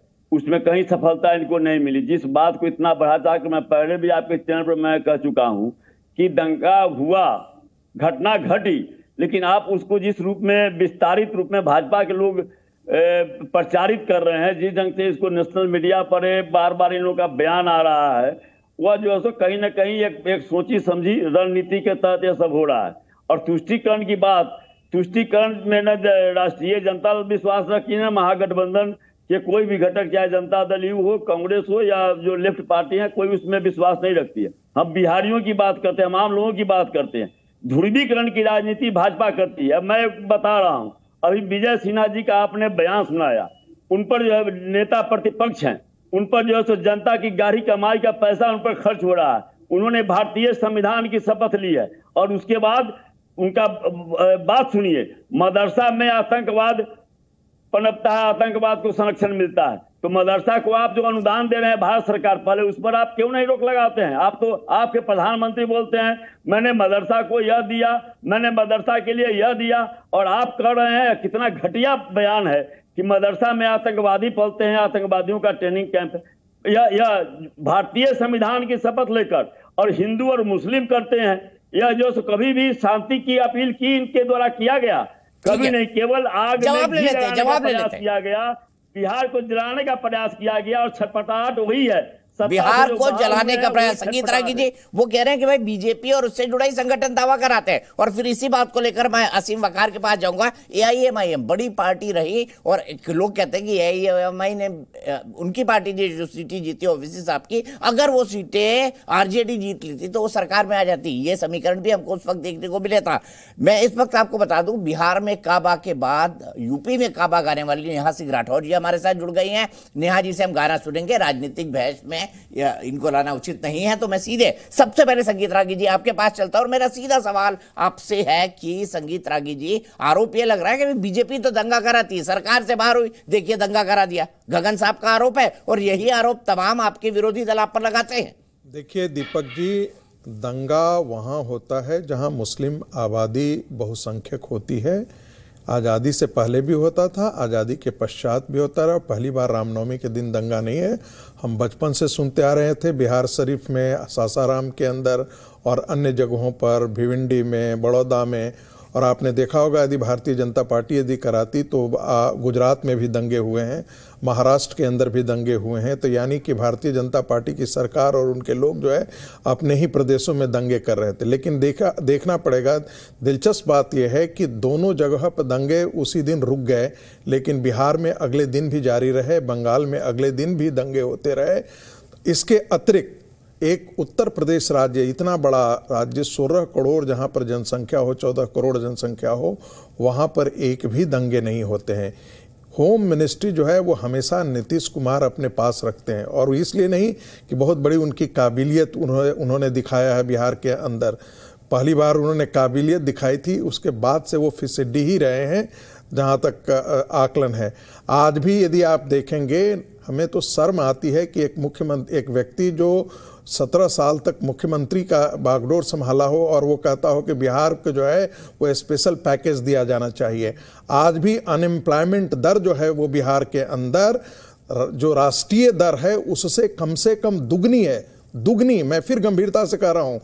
इसका नतीजा ये है कि बिहार को आपने गटर में डाल रखा है और गटर में डालने का सबसे बड़ा काम जो है वो नीतीश कुमार ने किया है। जी उसकी सहयोगी बीजेपी भी रही बिल्कुल। लंबे समय तक देखिए, अगर तो- बिहार गटर में है तो उसके लिए बीजेपी भी जिम्मेदार है तो मैं तो बीजेपी पर भी ये सवाल उठाते रहा हूँ बिल्कुल सवाते उठा रहा हूँ कि एक ऐसे काहिल आदमी को आपने मुख्यमंत्री दिया जबकि आपकी जन आपके वोटों की संख्या ज़्यादा थी, आपकी जीत की संख्या ज़्यादा थी। इसके बावजूद भी आपने नीतीश कुमार जैसे व्यक्ति को अहंकारी व्यक्ति को आपने मुख्यमंत्री बनाया जिसका डेवलपमेंट मॉडल कुछ है ही नहीं। ठीक है। यदि आप अनएम्प्लॉयमेंट जितने इंडस्ट्रियल एरिया थे बिहार के अंदर वो सारा बिल्कुल आऊँगा आपके पास। मैं एक एक रिएक्शन एआईएमआईएम का ले लूँ। आपके पास बिल्कुल रिबटल के लिए आऊँगा। लॉजिकल जवाब आपकी तरफ़ से ही बनता है। लेकिन असीम वका जी मेरे साथ है। असीम वका जी एक शब्द उन्होंने कहा।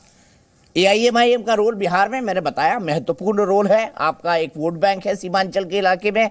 और वही बात संगीत रागी कह रहे हैं कि जहाँ पर मुस्लिम आबादी बहुसंख्यक है वहाँ पर दंगे होते हैं। सवाल सुनिए ध्यान से। जहाँ मुस्लिम आबादी बहुसंख्यक है वहीं पर दंगे होते हैं। क्या कहना है असीम वकार जी आपका? मैं बेवकूफों की बात का क्या जवाब दिया जाए? ना ना प्लीज़ व्यक्तिगत ना हो असीम वकार जी। का क्या जवाब दिया जाए? आप वकार जी सर्टिफिकेट ना बांटिए मैंने आज तक राजनीति में कभी मैंने आज तक सर्टिफिकेट ना बांटिए प्लीज़ उन्होंने आपको सर्टिफिकेट नहीं दिया आप भी मत बांटिए। हमने सर्टिफिकेट बांटने की प्रिंटिंग प्रेस नहीं मुझे टोक रहे हैं आप जैसे नहीं नहीं व्यक्ति विशेष को मैंने कह दिया तो आपकी मिर्चें लग गई। सर मिर्चे लगने की बात नहीं है। सभ्यता कह और रहा संस्कार भी कोई बात होती है। तो आप मुँह में लड्डू लेके बैठ गए? नहीं नहीं मैं लड्डू लेके नहीं बैठा भाई। मैं लड्डू लेके नहीं बैठा। देखिए देखिए एक, एक बात सुन लीजिए। मैं सबको बोलने का मौका देता हूँ लेकिन कोई आदमी बेवकूफ़ है इसका सर्टिफिकेट असीम वकार नहीं दे सकते। तुम माफ़ फैक्ट कीजिएगा को नहीं दे काउंटर सकते आप करो। सर्टिफिकेट तुमको यदि बेशरम तुमको शर्म आती है तो तुम फैक्ट को काउंटर करो। बदतमीज कहीं का। अरे चुपचाप बैठो तुम। अरे गली के तुम्हारी के चुप बदतमीज गली के बदतमीज। प्लीज़ संगीत रागी जी असीफ अकार वकार जी। चुप रहो। एक गली के गुंडे। वकार जी संगीत। मैं दोनों को स्क्रीन से हटा रहा हूँ मैं दोनों को स्क्रीन से हटा रहा हूँ। आरजेडी के प्रवक्ता राजीव रंजन जी जवाब दीजिए। राजीव रंजन जी बताइए मुझे उन्होंने कहा कि भाई नीतीश कुमार जो है जिस राजनीति पर काम कर रहे हैं मैं तो आप इन्होंने कहा तुष्टिकरण। मैं तो ये कह रहा हूँ कि नीतीश कुमार ऐसी राजनीति कर रहे हैं कि अल्पसंख्यकों का तुष्टिकरण नहीं तृप्तिकरण हो जाए। तृप्त हो जाए अल्पसंख्यक, कि नीतीश कुमार जी ने बीजेपी के साथ जाके जो काम किया, आज तो उनकी इतने सारे इफ्तारों के बाद वो गलती धुल गई। देखिए, सबसे पहले मुझे हैरानी है दीपक जी। हिंदुस्तान के सबसे विश्वस्त अनुभवी प्रखर एंकर के तौर पर आपकी पहचान है। आपके शो में एक निर्वाचित मुख्यमंत्री, जिसने राज्य में बिहार में 20 वर्षों तक चाहे किसी भी गठबंधन की सरकार बनी हो, बतौर मुख्यमंत्री बिहार की अगुवाई की है। उन्हें काहिल कहने वाले लोगों की हैसियत क्या है? मैं इतना ज़रूर बता देना चाहूँगा, अगर लॉ एंड ऑर्डर कोई सवाल है तो पिछले दो वर्षों में इस देश के ज़्यादातर राज्यों में भारतीय जनता पार्टी के गृह मंत्री की अकर्मण्यता, इसलिए कि इंटेलिजेंस इनपुट शेयरिंग सेंटर की जवाबदेही है, और दिल्ली से लेकर मुंबई से लेकर जो हिंदुस्तान के तमाम बड़े इलाके हैं, चाहे वो संवेदनशील इलाके हो, जहाँ अल्पसंख्यक मतदाता कम हो, ये उनकी दूसरी बात है जिनकी, जिनका मैं प्रतिवाद करता हूँ, उन जगहों पर भी दंगे भड़के। हरियाणा में बाजाप्ता भारतीय जनता पार्टी के कार्यकर्ता, सरकारी संरक्षण में एक मस्जिद में घुस कर उन्होंने हुड़दंग मचाया। आप बिहार की चर्चा कर रहे हैं? बिहार में दो शहरों में अगर कोई बात हुई तो वो नियंत्रण में भी होगी। लेकिन आपकी रोटी, वहाँ रोटी आप सेकना चाहते हैं और आपको ये पता है, ये सच है, चितरंजन गगन ने ये कहा, आंतरिक सर्वेक्षण और देश के दो तीन विश्वस्त सर्वेस के ज़रिए। ये इन्हें ज्ञात हो गया है कि बिहार में खाता नहीं खुलेगा। और बिहार का खाता अगर नहीं खुला तो 303 से सीधे 40 सीटें नीचे जाएँगी। बंगाल से लेकर झारखंड, इनके पतन की पृष्ठभूमि तैयार है। और जिस हुकूमत की बात ये कर रहे हैं, ये दो तरीके की खेल है। एक तरफ़ अडानी प्रकरण के, को किसी तरह से नेपथ्य में भेजा जाए तो एक तरफ़ राहुल गांधी, दंगे, नीतीश कुमार पर व्यक्तिगत प्रहार, आप कहते हैं उन्हें प्रधानमंत्री बनने का हक नहीं है। आप होते कौन है? कौन होते हैं आप? जनता किसी को प्रधानमंत्री बनाती है। अगर ऐसी स्थिति बनती है, जबकि बार बार नीतीश कुमार जी ने कहा यह कितनी बुरी बात है कि उन्होंने बार बार कहा कि वो प्रधानमंत्री नहीं बनना चाहते हैं। कहीं अगर बैकग्राउंड में अगर लाल किला है तो लाल किला आपके लिए नफरत की वजह हो सकती है। हम उसे हिंदुस्तान के गर्व का प्रतीक मानते हैं, अभिमान का प्रतीक मानते हैं। और उस प्राचीर से प्रधानमंत्री चाहे कोई हो उन्हें झंडा फहराना होगा केवल मुगलिया प्रतीक मान करके आप लाल किला से नफरत कर सकते हैं लेकिन आकांक्षा वहाँ पहुँचने की आपकी नहीं। जवाब इसलिए जवाब। काहिली का काहिली का अगर कोई पैमाना है तो देश के गृह मंत्री से काहिल इस देश में कोई भी राजनीतिज्ञ या कोई भी किसी मंत्री परिषद का सदस्य नहीं। खैर खैर संगीत रागी जी ने कुछ नीतीश कुमार के जी के बारे में बोला आपने कुछ गृह मंत्री के बारे में बोला। पॉलिटिकल टिप्पणी पे मैं कुछ नहीं कहूँगा लेकिन नेहा को तैयार कर लेते हैं। नेहा आपको बस इस सवाल के जवाब के बाद अपना गीत गाना है क्योंकि आपका गीत आज हिट हो गया है। और अच्छी बात है आप दूसरी तरफ़ भी लिखने लगी है मुझे कुछ हुई जान के। लेकिन प्रेम शुक्ला जी प्रवक्ता भारतीय जनता पार्टी के प्रेम शुक्ला जी बड़ी एम्बिशियंस है नीतीश कुमार की। लग रहा है इस बार पूरी हो जाएँगी। राजीव रंजन जी तो कह रहे हैं, बिहार बंगाल में खाता नहीं खुलेगा आपका। जी। ये घर में नहीं दाने, नीतीश चले भुनाने की वो दशा है। और अभी बिहार के उपचुनाव के, विधानसभा के परिणाम बता रहे हैं कि किस तरह से जदयू, राजद के अपवित्र गठबंधन को पराभूत किया गया। विधान परिषद के चुनाव संकेत दे रहे हैं किस तरह से भारतीय जनता पार्टी की सीटों की संख्या में शत प्रतिशत वृद्धि हुई है। विधान परिषद भी जीता है, विधानसभा भी जीतेंगे। केंद्रीय गृह मंत्री का काम तो सब इनको पता है, लेकिन मुख्यमंत्री का काम सिर्फ़ इफ्तार पार्टी को जो है, उड़ाना है, सबको जो है, भाषण देना। है भाई, ये बताइए ना कि नालंदा में जो उनका गृह क्षेत्र है, वहाँ के दंगा पीड़ितों ने जो दंगे में उनको नुकसान हुआ उनको बचाने का जिम्मा सिर्फ़ अमित शाह का है। नीतीश कुमार क्या सिर्फ़ तेजस्वी के तलवे चाटने के लिए मुख्यमंत्री बने हैं? थोड़ा सा अभी आप काहिल अगर गृहमंत्री जी के लिए शब्द का प्रयोग कर रहे हैं नहीं काहिल काहिल शब्द उन्होंने प्रयोग किया। उन्होंने आदरणीय गृह मंत्री को काहिल कहा तो मैं कह रहा हूँ तलवा चाट रहे हैं क्या वो? जिसने उनको पलटू राम कहा उसके तलवे चाटने में स्वयं को धन्य पा रहे हैं क्या वो? और उनको तेजस्वी ने पलटू राम कहा था कि नहीं कहा था मुझे बताइए। और अभी विधानसभा चुनाव में नीतीश कुमार की जो दुर्गति हुई थी उनकी सभाओं में लोग हूट तो करते थे। आदरणीय प्रधानमंत्री जी नहीं गए होते तो इस बार हल्दी नहीं लगी होती। काहे चिल्ला रहा है आदमी? क्यों चिल्ला रहा है? इसको शांत कराओ भाई। में तो इनके बीच में नहीं बोल रहा था। क्यों धैर्य खो दिया इन्होंने? क्या हो गया? इनका रक्तचाप क्यों बढ़ गया जनाब का? दीपक जी क्या हो गया इन जनाब को? इनका रक्तचाप बढ़ गया। किसकी हैसियत पूछ रहा है चिरकुट। नेताओं दोनों सम्मानित नेता है मेरे सालों पुराने। दोस्त हैं। मैं मैं तो कुछ नहीं बोल रहा था इस इस चिरकुट को इस शुकर शुकर को मैं कुछ कह रहा था क्या? मैं इसको कुछ कह रहा देखिए किस तरह की गालियाँ बक रहा है ना ना मैं दोनों का हूँ मैं दोनों का हूँ। दीपक क्या हो गया भाई? आज क्या हो गया? बिहार की नेहा ये सब आपकी गलती है आप ये गाना नहीं गाती हम डिबेट नहीं करते। देखिए प्लीज़ प्लीज़ मैं आप सबसे रिक्वेस्ट कर रहा हूँ। असीम भाई संगीत जी प्रेम शुक्ला जी, राजीव रंजन जी, गगन साहब अभी तक बहुत सोबर है। गगन साहब, आप अपना कूल मत छोड़िएगा। मैं आपको थोड़ा ठंडा करता हूँ। प्लीज़ अपना रक्तचाप सभी पॉलिटिकल पार्टी के प्रवक्ता थोड़ा नीचे करें। हम आगे बढ़ेंगे, लेकिन सबसे पहले नया हमें बिहार में काबा सुना दीजिए। फिर मेरे लिए दो तीन सवाल है और फिर हमेशा की तरह हम आपका इंटरव्यू रिकॉर्ड करेंगे। मैं गीत से शुरुआत करती बिल्कुल हूँ गीत से करिए फिर मैं पूछता हूँ कि आपका हृदय परिवर्तन कैसे? ओह हो हो हो नहीं नहीं नहीं बिल्कुल सवाल- आप, आप, आप तो सारे सवाल पूछ सकते हैं मुझसे। बिहार में काबा सीज़न टू में सुनाती हूँ। अरे राम नवमी के जुलूस में पत्थरबाजी जारी बा। राम नवमी के जुलूस में पत्थरबाजी जारी बा। चचा भतीजा के जाता में पीस रहल बिहारी बा। अरे काबा? बिहार में काबा? चोरी चकारी हिंसा अपहरण के सुगबू गाहट बा। चोरी चकारी हिंसा अपहरण के सुगबू गाहट बा। अरे हमारा त लागता भैया जंगल राज के आहट बा। अरे का बा?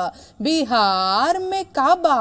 चच्चा के चरण में भतीजवा के चारों धाम बा।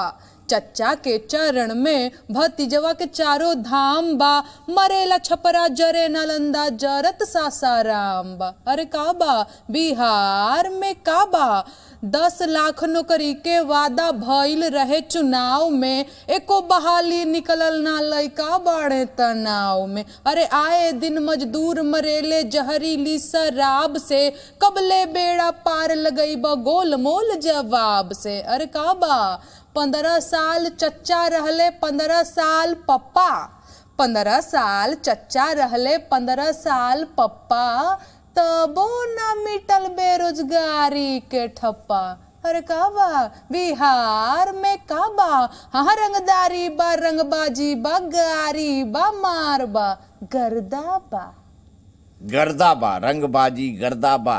लेकिन एक बात कहना पड़ेगा नया बात बड़े केयरफुली वर्डेड है। मतलब आपने बहुत खूबसूरती से लिखा है, वो तमाम चीज़ें जो उन्होंने अपने इलेक्शन मैनिफेस्टो के अंदर प्रॉमिस की थी, आपने गाने की शक्ल में उतारा है। मैं सोचता हूँ तापमान थोड़ा कम हो गया होगा पाँच सात, दस मिनट और बात कर लेते हैं, फिर नेहा के साथ स्पेशल बातचीत हमारी जारी रहेगी। मैं सीधे सीधे यहाँ से चलता हूँ प्रेम शुक्ला जी के पास राजीव भाई के पास असीफ वकार जी के पास चित्रंजन जी के पास रागी साहब के पास प्लीज़ नाराज़ ना हो और हम सभ्यता के साथ बात करें। तो मैं प्रेम शुक्ला जी अब आपने जो आरोप लगाया मैंने उसके तो कोई अपशब्द नहीं बोला लेकिन मेरे लिए जिस तरह के अपशब्दों का प्रयोग किया आपने उसकी निंदा करनी चाहिए। मैंने कहा दोनों से?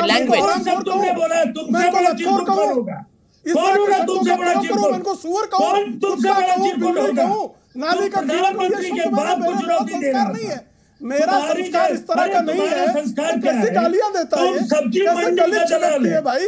में जन्मा क्या? है। इसकी पैदाइश घटिया हुई भाई थोड़ी देर छोड़ दो। दोनों राष्ट्रीय पार्टी के प्रवक्ता है। क्या हो गया है हो मैं थोड़ी देर के लिए छोड़ दो दोनों राष्ट्रीय पार्टी के प्रवक्ता आपस में। निपट एक दूसरे से सकता हूँ। लेकिन मैं सुअर की औलाद तो अरे प्लीज़ अपना नेक्स्ट टीम नहीं अब मैं माफ़ी चाहूँगा इन शब्दों का इस्तेमाल हुआ। मैं वाकई नेहा के इंटरव्यू पे चला जाऊँगा। मुझे नहीं लगता कि इस डिबेट को अब कंटिन्यू करना चाहिए। जिस तरह की लैंग्वेज का इस्तेमाल हमारे सम्मानित नेता कर रहे हैं एक दूसरे के लिए। चित्रंजन गगन जी कुछ जोड़ना चाहेंगे आप यहाँ पर?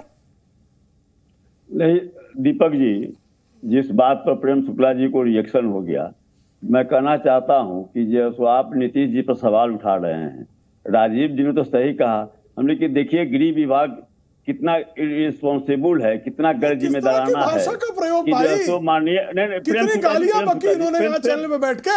मैं सुअर को भी सुअर नहीं कहता। मैं सुअर को भी सुअर कहना थोड़ी लगता मुझे लेकिन ये सुअर से भी ज़्यादा नीचे उतर है- गए लगता है कि सुअर का सुअर से भी ज़्यादा जी, सुअर प्रेम है। कैसे सुअर नहीं आपको। सुअर का भी अपमान कर रहा सर है, आप तमाम सम्मानित लोग हैं जिनके 40 हाँ, 40 साल तुम्हारी पॉलिटिक्स में पूरे हो गए हैं। आप राष्ट्रीय पार्टियों के प्रतिनिधि हैं। हूँ प्लीज़। गालियाँ बकता है चैनल की हो। कै- कै- कैसे गालियाँ बक रहा है ये? ये पागल हो गया भाई। मैं प्रेम सबसे रिक्वेस्ट कर रहा हूँ। हाथ जोड़ के रिक्वेस्ट कर रहा हूँ। क्या करूँ मैं? अच्छा आप लोग डिसाइड कर लीजिए शो शो चलेगा कि इसी तरह की व्याकरण का इस्तेमाल होगा विशेषणों का इस्तेमाल होगा। इसी तरह के विशेषणों का इस्तेमाल हो गया। सबसे पहले प्रेम शुक्ला जी से शुरू कर लेते हैं। प्रेम शुक्ला जी शो चलाएँ या ऐसे विशेषण चलेंगे? मैंने तो बिल्कुल किसी के लिए गलत विशेषण मैंने सिर्फ़ काहिल का उत्तर दिया। उन्होंने बिफर कर गालियाँ बकनी शुरू की। मैं अब भी कहता हूँ कि गालियाँ देना मेरा संस्कार नहीं है। मैं उनको सुअर नहीं कहना चाहता मैं यही कह रहा हूँ। मैं बिल्कुल उनको सुअर नहीं है? कहूँगा। मैं सुअर का अपमान नहीं कर सकता। मैं जानता हूँ ये सुअर से भी गए लोग हैं। मैं इनको सुअर बिल्कुल नहीं कहना चाहता। ये अनायास चिल्ला रहा है मैं आपको मौका दे रहा हूँ। राजीव जी राजीव जी आप आप आ जाइए। थोड़े टेम्परेचर डाउन करें दोनों लोग प्लीज़ राजीव जी आप भी। कैसी गालियाँ बक रहे हैं देखिए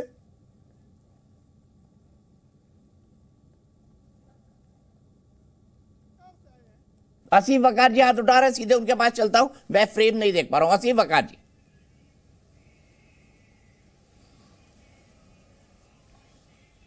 जी बोलिए। अगर कहिए तो मैं अपनी बात रखूँ। जी कहिए मैं तो पहले भी आपको बुलाया था। जी जी।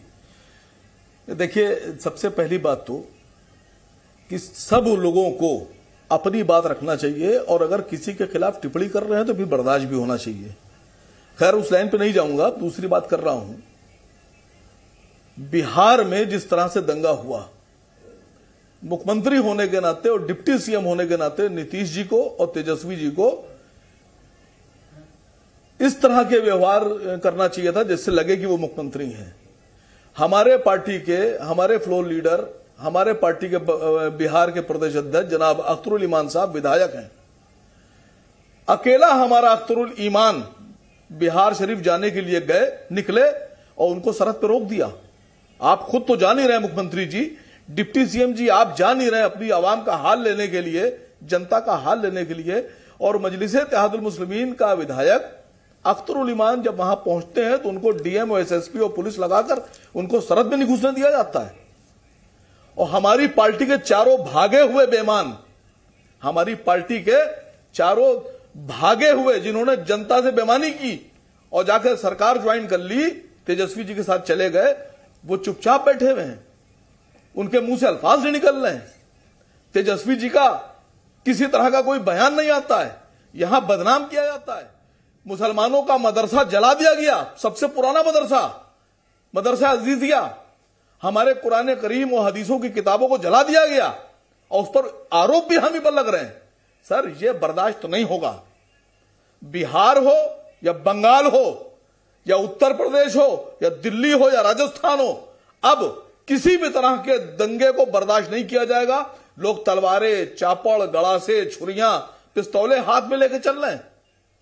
सरकार के लोग और सरकार के लिए काम करने वाली पुलिस कार्रवाई नहीं कर रही है। ठीक है मैं यही सवाल लेकर तो चित्रंजन गगन जी के पास चलता हूँ। चित्रंजन गगन जी गंभीर आरोप है ये एम के। उनके पार्टी के विधायक को जाने नहीं दिया उनके विधायकों को आपकी सरकार में तोड़ लिया गया क्या ये उचित है? और आप आप वहाँ पर हथियार लेकर लोग चल रहे हैं ये भी आरोप वो लगा रहे देखिए जो कह रहे हैं कि विधायक को तोड़ लिया गया है वहाँ का जो जनमत था विधायक जो वहाँ से चुन के आए थे उन पर वहाँ के जो वोटर थे उन लोगों का दबाव था। उन लोगों ने महसूस किया कि उन लोगों का निर्णय गलत था। और उन लोगों के दबाव पर वहाँ के प्रतिनिधियों ने राजद ज्वाइन किया है। इसलिए अगर यह आरोप लगा रहे हैं तो गलत है। सवाल है दूसरी कि जब वहाँ पर एक तरफ़ आप यह कह रहे हैं कि यहाँ स्थिति नाजुक है दंगा हो रहा है सब है। जब धारा एक सौ चौवालीस वहाँ पर लागू था फिर उसके बाद में आप वहाँ पर जाकर जब गगन साहब बड़े नेता है मैं इनको चैलेंज कर रहा हूँ। मैं इनको चैलेंज कर रहा हूँ। आप सीमांचल में आप- आपने कहा जनता का दबाव था एक जनमत संग्रह करा लिया जाए। जनमत संग्रह करा लिया जाए। अरे, अब- भगोड़े विधायकों के साथ है या एमआईएम के साथ है? अरे सुन लीजिए सुन लीजिए सुन लीजिए। और जहाँ पर जनमत संग्रह कराने से क्यों डर रहे हैं आप?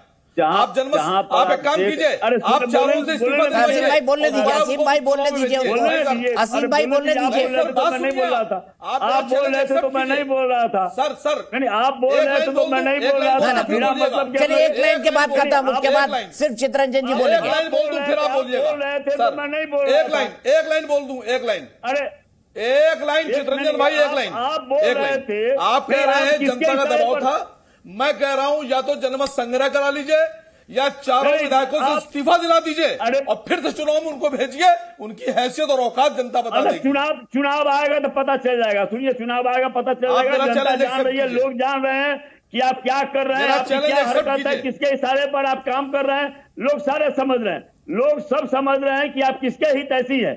सब लोग समझ रहा है या कोई छुपी हुई बात नहीं है। बिहार की जनता जान चुकी है कि कहाँ किसके इशारे पर और कहाँ से आप गाइड होते हैं और कि क्या चच्चा नीतीश किसके साथ थे? होता है? चच्चा नीतीश। सुन लीजिए पहले। चच्चा नीतीश आपके चच्चा नीतीश बीजेपी के साथ पंद्रह साल सरकार चलाने के बाद आपको शर्म नहीं आती चित्रंजन जी? आप बेवकूफ़ समझे आप मुसलमानों आप आप आप शर्म आती है क्या? मुसलमानों क्या समझाया आपके हरकत से आप बता रहे जनता का दबाव था। मिलता है। आप accept कीजिए मेरा। आपके हरकत से आप मेरा accept हैं कीजिए। भाजपा उन चारों- आप उन चारों गद्दारों से इस्तीफा दिलवाइए। और दोबारा चुनाव में जाइए। देखिए भी आप आपकी हैसियत आपकी पार्टी की है। हैसियत और उच्चारण के जवाब है आपकी मंशा क्या है? आपकी राजनीतिक लाइन क्या है? लोग नहीं समझ रहे सब समझ रहा है। आप हल्ला नहीं कीजिए शांत रहिए। मैं दीपक जी कह रहा था राजीव जी की बात उसको आपने छोड़ दिया एक- नहीं, नहीं, हसीन जी बोल लिया हसीन जी का- बोल लिया। चित्रंजन जी नीतीश शरीफ व्यक्ति है उनको अपनी बात खत्म कर दीजिए। भाई गलत बात है गलत बात है। आपने बोल लिया ना मैंने मौका दे दिया चित्रंजन जी खाली बोलेंगे। अब चित्रंजन जी की आवाज़ जाएगी। आवाज़ किसी की नहीं काटी है मैं आसिफ भाई से रिक्वेस्ट कर रहा हूँ। आसिफ भाई बोल दिया अपने अपनी बात। अब रिपीट कर रहे हैं। चित्रंजन जी कंटिन्यू करिए अपनी बात। छुपा के तो नहीं रखे। हैं। दीपक जी मैं कह रहा था कि राजीव जी ने जो कहा माननीय गृह मंत्री सब जगह चुनावी सभा में भाषण देने दे, देते घूम रहे हैं लेकिन उनको यह सेंसिटिव मामला जम्मू कश्मीर जैसे सेंसिटिव जगह पर एक गुजराती आकर वहाँ पर अपने को यह बताकर कि मैं पीएमओ का ऑफिसर हूँ और वहाँ पर प्रोटोकॉल लेता है वहाँ पर स्पेशल सुरक्षा लेता है सीमा पर जाता है वहाँ के लेफ्टिनेंट गवर्नर के साथ बैठकर मीटिंग करता है, मिलिट्री के हाई ऑफिसर के साथ बैठकर मीटिंग करता है। अब यह बताइए कि जिस सरकार का गृह मंत्री पूरे देश में घूमकर अपने भाजपा का एजेंडा लागू करने के लिए धार्मिक ध्रुवीकरण की राजनीति कर रहे हैं, घूम रहे हैं, लोगों को भड़का रहे हैं, और उसी गृह मंत्री के मातहत जम्मू कश्मीर में इतना बड़ा कांड हो गया, किसी ने कोई सवाल उठाया? भाजपा के जवाब देंगे कि वह किरण पटेल जो था, उसका वही नहीं, किरण पटेल के पिताजी जो हैं तो वहाँ सीएम ऑफ़िस में गुजरात के चीफ मिनिस्टर कार्यालय में महत्वपूर्ण पद पर कार्यरत हैं। इतना बड़ा मामला हो गया महीनों तक हुआ। गृह विभाग मेरा क्या कर रहा था? अरे इसका बिहार से क्या मतलब चित्रंजन जी? मामला हुआ गंभीरता से हुआ सबने दिखाया आप वो पकड़ा भी गया। लेकिन चलिए आपके आरोप है मैं प्रेम शुक्ला जी के पास चलता हूँ। बिहार के अंदर बिहार के अंदर प्रेम शुक्ला जी आपको लग रहा है आज फ़ोन हो गया है नीतीश कुमार जी को फ़ोन कर दिया है मल्लिकार्जुन खड़गे ने। हो सकता है नीतीश जी प्रधानमंत्री पद के उम्मीदवार हो जाए तब तब तो बिहार में वाकई ये राजीव रंजन जी के हालात काफ़ी अच्छे हो जाएँगे। देखिए मुद्दे की बात यह है कि क्या श्रीमान मल्लिकार्जुन खड़गे श्रीमान नीतीश कुमार को प्रधानमंत्री पद का प्रत्याशी प्रस्तावित कर रहे हैं? तो नीतीश कुमार जी तो भयवश खुद ही अपना नाम लेने के लिए तैयार नहीं है, क्योंकि उनको पता है कि अगर राजद जो है उनके लिए प्रधानमंत्री पद का प्रस्ताव कर भी रही है तो उसमें उनको प्रधानमंत्री बनाना उद्देश्य नहीं है। उद्देश्य है किसी तरह से मुख्यमंत्री पद से विदा हो तो मुख्यमंत्री पद से विदाई के लिए राहुल और श्रीमान लालू प्रसाद यादव से उन्होंने फ़ोन पर बात की, नीतीश जी ने। तो लालू, ये समाचार पत्रों में प्रकाशित हुआ बिहार के कि लालू जी ने उनसे पहला सवाल यही पूछा कि मुख्यमंत्री पद का दायित्व तो आप कब जो है तेजस्वी को दे रहे हैं? तो जहाँ पर लालू प्रसाद यादव अपने पुत्र के लिए और पुत्र के पास निश्चित तौर पर सीटों की संख्या जो है, वो नीतीश की तुलना में ज़्यादा जनादेश जनता ने दिया था। ये तो सबके सामने है। तो अब जो है नीतीश कुमार जी को क्या देश के सारे लोग, जो विपक्षी दलों के नेता हैं वो अपने नेतृत्व के रूप में स्वीकार रहे हैं क्या? तो स्वीकार सकते हैं, स्वीकारिए। हम तो कह रहे हैं कि स्वीकार ले उनको, जिनको बिहार की जनता तीसरे नंबर की पार्टी मानती है। और उनको जो है, देश की जनता प्रधानमंत्री के रूप में जो है, स्वीकार लेगी, ये कल्पना अच्छी है। वो कल्पना लोक में विहार करने का अधिकार जो है, राजीव रंजन को भी है और चितरंजन गगन को भी है। वो कर सकते हैं विहार कल्पना ठीक है, मैं सीधे राजीव रंजन जी से लेता हूँ। राजीव जी, मेरा सीधा सवाल। मेरा सीधा, चलिए आपने बीजेपी से अलग हो गए, आपने आरजेडी के साथ गठबंधन बना लिया। लेकिन मैं नेहा की गाने की एक लाइन कोट कर रहा हूँ जो उन्होंने बहुत अच्छी लिखी है और जो बीजेपी भी कई बार कहती है, पंद्रह साल पप्पा रहे, पंद्रह साल चच्चा। मतलब पंद्रह साल तो लालू जी, राबड़ी जी, उनका परिवार रहा, पंद्रह साल नीतीश कुमार जी रह लिए। अब किस नाम पे वोट मांगेंगे? अगर 2024 में पीएम के कैंडिडेट बन जाते तो भी। सबको पता है बिहार में क्या हुआ पिछले तीस सालों में? देखिए, बिहार की जनता को ये पता है। नेहा राठौर ने इसके पहले उत्तर प्रदेश में काबा भी गा चुकी है। और मैं नहीं समझता हूँ कि नेहा राठौर के उत्तर प्रदेश में काबा का जवाब भारतीय जनता पार्टी कभी दे पाए। मैं इतना ज़रूर कहना चाहूँगा, जनता से बड़ी अदालत कुछ भी नहीं है। जनता ने अगर बार बार नीतीश जी के चेहरे पर भरोसा किया है और अगर विधानसभा के उपचुनाव के नतीजे पैमाना अगर हो सकते हैं तो देश के ज़्यादातर राज्यों के चुनाव नतीजे, उपचुनाव के नतीजे भारतीय जनता पार्टी के खिलाफ हाल के दिनों में गए और अभी सिलसिला जारी है, कर्नाटक, तेलंगाना, इनका जाना बिल्कुल तय ये कहीं से भी कुछ इनको था, सुशील मोदी के खिलाफ क्यों नहीं कोई कार्रवाई करते हैं, या उनसे क्यों नहीं इस तरह की मांग करते रहे कि उन्हें इफ्तार नहीं करना चाहिए? देखिए, बिहार में सभी तबकों को लेकर नीतीश कुमार जी चलते रहे हैं और इसीलिए ये इफ्तार उसी तरीके से देखा जाना चाहिए। राजनीतिक चश्मे से देखने वाले लोगों को पूरी आज़ादी है वो देखें। ठीक है। लेकिन उनकी हाँ। ठीक है। प्रेम शुक्ला जी मेरा सीधा सवाल। वो कह रहे हैं कि आप आज हमारे इफ्तार पर सवाल उठा रहे हैं। इससे पहले सुशील मोदी तो इफ्तार करते ही रहे। देखिए सवाल इस बात का है कि जब बिहार दंगों की आग में जल रहा है तब दंगा पीड़ितों को राहत दिलाने की बजाय श्रीमान नीतीश कुमार इफ्तार करके क्या संदेश दे रहे हैं? क्या नीतीश बाबू रोजा रख रहे हैं कि रोजा रख के रोज इफ्तार करना पड़ रहा है उनको? इफ्तार की दावत देने के लिए पहले बेचारे जो रोजेदार हैं, उन रोजेदारों के घरों को जो आग के हवाले दंगे में कर दिया गया है, जो लोग जेल पहुँच गए हैं दंगा करके और जिन लोगों के खिलाफ कार्रवाई की जानी चाहिए थी और आपकी पुलिस ने कार्रवाई न की, जिसके कारण वहाँ दंगे भड़के, राम भक्तों पर आपने जो है, एक वर्ग विशेष के लोगों को पथराव करने के लिए जो आपने छूट दे दी तो स्वाभाविक तौर पर सवाल पूछा जाएगा कि साहब, जैसे कहा जाता है कि जब रोम जल रहा था तो नीरो बांसुरी बजा रहे थे, उसी तरह से कहना पड़ेगा कि जब बिहार में बिहार जल रहा था दंगे की रफ्तार से, तब श्रीमान नीतीश कुमार दावते रोजा इफ्तार में बिज़ी थे। तो ये सवाल इसलिए नहीं है कि आप रोजा इफ्तार कर क्यों रहे? प्रश्न क्या है? क्या बिहार में दंगे नहीं हैं? और क्या दंगों के समय आपको राहत देने के कार्य में जाना चाहिए कि इफ्तार करना चाहिए, दावत उड़ाना चाहिए? शोक के अवसर पर दावत उड़ाने की परंपरा इसका विरोध किया जा रहा है। ठीक है, शोक के अवसर पर दावत उड़ाने की परंपरा। चित्रंजन गगन साहब दोनों तरफ़ के लोगों को नुकसान हुआ है हिंदू पक्ष को भी मुसलमान पक्ष को भी। सवाल यह है कि आपकी मुस्लिम तुष्टिकरण की राजनीति के चलते ये आरोप बीजेपी भी लगाती है और ये शब्द मेरे भी हैं। इसी के चलते तो वहाँ पर दंगा हुआ। वरना बीजेपी जब तक शासन में थी इस तरह की कोई घटनाएँ नहीं देखने को मिली जब नीतीश कुमार जी बीजेपी के साथ मुख्यमंत्री थे एक आध दो घटनाओं को छोड़कर। दीपक जी बिल्कुल सही आपने कहा कि जब भाजपा सरकार में थी तो दंगा नहीं होता था।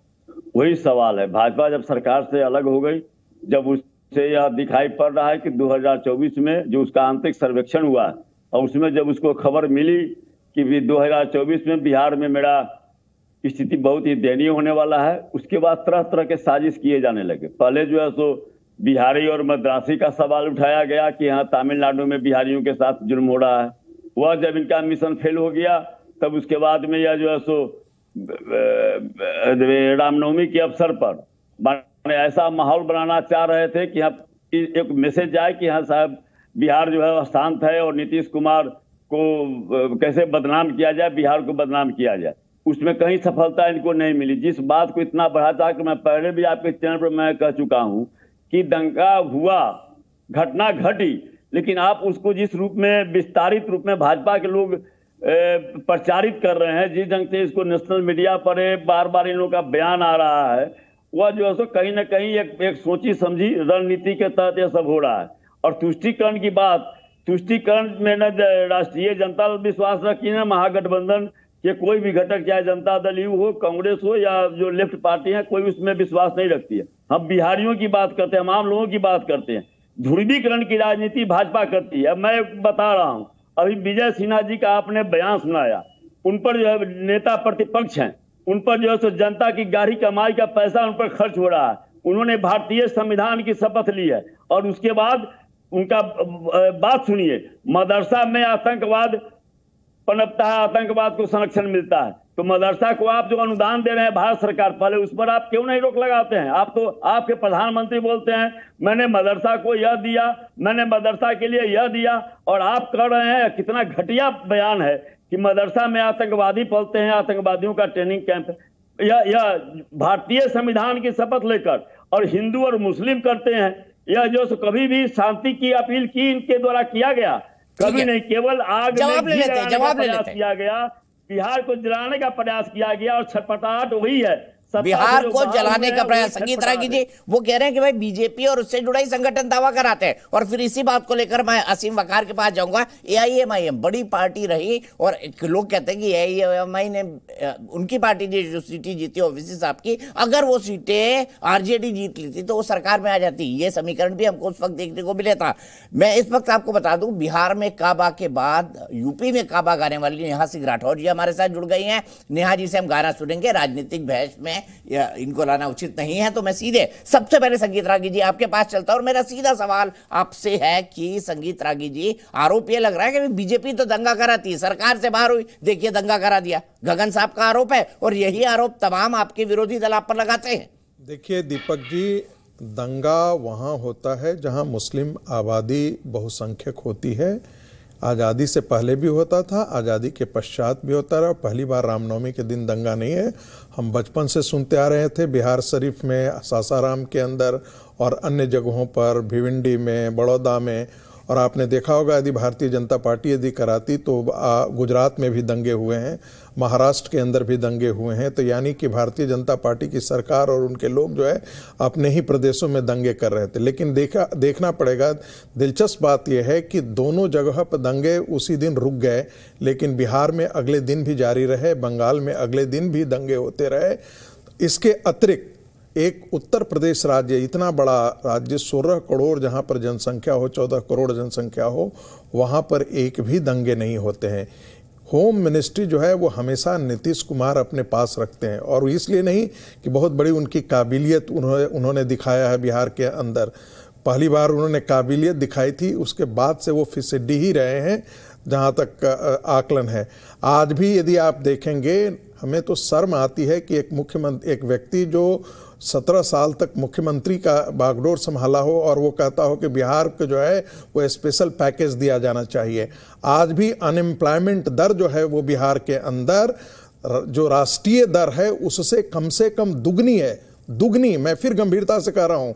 इसका नतीजा ये है कि बिहार को आपने गटर में डाल रखा है और गटर में डालने का सबसे बड़ा काम जो है वो नीतीश कुमार ने एक संगीत किया है। रागी जी उसकी सहयोगी बीजेपी भी रही बिल्कुल। लंबे समय तक देखिए, अगर तो- बिहार गटर में है तो उसके लिए बीजेपी भी उसकी जिम्मेदार मैं है तो मैं तो बीजेपी पर भी ये सवाल उठाते रहा हूँ बिल्कुल सवाते उठा रहा हूँ कि एक ऐसे काहिल आदमी को आपने मुख्यमंत्री दिया जबकि आपकी जन, आपके वोटों की संख्या ज़्यादा थी, आपकी जीत की संख्या ज़्यादा थी। इसके बावजूद भी आपने नीतीश कुमार जैसे व्यक्ति को अहंकारी व्यक्ति को आपने मुख्यमंत्री बनाया जिसका डेवलपमेंट मॉडल कुछ है ही नहीं। ठीक यदि आप अनएम्प्लॉयमेंट दिखने इंडस्ट्रियल एरिया थे बिहार के अंदर वो सारा बैठ गया बिल्कुल आऊँगा आपके पास। मैं एक एक रिएक्शन एआईएमआईएम का ले लूँ। आपके पास बिल्कुल रिबटन के लिए आऊँगा। लॉजिकल जवाब आपकी तरफ़ से ही बनता है। लेकिन असीम वका जी मेरे साथ है। असीम वकार जी एक शब्द उन्होंने कहा एआईएमआईएम का रोल बिहार में मैंने बताया महत्वपूर्ण रोल है। आपका एक वोट बैंक है सीमांचल के इलाके में।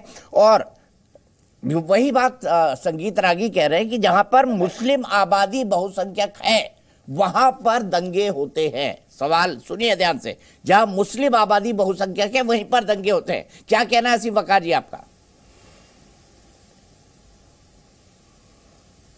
मैं बेवकूफों की बात का क्या जवाब दिया जाए? ना ना प्लीज़ व्यक्तिगत ना हो वसीम वकार जी। का क्या जवाब दिया जाए? वसीम वकार जी सर्टिफिकेट ना बांटिए मैंने आज तक राजनीति में कभी मैंने आज तक सर्टिफिकेट ना बांटिए प्लीज़ उन्होंने आपको सर्टिफिकेट नहीं दिया आप भी मत बांटिए। हमने सर्टिफिकेट बांटने की प्रिंटिंग प्रेस नहीं खोली टोक। रहे हैं आप जैसे नहीं नहीं व्यक्ति विशेष को मैंने कह दिया तो आपकी मिर्चें लग गई। सर मिर्चे लगने की बात मेरी नहीं है। पूरी कौम को कह रहा संस्कार भी कोई बात होती है। तो आप मुँह में लड्डू लेके बैठ गए नहीं नहीं मैं लड्डू लेके नहीं बैठा भाई। मैं लड्डू लेके नहीं बैठा। देखिए देखिए एक बात एक बात सुन लीजिए। मैं सबको बोलने का मौका देता हूँ लेकिन कोई आदमी बेवकूफ़ है इसका। सर्टिफिकेट असीम वकार नहीं दे सकते। माफ़ कीजिएगा नहीं दे सकते आप सर्टिफिकेट तुमको यदि बेशरम तुमको शर्म आती है तो तुम फैक्ट को काउंटर करो। बदतमीज कहीं का। अरे चुपचाप बैठो तुम। अरे गली के तुम्हारे गली के चुप बदतमीज गली के। बदतमीज प्लीज़ संगीत रागी जी। असीम वकार जी। चुप रहो। एक गली के गुंडे। बदतमीज- वकार जी बदतमीज का इंसान संगीत रागी जी मैं दोनों को स्क्रीन से हटा रहा हूँ मैं दोनों को स्क्रीन से हटा रहा हूँ आरजेडी के प्रवक्ता राजीव रंजन जी जवाब दीजिए। राजीव रंजन जी बताइए मुझे उन्होंने कहा कि भाई नीतीश कुमार जो है जिस राजनीति पर काम कर रहे हैं मैं तो आप इन्होंने कहा तुष्टिकरण। मैं तो ये कह रहा हूँ कि नीतीश कुमार ऐसी राजनीति कर रहे हैं कि अल्पसंख्यकों का तुष्टिकरण नहीं तृप्तिकरण हो जाए। तृप्त हो जाए अल्पसंख्यक कि नीतीश कुमार जी ने बीजेपी के साथ जाके जो काम किया, आज तो उनकी इतने सारे इफ्तारों के बाद वो गलती धुल गई। देखिए, सबसे पहले मुझे हैरानी है दीपक जी। हिंदुस्तान के सबसे विश्वस्त अनुभवी प्रखर एंकर के तौर पर आपकी पहचान है। आपके शो में एक निर्वाचित मुख्यमंत्री, जिसने राज्य में बिहार में 20 वर्षों तक चाहे किसी भी गठबंधन की सरकार बनी हो, बतौर मुख्यमंत्री बिहार की अगुवाई की है। उन्हें काहिल कहने वाले लोगों की हैसियत क्या है? मैं इतना ज़रूर बता देना चाहूँगा, अगर लॉ एंड ऑर्डर कोई सवाल है तो पिछले दो वर्षों में इस देश के ज़्यादातर राज्यों में भारतीय जनता पार्टी के गृह मंत्री की अकर्मण्यता, इसलिए कि इंटेलिजेंस इनपुट शेयरिंग सेंटर की जवाबदेही है, और दिल्ली से लेकर मुंबई से लेकर जो हिंदुस्तान के तमाम बड़े इलाके हैं, चाहे वो संवेदनशील इलाके हो, जहाँ अल्पसंख्यक मतदाता कम हो, ये उनकी दूसरी बात है जिनकी, जिनका मैं प्रतिवाद करता हूँ, उन जगहों पर भी दंगे भड़के। हरियाणा में बाजाप्ता भारतीय जनता पार्टी के कार्यकर्ता सरकारी संरक्षण में एक मस्जिद में घुस कर उन्होंने हुड़दंग मचाया। आप बिहार की चर्चा कर रहे हैं? बिहार में दो शहरों में अगर कोई बात हुई तो वो नियंत्रण में भी होगी।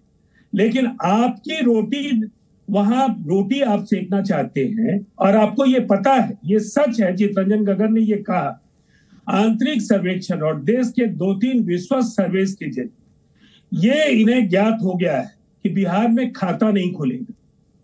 और बिहार का खाता अगर नहीं खुला तो 303 से सीधे 40 सीटें नीचे जाएँगी। बंगाल से लेकर झारखंड, इनके पतन की पृष्ठभूमि तैयार है। और जिस हुकूमत की बात ये कर रहे हैं, ये दो तरीके की खेल है। एक तरफ़ अडानी प्रकरण के को किसी तरह से नेपथ्य में भेजा जाए तो एक तरफ़ राहुल गांधी, दंगे, नीतीश कुमार पर व्यक्तिगत प्रहार। आप कहते हैं उन्हें प्रधानमंत्री बनने का हक नहीं है। आप होते कौन है? कौन होते हैं आप? जनता किसी को प्रधानमंत्री बनाती है। अगर ऐसी स्थिति बनती है, जबकि बार बार नीतीश कुमार जी ने कहा, ये कितनी बुरी बात है कि उन्होंने बार बार कहा कि वो प्रधानमंत्री नहीं बनना चाहते हैं। कहीं अगर बैकग्राउंड में अगर लाल किला तो लाल किला आपके लिए नफरत की वजह हो सकती है। हम उसे हिंदुस्तान के गर्व का प्रतीक मानते हैं, अभिमान का प्रतीक मानते हैं। और उस प्राचीर से प्रधानमंत्री चाहे कोई हो उन्हें झंडा फहराना होगा केवल मुगलिया प्रतीक मान करके आप लाल किला से नफरत कर सकते हैं। लेकिन आकांक्षा वहाँ पहुँचने की आपकी नहीं जवाब इसलिए जवाब काहिली का काहिली का अगर कोई पैमाना है तो देश के गृह मंत्री से काहिल इस देश में कोई भी राजनीतिज्ञ या कोई भी किसी मंत्री परिषद का सदस्य नहीं। खैर खैर संगीत रागी जी ने कुछ नीतीश कुमार के जी के बारे में बोला आपने कुछ गृह मंत्री के बारे में बोला। पॉलिटिकल टिप्पणी पे मैं कुछ नहीं कहूँगा लेकिन नेहा को तैयार कर लेते। हैं नेहा आपको बस इस सवाल के जवाब के बाद अपना गीत गाना है क्योंकि आपका गीत आज हिट हो गया है और अच्छी बात है आप दूसरी तरफ़ भी लिखने लगी है मुझे कुछ हुई जान के। लेकिन प्रेम शुक्ला जी प्रवक्ता भारतीय जनता पार्टी के प्रेम शुक्ला जी बड़ी एम्बिशियंस है नीतीश कुमार की। लग रहा है इस बार पूरी हो जाएँगी। राजीव रंजन जी तो कह रहे हैं, बिहार बंगाल में खाता नहीं खुलेगा आपका। जी। ये घर में नहीं दाने, नीतीश चले भुनाने की वो दशा है। और अभी बिहार के उपचुनाव के विधानसभा के परिणाम बता रहे हैं कि किस तरह से जदयू, राजद के अपवित्र गठबंधन को पराभूत किया गया। विधान परिषद के चुनाव संकेत दे रहे हैं किस तरह से भारतीय जनता पार्टी की सीटों की संख्या में शत प्रतिशत वृद्धि हुई है। विधान परिषद भी जीता है, विधानसभा भी जीतेंगे। केंद्रीय गृह मंत्री का काम तो सब इनको पता है, लेकिन मुख्यमंत्री का काम सिर्फ़ इफ्तार पार्टी को जो है, उड़ाना है, सबको जो है, भाषण देना है। भाई, ये बताइए ना कि नालंदा में जो उनका गृह क्षेत्र है, वहाँ के दंगा पीड़ितों ने जो दंगे में उनको नुकसान हुआ उनको बचाने का जिम्मा सिर्फ़ अमित शाह का है। नीतीश कुमार क्या सिर्फ़ तेजस्वी के तलवे चाटने के लिए मुख्यमंत्री बने हैं? थोड़ा सा। अभी आप काहिल अगर language, गृह मंत्री जी के लिए शब्द का प्रयोग कर रहे हैं। नहीं काहिल काहिल शब्द उन्होंने प्रयोग किया। उन्होंने आदरणीय गृहमंत्री को काहिल कहा। तो मैं कह रहा हूँ तलवा चाट रहे हैं क्या वो? जिसने उनको पलटू राम कहा उसके तलवे चाटने में स्वयं को धन्य पा रहे हैं क्या वो? और उनको तेजस्वी ने पलटू राम कहा था कि नहीं कहा था मुझे बताइए। और अभी विधानसभा चुनाव में नीतीश कुमार की जो दुर्गति हुई थी उनकी सभाओं में लोग हूट तो करते थे। आदरणीय प्रधानमंत्री जी नहीं गए होते तो इस बार हल्दी नहीं लगी होती। काहे चिल्ला रहा है आदमी। क्यों चिल्ला रहा है? इसको शांत कराओ भाई। में तो इनके बीच में नहीं। बोल रहा था। कि क्यों धैर्य खो दिया इन्होंने? क्या हो गया? इनका रक्तचाप क्यों बढ़ गया जनाब का? दीपक जी क्या हो गया इन जनाब को? इनका रक्तचाप बढ़ गया। किसकी हैसियत पूछ रहा है? चिरकुट? फिर- हैसियत पूछ रहा है नेता की हैसियत हमारे नेताओं दोनों सम्मानित नेता है मेरे सालों पुराने है। दोस्त हैं। मैं मैं तो कुछ नहीं बोल रहा था इस इस चिरकुट को इस शुकर शुकर सुद को मैं कुछ कह रहा था क्या? मैं इसको कुछ कह रहा देखिए किस तरह की गालियाँ बक रहा है ना ना मैं दोनों का हटा रहा हूँ मैं दोनों का रहा हूँ। क्या हो गया भाई आज क्या हो गया? बिहार की नया ये सब आपकी गलती है आप ये गाना नहीं गाती हम डिबेट नहीं करते। देखिए प्लीज़ प्लीज़ मैं आप सबसे रिक्वेस्ट कर रहा हूँ असीम भाई संगीत जी प्रेम शुक्ला जी, राजीव रंजन जी, गगन साहब अभी तक बहुत सोबर है। गगन साहब, आप अपना कूल मत छोड़िएगा। मैं आपको थोड़ा ठंडा करता हूँ। प्लीज़ अपना रक्तचाप सभी पॉलिटिकल पार्टी के प्रवक्ता थोड़ा नीचे करें। हम आगे बढ़ेंगे, लेकिन सबसे पहले नया, हमें बिहार में काबा सुना दीजिए। फिर मेरे लिए दो तीन सवाल है और फिर हमेशा की तरह हम आपका इंटरव्यू रिकॉर्ड करेंगे। मैं गीत से शुरुआत करती बिल्कुल हूँ गीत से करिए फिर मैं पूछता हूँ कि आपका हृदय परिवर्तन कैसा है? ओह हो हो हो हो, नहीं नहीं नहीं सवाल- बिल्कुल सवाल- आप, आप, आप सवाल सारे तो सवाल। पूछ सकते हैं मुझसे। बिहार में काबा सीज़न टू में सुनाती हूँ। अरे राम नवमी के जुलूस में पत्थरबाजी जारी बा। राम नवमी के जुलूस में पत्थरबाजी जारी बा। चचा भतीजा के जाता में पीस रहल बिहारी बा। अरे काबा बिहार में काबा। चोरी चकारी हिंसा अपहरण के सुगबू गाहट बा। चोरी चकारी हिंसा अपहरण के सुगबू गाहट बा। अरे हमारा त लागता भैया जंगल राज के आहट बा। अरे का बा? बिहार में का बा? चच्चा के चरण में भतीजवा के चारों धाम बा।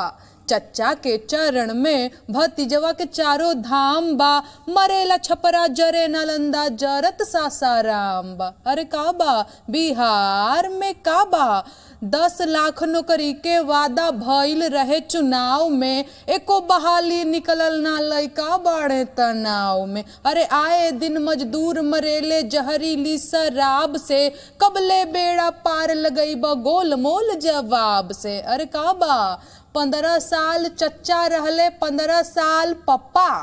पंद्रह साल चच्चा रहले पंद्रह साल पप्पा।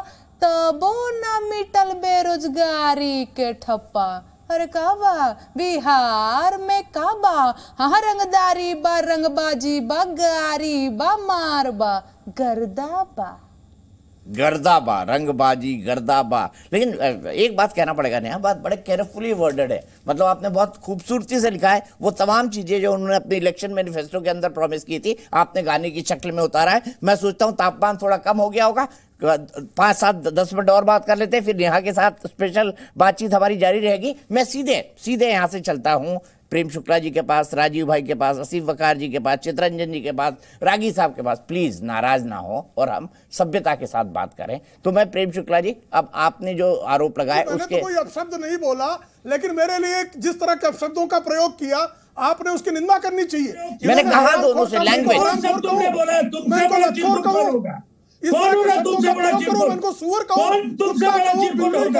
नाली का रहा नहीं है। मेरा संस्कार इस तरह का नहीं है संस्कार कैसे? गालियाँ देता है कैसे गली दलाल है। भाई गटर में जन्मा क्या है। इसकी पैदाइश क्या है। भाई थोड़ी देर छोड़ दो दोनों राष्ट्रीय पार्टी के प्रवक्ता है क्या हो गया मैं थोड़ी देर के लिए छोड़ दो दोनों राष्ट्रीय पार्टी के प्रवक्ता है। आपस में निपट लेंगे आप एक दूसरे से हूँ।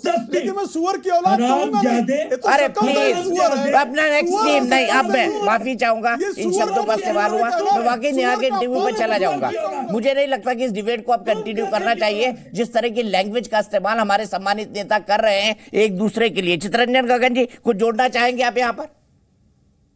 नहीं दीपक जी जिस बात पर प्रेम शुक्ला जी को रिएक्शन हो गया मैं कहना चाहता हूँ कि जो आप नीतीश जी पर सवाल उठा रहे हैं राजीव जी ने तो सही कहा हमने कि देखिए गृह विभाग कितना रिस्पॉन्सिबल है कितना गैर जिम्मेदाराना है का प्रयोग कि भाई? माननीय नहीं नहीं प्रेम शुक्ला जी, गालियाँ बकी इन्होंने प्रेम- चैनल में बैठ के नहीं, प्रेम मैं सुअर को भी सुअर नहीं कहता मैं सुअर को भी सुअर कहना प्रेम लगता जी, मुझे लेकिन ये सुअर जी, भी ज़्यादा नीचे उतर है- गए लगता है कि सुअर का सुअर से भी गया किसने प्रेम सुअर है। शुक्ला जी, कैसे सुअर आपको? सुअर का भी सर आप तमाम सम्मानित लोग हैं जिनके 40 हाँ, 40 साल पॉलिटिक्स में पूरे हो गए हैं। आप राष्ट्रीय पार्टियों के प्रतिनिधि हैं। प्लीज़ गालियाँ बकता है चैनल की हो। कै- कै- कैसे गालियाँ बक रहा है ये? ये पागल हो गया भाई। मैं प्रेम सबसे रिक्वेस्ट कर रहा हूँ। हाथ जोड़ के रिक्वेस्ट कर रहा हूँ क्या करूँ मैं? अच्छा आप लोग डिसाइड कर लीजिए शो शो चलेगा कि इसी तरह की व्याकरण का इस्तेमाल होगा विशेषणों का इस्तेमाल होगा। इसी तरह के विशेषणों का इस्तेमाल हो गया। सबसे पहले प्रेम शुक्ला जी से शुरू कर लेते हैं। प्रेम शुक्ला जी शो चलाएँ या ऐसे विशेषण चलेंगे? मैंने तो बिल्कुल किसी के लिए गलत विशेषण मैंने सिर्फ़ काहिल का उत्तर दिया। उन्होंने बिफर कर गालियाँ बकनी शुरू की। मैं अब भी कहता हूँ कि गालियाँ देना मेरा संस्कार नहीं है। मैं उनको सुअर नहीं कहना चाहता मैं यही कह रहा हूँ। मैं बिल्कुल उनको सुअर नहीं कहूँगा मैं सुअर का अपमान नहीं कर सकता। मैं जानता हूँ ये सुअर से भी गए गुजरे लोग हैं। मैं इनको सुअर बिल्कुल नहीं कहना चाहता। ये अनायास चिल्ला रहा है भाई। प्लीज़ मैं आपको मौका दे रहा हूँ। और राजीव जी राजीव जी आप आप आ जाइए। थोड़े टेम्परेचर डाउन करें दोनों लोग प्लीज़ राजीव जी आप भी। कैसे गालियाँ बक रहे हैं देखिए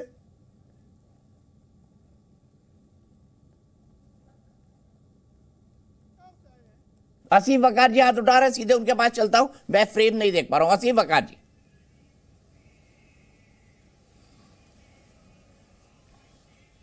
जी बोलिए। अगर कहिए तो मैं अपनी बात रखूँ। जी कहिए। मैं तो पहले भी आपको बुलाया था। जी जी। देखिए सबसे पहली बात तो कि सब लोगों को अपनी बात रखना चाहिए और अगर किसी के खिलाफ टिप्पणी कर रहे हैं तो फिर बर्दाश्त भी होना चाहिए। खैर, उस लाइन पे नहीं जाऊँगा, दूसरी बात कर रहा हूँ। बिहार में जिस तरह से दंगा हुआ, मुख्यमंत्री होने के नाते और डिप्टी सीएम होने के नाते नीतीश जी को और तेजस्वी जी को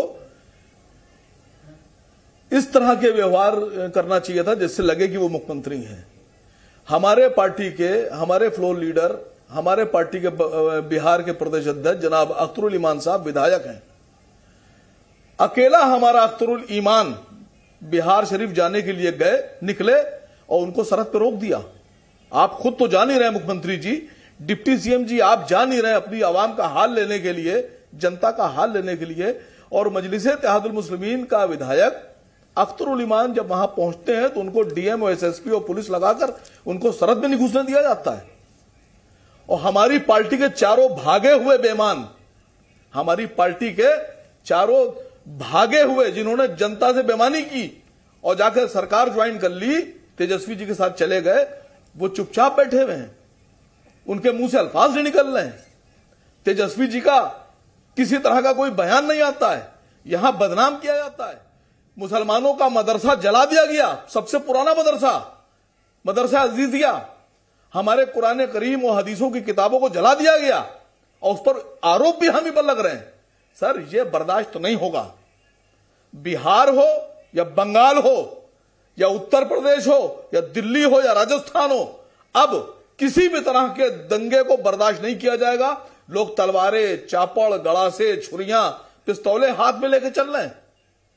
सरकार के लोग और सरकार के लिए काम करने वाली पुलिस कार्रवाई नहीं कर रही है। ठीक है मैं यही सवाल लेकर तो चित्रंजन गगन जी के पास चलता हूँ। चित्रंजन गगन जी गंभीर आरोप है ये एम के। उनके पार्टी के विधायक को जाने नहीं दिया उनके विधायकों को आपकी सरकार में तोड़ लिया गया क्या ये उचित है?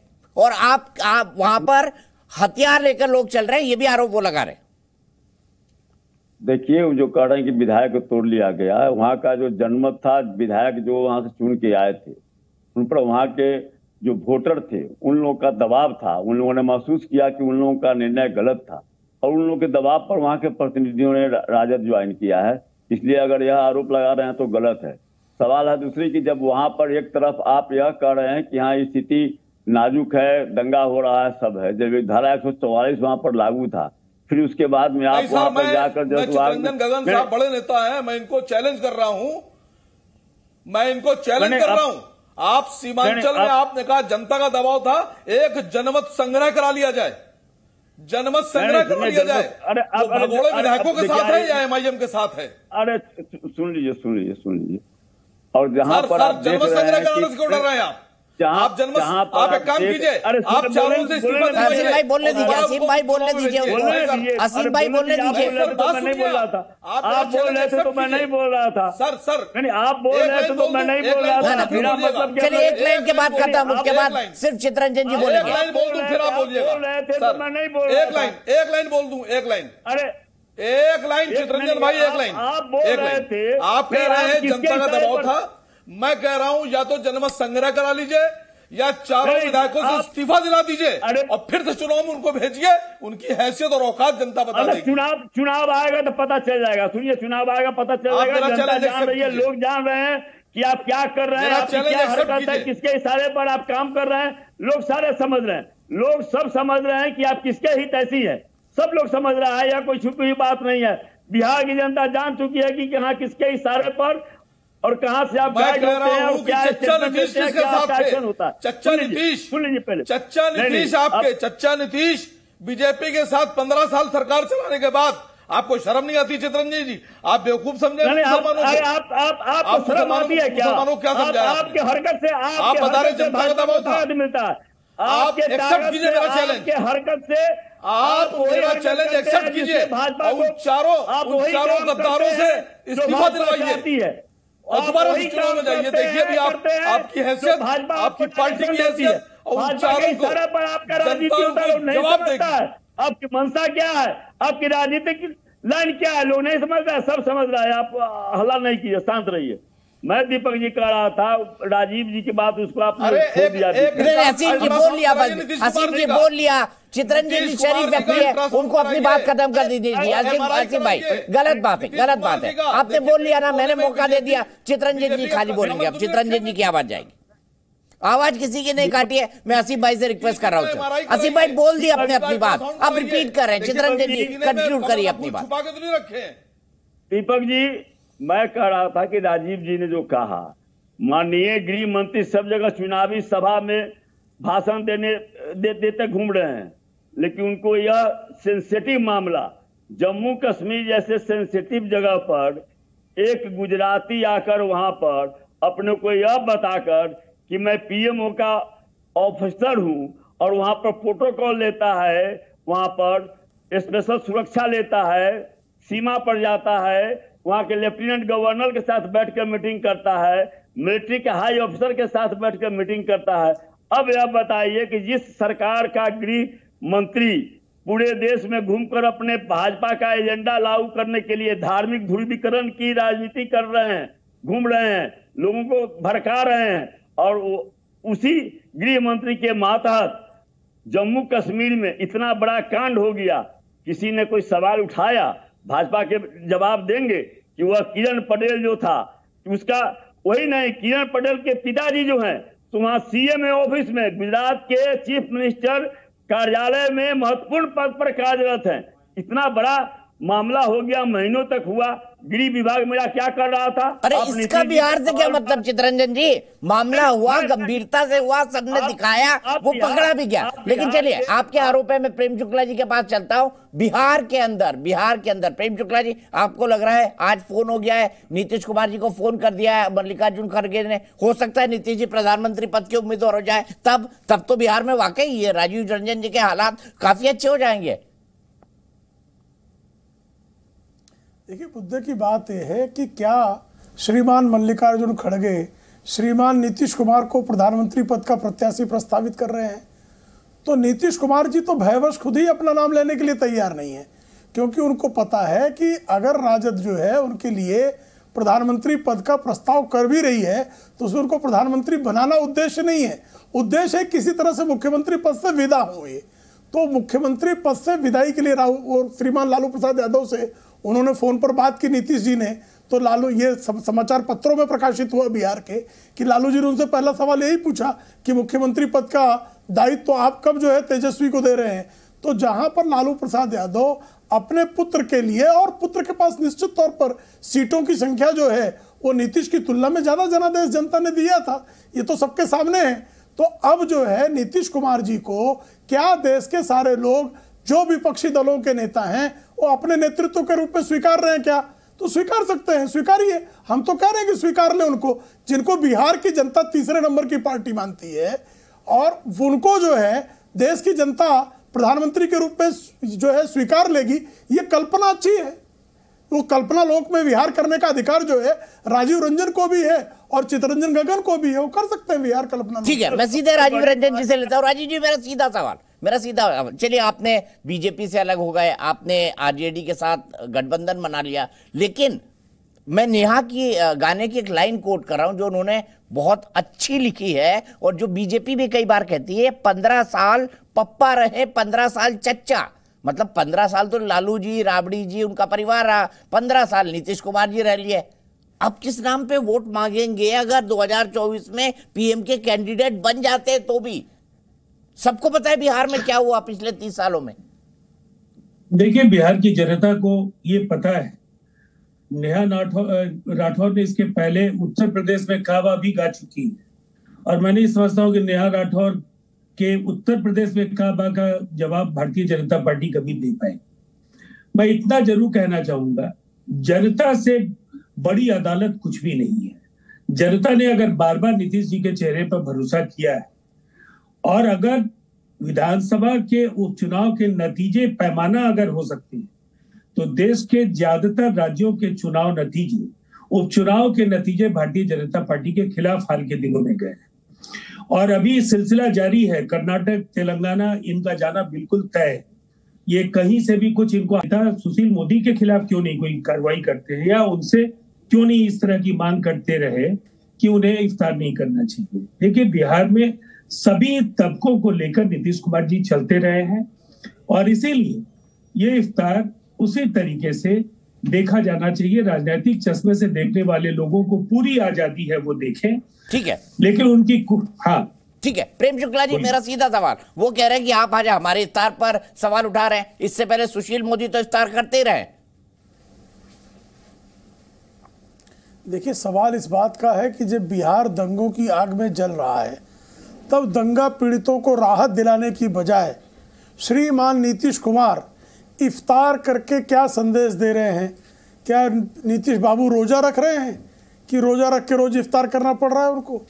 इफ्तार की दावत देने के लिए पहले बेचारे जो रोजेदार हैं, उन रोजेदारों के घरों को जो आग के हवाले दंगे में कर दिया गया है, जो लोग जेल पहुँच गए हैं दंगा करके और जिन लोगों के खिलाफ कार्रवाई की जानी चाहिए थी और आपकी पुलिस ने कार्रवाई न की, जिसके कारण वहाँ दंगे भड़के, राम भक्तों पर आपने जो है, एक वर्ग विशेष के लोगों को पथराव करने के लिए जो आपने छूट दे दी तो स्वाभाविक तौर पर सवाल पूछा जाएगा कि साहब, जैसे कहा जाता है कि जब रोम जल रहा था तो नीरो बांसुरी बजा रहे थे, उसी तरह से कहना पड़ेगा कि जब बिहार में बिहार जल रहा था दंगे की रफ्तार से, तब श्रीमान नीतीश कुमार दावते रोजा इफ्तार में बिज़ी थे।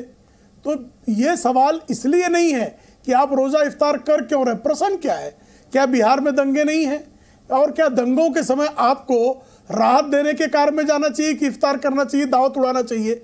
शोक के अवसर पर दावत उड़ाने की परंपरा, इसका विरोध किया जा रहा है। ठीक है, शोक के अवसर पर दावत उड़ाने की परंपरा। चितरंजन गगन साहब दोनों तरफ़ के लोगों को नुकसान हुआ है? हिंदू पक्ष को भी मुसलमान पक्ष को भी। सवाल यह है कि आपकी मुस्लिम तुष्टिकरण की राजनीति के चलते ये आरोप बीजेपी भी लगाती है और ये शब्द मेरे भी हैं। इसी के चलते तो वहाँ पर दंगा हुआ। वरना बीजेपी जब तक शासन में थी इस तरह की कोई घटनाएँ नहीं देखने को मिली। जब नीतीश कुमार जी बीजेपी के साथ मुख्यमंत्री थे एक आध दो घटनाओं को छोड़कर। दीपक जी बिल्कुल सही आपने कहा कि जब भाजपा सरकार में थी तो दंगा नहीं होता था। वही सवाल है। भाजपा जब सरकार से अलग हो गई, जब उससे यह दिखाई पड़ रहा है कि 2024 में जो उसका आंतरिक सर्वेक्षण हुआ और उसमें जब उसको खबर मिली कि भी 2024 में बिहार में मेरा स्थिति बहुत ही दयनीय होने वाला है, उसके बाद तरह तरह के साजिश किए जाने लगे। पहले जो है सो बिहारी और मद्रासी का सवाल उठाया गया कि यहाँ तमिलनाडु में बिहारियों के साथ जुर्म हो रहा है। वह जब इनका मिशन फेल हो गया, तब उसके बाद में यह जो है सो रामनवमी के अवसर पर। माने ऐसा माहौल बनाना चाह रहे थे कि हम एक मैसेज आए कि हाँ साहब, बिहार जो है शांत है और नीतीश कुमार को कैसे बदनाम किया जाए, बिहार को बदनाम किया जाए। उसमें कहीं सफलता इनको नहीं मिली। जिस बात को इतना बढ़ा था कि मैं पहले भी आपके चैनल पर मैं कह चुका हूँ कि दंगा हुआ, घटना घटी, लेकिन आप उसको जिस रूप में, विस्तारित रूप में भाजपा के लोग प्रचारित कर रहे हैं, जिस ढंग से इसको नेशनल मीडिया पर बार बार इन लोगों का बयान आ रहा है, वह जो है सो कहीं ना कहीं एक एक सोची समझी रणनीति के तहत यह सब हो रहा है। और तुष्टिकरण की बात, तुष्टिकरण में न राष्ट्रीय जनता विश्वास रखी न महागठबंधन के कोई भी घटक, चाहे जनता दल यू हो, कांग्रेस हो, या जो लेफ़्ट पार्टी है, कोई उसमें विश्वास नहीं रखती है। हम बिहारियों की बात करते हैं, हम आम लोगों की बात करते हैं। ध्रुवीकरण की राजनीति भाजपा करती है। मैं बता रहा हूँ अभी विजय सिन्हा जी का आपने बयान सुनाया। उन पर जो है नेता प्रतिपक्ष हैं। उन पर जो है सो जनता की गाढ़ी कमाई का पैसा उन पर खर्च हो रहा है। उन्होंने भारतीय संविधान की शपथ ली है। और उसके बाद उनका बात सुनिए। मदरसा में आतंकवाद, पनपता है आतंकवाद को संरक्षण मिलता है। तो मदरसा को आप जो अनुदान दे रहे हैं भारत सरकार पहले उस पर आप क्यों नहीं रोक लगाते हैं? आप तो आपके प्रधानमंत्री बोलते हैं मैंने मदरसा को यह दिया मैंने मदरसा के लिए यह दिया और आप कह रहे हैं कितना घटिया बयान है कि मदरसा में आतंकवादी पलते हैं आतंकवादियों का ट्रेनिंग कैंप यह यह भारतीय संविधान की शपथ लेकर और हिंदू और मुस्लिम करते हैं यह जो कभी भी शांति की अपील की इनके द्वारा किया गया कभी नहीं केवल आग जवाब ले लेते हैं, जवाब ले लेते हैं। किया गया बिहार को दिलाने का प्रयास किया गया और छटपटाहट वही है। बिहार को जलाने का प्रयास संगीत रागी जी वो कह रहे हैं कि भाई बीजेपी और उससे जुड़ा ही संगठन दावा कराते हैं। और फिर इसी बात को लेकर मैं असीम वकार के पास जाऊँगा। एआईएमआईएम बड़ी पार्टी रही और लोग कहते हैं कि एआईएमआई ने उनकी पार्टी ने जो सीटें जीती ओवीसी साहब की अगर वो सीटें आरजेडी जीत लेती तो वो सरकार में आ जाती। ये समीकरण भी हमको उस वक्त देखने को मिले था। मैं इस वक्त आपको बता दूँ बिहार में काबा के बाद यूपी में काबा गाने वाली नेहा सिंह राठौर जी हमारे साथ जुड़ गई हैं। नेहा जी से हम गाना सुनेंगे राजनीतिक बहस में या इनको लाना उचित नहीं है तो मैं सीधे, सबसे पहले संगीत रागी जी आपके पास चलता और मेरा सीधा सवाल आपसे है कि संगीत रागी जी, आरोप ये लग रहा है कि बीजेपी तो दंगा कराती है, सरकार से बाहर हुई। देखिए, दंगा करा दिया। गगन साहब का आरोप है और यही आरोप तमाम आपके विरोधी दल आप पर लगाते हैं। देखिए, दीपक जी, दंगा वहाँ होता है जहाँ मुस्लिम आबादी बहुसंख्यक होती है। आज़ादी से पहले भी होता था, आज़ादी के पश्चात भी होता रहा। पहली बार रामनवमी के दिन दंगा नहीं है। हम बचपन से सुनते आ रहे थे बिहार शरीफ में, सासाराम के अंदर और अन्य जगहों पर, भिवंडी में, बड़ौदा में और आपने देखा होगा, यदि भारतीय जनता पार्टी यदि कराती तो गुजरात में भी दंगे हुए हैं, महाराष्ट्र के अंदर भी दंगे हुए हैं। तो यानी कि भारतीय जनता पार्टी की सरकार और उनके लोग जो है, अपने ही प्रदेशों में दंगे कर रहे थे। लेकिन देखा, देखना पड़ेगा, दिलचस्प बात यह है कि दोनों जगह पर दंगे उसी दिन रुक गए, लेकिन बिहार में अगले दिन भी जारी रहे, बंगाल में अगले दिन भी दंगे होते रहे। इसके अतिरिक्त एक उत्तर प्रदेश राज्य, इतना बड़ा राज्य, सोलह करोड़ जहाँ पर जनसंख्या हो, चौदह करोड़ जनसंख्या हो, वहाँ पर एक भी दंगे नहीं होते हैं। होम मिनिस्ट्री जो है, वो हमेशा नीतीश कुमार अपने पास रखते हैं और इसलिए नहीं कि बहुत बड़ी उनकी काबिलियत उन्होंने उन्होंने दिखाया है बिहार के अंदर। पहली बार उन्होंने काबिलियत दिखाई थी, उसके बाद से वो फिसड्डी ही रहे हैं, जहाँ तक आकलन है। आज भी यदि आप देखेंगे, हमें तो शर्म आती है कि एक मुख्यमंत्री, एक व्यक्ति जो सत्रह साल तक मुख्यमंत्री का बागडोर संभाला हो और वो कहता हो कि बिहार को जो है वो स्पेशल पैकेज दिया जाना चाहिए। आज भी अनएम्प्लॉयमेंट दर जो है वो बिहार के अंदर, जो राष्ट्रीय दर है, उससे कम से कम दुगनी है। दुगनी, मैं फिर गंभीरता से कह रहा हूँ। इसका नतीजा ये है कि बिहार को आपने गटर में डाल रखा है और गटर में डालने का सबसे बड़ा काम जो है वो नीतीश कुमार ने एक संगीत किया। रागी जी उसकी सहयोगी बीजेपी भी रही बिल्कुल। लंबे समय तक देखिए, मैं अगर तो- बिहार गटर में है तो उसके लिए बीजेपी भी उसकी जिम्मेदार है तो मैं तो बीजेपी पर भी ये सवाल उठाते रहा हूँ बिल्कुल सवाते उठा रहा हूँ कि एक ऐसे काहिल आदमी को आपने मुख्यमंत्री दिया जबकि आपकी जन आपके वोटों की संख्या ज़्यादा थी, आपकी जीत की संख्या ज़्यादा थी। इसके बावजूद भी आपने नीतीश कुमार जैसे व्यक्ति को अहंकारी व्यक्ति को आपने मुख्यमंत्री बनाया जिसका डेवलपमेंट मॉडल कुछ है ही नहीं। ठीक है। यदि आप अनएम्प्लॉयमेंट जितने इंडस्ट्रियल एरिया थे बिहार के अंदर वो सारा बिल्कुल आऊँगा आपके पास। मैं एक एक रिएक्शन एआईएमआईएम का ले लूँ। आपके पास बिल्कुल रिबटल के लिए आऊँगा। लॉजिकल जवाब आपकी तरफ़ से ही बनता है। लेकिन असीम वका जी मेरे साथ है। असीम वका जी एक शब्द उन्होंने कहा एआईएमआईएम का रोल बिहार में मैंने बताया महत्वपूर्ण रोल है। आपका एक वोट बैंक है सीमांचल के इलाके में। और वही बात संगीत रागी कह रहे हैं कि जहाँ पर मुस्लिम आबादी बहुसंख्यक है वहाँ पर दंगे होते हैं। सवाल सुनिए ध्यान से। जहाँ मुस्लिम आबादी बहुसंख्यक है वहीं पर दंगे होते हैं। क्या कहना है असीम वकार जी आपका? मैं बेवकूफों की बात का क्या जवाब दिया जाए? ना ना प्लीज़ व्यक्तिगत ना हो की वकार जी। का क्या जवाब दिया जाए? वसीम वकार जी सर्टिफिकेट ना बांटिए मैंने आज तक राजनीति में कभी मैंने आज तक सर्टिफिकेट ना बांटिए प्लीज़ उन्होंने आपको सर्टिफिकेट नहीं दिया आप भी मत बांटिए हमने सर्टिफिकेट बांटने की प्रिंटिंग जैसे प्रेस नहीं मुझे खोली टोक। रहे हैं आप जैसे नहीं नहीं व्यक्ति विशेष को मैंने कह दिया तो आपकी मिर्चें लग गई। सर मिर्चे लगने की बात मेरी नहीं है। पूरी कौम को कह रहा है। संस्कार भी कोई बात होती है। तो आप मुँह में लड्डू लेके बैठ गए? नहीं नहीं मैं लड्डू लेके नहीं बैठा भाई। मैं लड्डू लेके नहीं बैठा। देखिए देखिए एक एक बात सुन लीजिए। मैं सबको बोलने का मौका देता हूँ लेकिन कोई आदमी बेवकूफ़ है इसका सर्टिफिकेट असीम वकार नहीं दे सकते। माफ़ कीजिएगा नहीं दे सकते आप सर्टिफिकेट तुमको यदि बेशरम तुमको शर्म आती है तो तुम फैक्ट को काउंटर करो। बदतमीज कहीं का। अरे चुपचाप बैठो तुम। अरे गली के तुम्हारे के चुप बदतमीज गली के बदतमीज। प्लीज़ संगीत रागी तुम जी हो। वकार जी। चुप रहो। एक गली के गुंडे। असीम वकार जी बदतमीज कहीं का इंसान संगीत रागी जी मैं दोनों को स्क्रीन से हटा रहा हूँ। मैं दोनों को स्क्रीन से हटा रहा हूँ। आरजेडी के प्रवक्ता राजीव रंजन जी जवाब दीजिए। राजीव रंजन जी बताइए मुझे। उन्होंने कहा कि भाई नीतीश कुमार जो है जिस राजनीति पर काम कर रहे हैं मैं तो आप इन्होंने कहा तुष्टिकरण। मैं तो ये कह रहा हूँ कि नीतीश कुमार ऐसी राजनीति कर रहे हैं कि अल्पसंख्यकों का तुष्टिकरण नहीं तृप्तिकरण हो जाए। तृप्त हो जाए अल्पसंख्यक कि नीतीश कुमार जी ने बीजेपी के साथ जाके जो काम किया, आज तो उनकी इतने सारे इफ्तारों के बाद वो गलती धुल गई। देखिए, सबसे पहले मुझे हैरानी है दीपक जी। हिंदुस्तान के सबसे विश्वस्त अनुभवी प्रखर एंकर के तौर पर आपकी पहचान है। आपके शो में एक निर्वाचित मुख्यमंत्री, जिसने राज्य में, बिहार में 20 वर्षों तक चाहे किसी भी गठबंधन की सरकार बनी हो, बतौर मुख्यमंत्री बिहार की अगुवाई की है। उन्हें काहिल कहने वाले लोगों की हैसियत क्या है?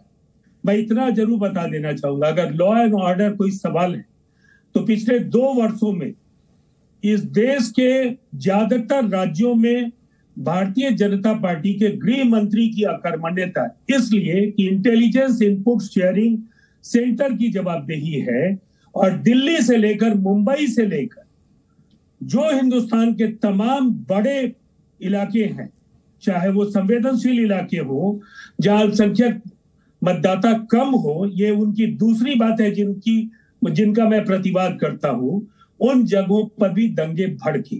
हरियाणा में बाजाप्ता भारतीय जनता पार्टी के कार्यकर्ता सरकारी संरक्षण में एक मस्जिद में घुस कर उन्होंने हुड़दंग मचाया। आप बिहार की चर्चा कर रहे हैं? बिहार में दो शहरों में अगर कोई बात हुई तो वो नियंत्रण में भी होगी। लेकिन आपकी रोटी, वहाँ रोटी आप सेकना चाहते हैं और आपको ये पता है, ये सच है, चितरंजन गगन ने ये कहा, आंतरिक सर्वेक्षण और देश के दो तीन विश्वस्त सर्वे के ज़रिए ये इन्हें ज्ञात हो गया है कि बिहार में खाता नहीं खुलेगा।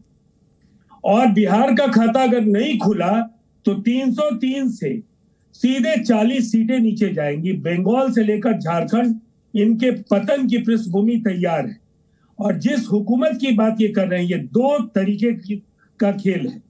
एक तरफ़ अडानी प्रकरण के को किसी तरह से नेपथ्य में भेजा जाए तो एक तरफ़ राहुल गांधी, दंगे, नीतीश कुमार पर व्यक्तिगत प्रहार। आप कहते हैं उन्हें प्रधानमंत्री बनने का हक नहीं है। आप होते कौन है? कौन होते हैं आप? जनता किसी को प्रधानमंत्री बनाती है।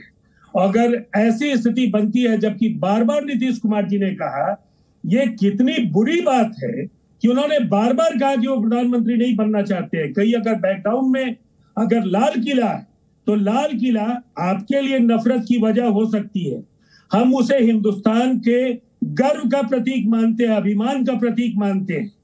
और उस प्राचीर से प्रधानमंत्री चाहे कोई हो उन्हें झंडा फहराना होगा केवल मुगलिया प्रतीक मान करके आप लाल किला से नफरत कर सकते हैं लेकिन आकांक्षा वहाँ पहुँचने की आपकी नहीं। जवाब इसलिए जवाब। काहिली का काहिली का अगर कोई पैमाना है तो देश के गृह मंत्री से काहिल इस देश में कोई भी राजनीतिज्ञ या कोई भी किसी मंत्री परिषद का सदस्य नहीं। खैर खैर संगीत रागी जी ने कुछ नीतीश कुमार के जी के बारे में बोला आपने कुछ गृह मंत्री के बारे में बोला पॉलिटिकल टिप्पणी पे मैं कुछ नहीं कहूँगा लेकिन नेहा को तैयार कर लेते। नेहा आपको बस इस सवाल के जवाब के बाद अपना गीत गाना है क्योंकि आपका गीत आज हिट हो गया है और अच्छी बात है आप दूसरी तरफ़ भी लिखने लगी है मुझे कुछ हुई जान के। लेकिन प्रेम शुक्ला जी प्रवक्ता भारतीय जनता पार्टी के प्रेम शुक्ला जी बड़ी एम्बिशियंस है नीतीश कुमार की। लग रहा है इस बार पूरी हो जाएँगी। राजीव रंजन जी तो कह रहे हैं, बिहार बंगाल में खाता नहीं खुलेगा आपका। जी। ये घर में नहीं दाने, नीतीश चले भुनाने की वो दशा है। और अभी बिहार के उपचुनाव के विधानसभा के परिणाम बता रहे हैं कि किस तरह से जदयू, राजद के अपवित्र गठबंधन को पराभूत किया गया। विधान परिषद के चुनाव संकेत दे रहे हैं किस तरह से भारतीय जनता पार्टी की सीटों की संख्या में शत प्रतिशत वृद्धि हुई है। विधान परिषद भी जीता है, विधानसभा भी जीतेंगे। केंद्रीय गृह मंत्री का काम तो सब इनको पता है, लेकिन मुख्यमंत्री का काम सिर्फ़ इफ्तार पार्टी को जो है, उड़ाना है, सबको जो है, भाषण देना। है। भाई, ये बताइए ना कि नालंदा में जो उनका गृह क्षेत्र है, वहाँ के दंगा पीड़ितों ने जो दंगे में उनको नुकसान हुआ उनको बचाने का जिम्मा सिर्फ़ अमित शाह का है। नीतीश कुमार क्या सिर्फ़ तेजस्वी के तलवे चाटने के लिए मुख्यमंत्री बने हैं? थोड़ा सा अभी आप काहिल अगर language, गृह मंत्री जी के लिए शब्द का प्रयोग कर रहे हैं। नहीं काहिल काहिल शब्द उन्होंने प्रयोग किया। उन्होंने आदरणीय गृह मंत्री को काहिल कहा। तो मैं कह रहा हूँ तलवा चाट रहे हैं क्या वो? जिसने उनको पलटू राम कहा उसके तलवे चाटने में स्वयं को धन्य पा रहे हैं क्या वो? और उनको तेजस्वी ने पलटू राम कहा था कि नहीं कहा था मुझे बताइए। और अभी विधानसभा चुनाव में नीतीश कुमार की जो दुर्गति हुई थी उनकी सभाओं में लोग हूट तो करते थे। आदरणीय प्रधानमंत्री जी नहीं गए होते तो इस बार हल्दी नहीं लगी होती। काहे चिल्ला रहा है आदमी? क्यों चिल्ला रहा है? इसको शांत कराओ भाई। मैं तो इनके बीच में नहीं बोल रहा था। क्यों धैर्य खो दिया इन्होंने? क्या हो गया? इनका रक्तचाप क्यों बढ़ गया जनाब का? दीपक जी क्या हो गया इन जनाब को? इनका रक्तचाप बढ़ गया। किसकी हैसियत पूछ रहा है चिरकुट। दोनों सम्मानित नेता है मेरे सालों पुराने दोस्त हैं। मैं मैं तो कुछ नहीं बोल रहा था इस इस चिरकुट को इस शुकर शुकर सुत को मैं कुछ कह रहा था क्या? मैं इसको कुछ कह रहा देखिए किस तरह की गालियाँ बक रहा है ना मैं दोनों का हटा रहा हूँ मैं दोनों का हूँ। दीपक क्या हो गया भाई? आज क्या हो गया? बिहार की नया ये सब आपकी गलती है आप ये गाना नहीं गाती हम डिबेट नहीं करते। देखिए प्लीज़ प्लीज़ मैं आप सबसे रिक्वेस्ट कर रहा हूँ। असीम भाई संगीत जी प्रेम शुक्ला जी, राजीव रंजन जी, गगन साहब अभी तक बहुत सोबर है। गगन साहब, आप अपना कूल मत छोड़िएगा। मैं आपको थोड़ा ठंडा करता हूँ। प्लीज़ अपना रक्तचाप। सभी पॉलिटिकल पार्टी के प्रवक्ता थोड़ा नीचे करें। हम आगे बढ़ेंगे, लेकिन सबसे पहले हमें बिहार में काबा सुना दीजिए। फिर मेरे लिए दो तीन सवाल है और फिर हमेशा की तरह हम आपका इंटरव्यू रिकॉर्ड करेंगे। मैं गीत से शुरुआत करती बिल्कुल हूँ गीत से करिए आज- फिर मैं पूछता हूँ कि आपका हृदय परिवर्तन कैसे? ओ हो? हो हो नहीं नहीं नहीं सवाल- बिल्कुल सवाल- आप, आप, आप सवाल सारे तो सवाल पूछ सकते हैं मुझसे। बिहार में काबा सीज़न टू में सुनाती हूँ। अरे राम नवमी के जुलूस में पत्थरबाजी जारी बा। राम नवमी के जुलूस में पत्थरबाजी जारी बा। चचा भतीजा के जाता में पीस रहल बिहारी बा। अरे काबा बिहार में काबा। चोरी चकारी, हिंसा, अपहरण के सुगबू गाहट बा। चोरी चकारी, हिंसा, अपहरण के सुगबू गाहट बा। अरे हमारा त लागता भैया, जंगल राज के आहट बा। अरे का बा? बिहार में का बा? चच्चा के चरण में भतीजवा के चारों धाम बा। चच्चा के चरण में भतीजवा के चारों धाम बा मरेला छपरा, जरे नालंदा, जरत सासाराम बा अरे का बा बिहार में का बा दस लाख नौकरी के वादा भइल रहे चुनाव में, एको बहाली निकलल ना लइका बाड़े तनाव में। अरे आए दिन मजदूर मरेले जहरीली शराब से, कबले बेड़ा पार लगई बा गोल मोल जवाब से। अरे का बा पंद्रह साल चच्चा रहले, पंद्रह साल पप्पा। पंद्रह साल चच्चा रहले, पंद्रह साल पप्पा। तबो न मिटल बेरोजगारी के ठप्पा। अरे का बिहार में का बा हाँ रंगदारी बा, रंगबाजी बा, गारी बा, मार बा, गर्दा बा। गर्दाबा, रंगबाजी, गर्दाबा। लेकिन एक बात कहना पड़ेगा नया बात बड़े केयरफुली वर्डेड है। मतलब आपने बहुत खूबसूरती से लिखा है, वो तमाम चीज़ें जो उन्होंने अपने इलेक्शन मैनिफेस्टो के अंदर प्रॉमिस की थी, आपने गाने की शक्ल में उतारा है। मैं सोचता हूँ, तापमान थोड़ा कम हो गया होगा पाँच सात, दस मिनट और बात कर लेते हैं, फिर नेहा के साथ स्पेशल बातचीत हमारी जारी रहेगी। मैं सीधे सीधे यहाँ से चलता हूँ प्रेम शुक्ला जी के पास राजीव भाई के पास असीफ वकार जी के पास चित्रंजन जी के पास रागी साहब के पास प्लीज़ नाराज़ ना हो और हम सभ्यता के साथ बात करें। तो मैं प्रेम शुक्ला जी अब आपने जो आरोप लगाया मैंने उसके तो कोई अपशब्द नहीं बोला लेकिन मेरे लिए जिस तरह के अपशब्दों का प्रयोग किया आपने उसकी निंदा करनी चाहिए। मैंने कहा दोनों से कहूँ, कौन तुमसे बड़ा कौन तुमसे बड़ा?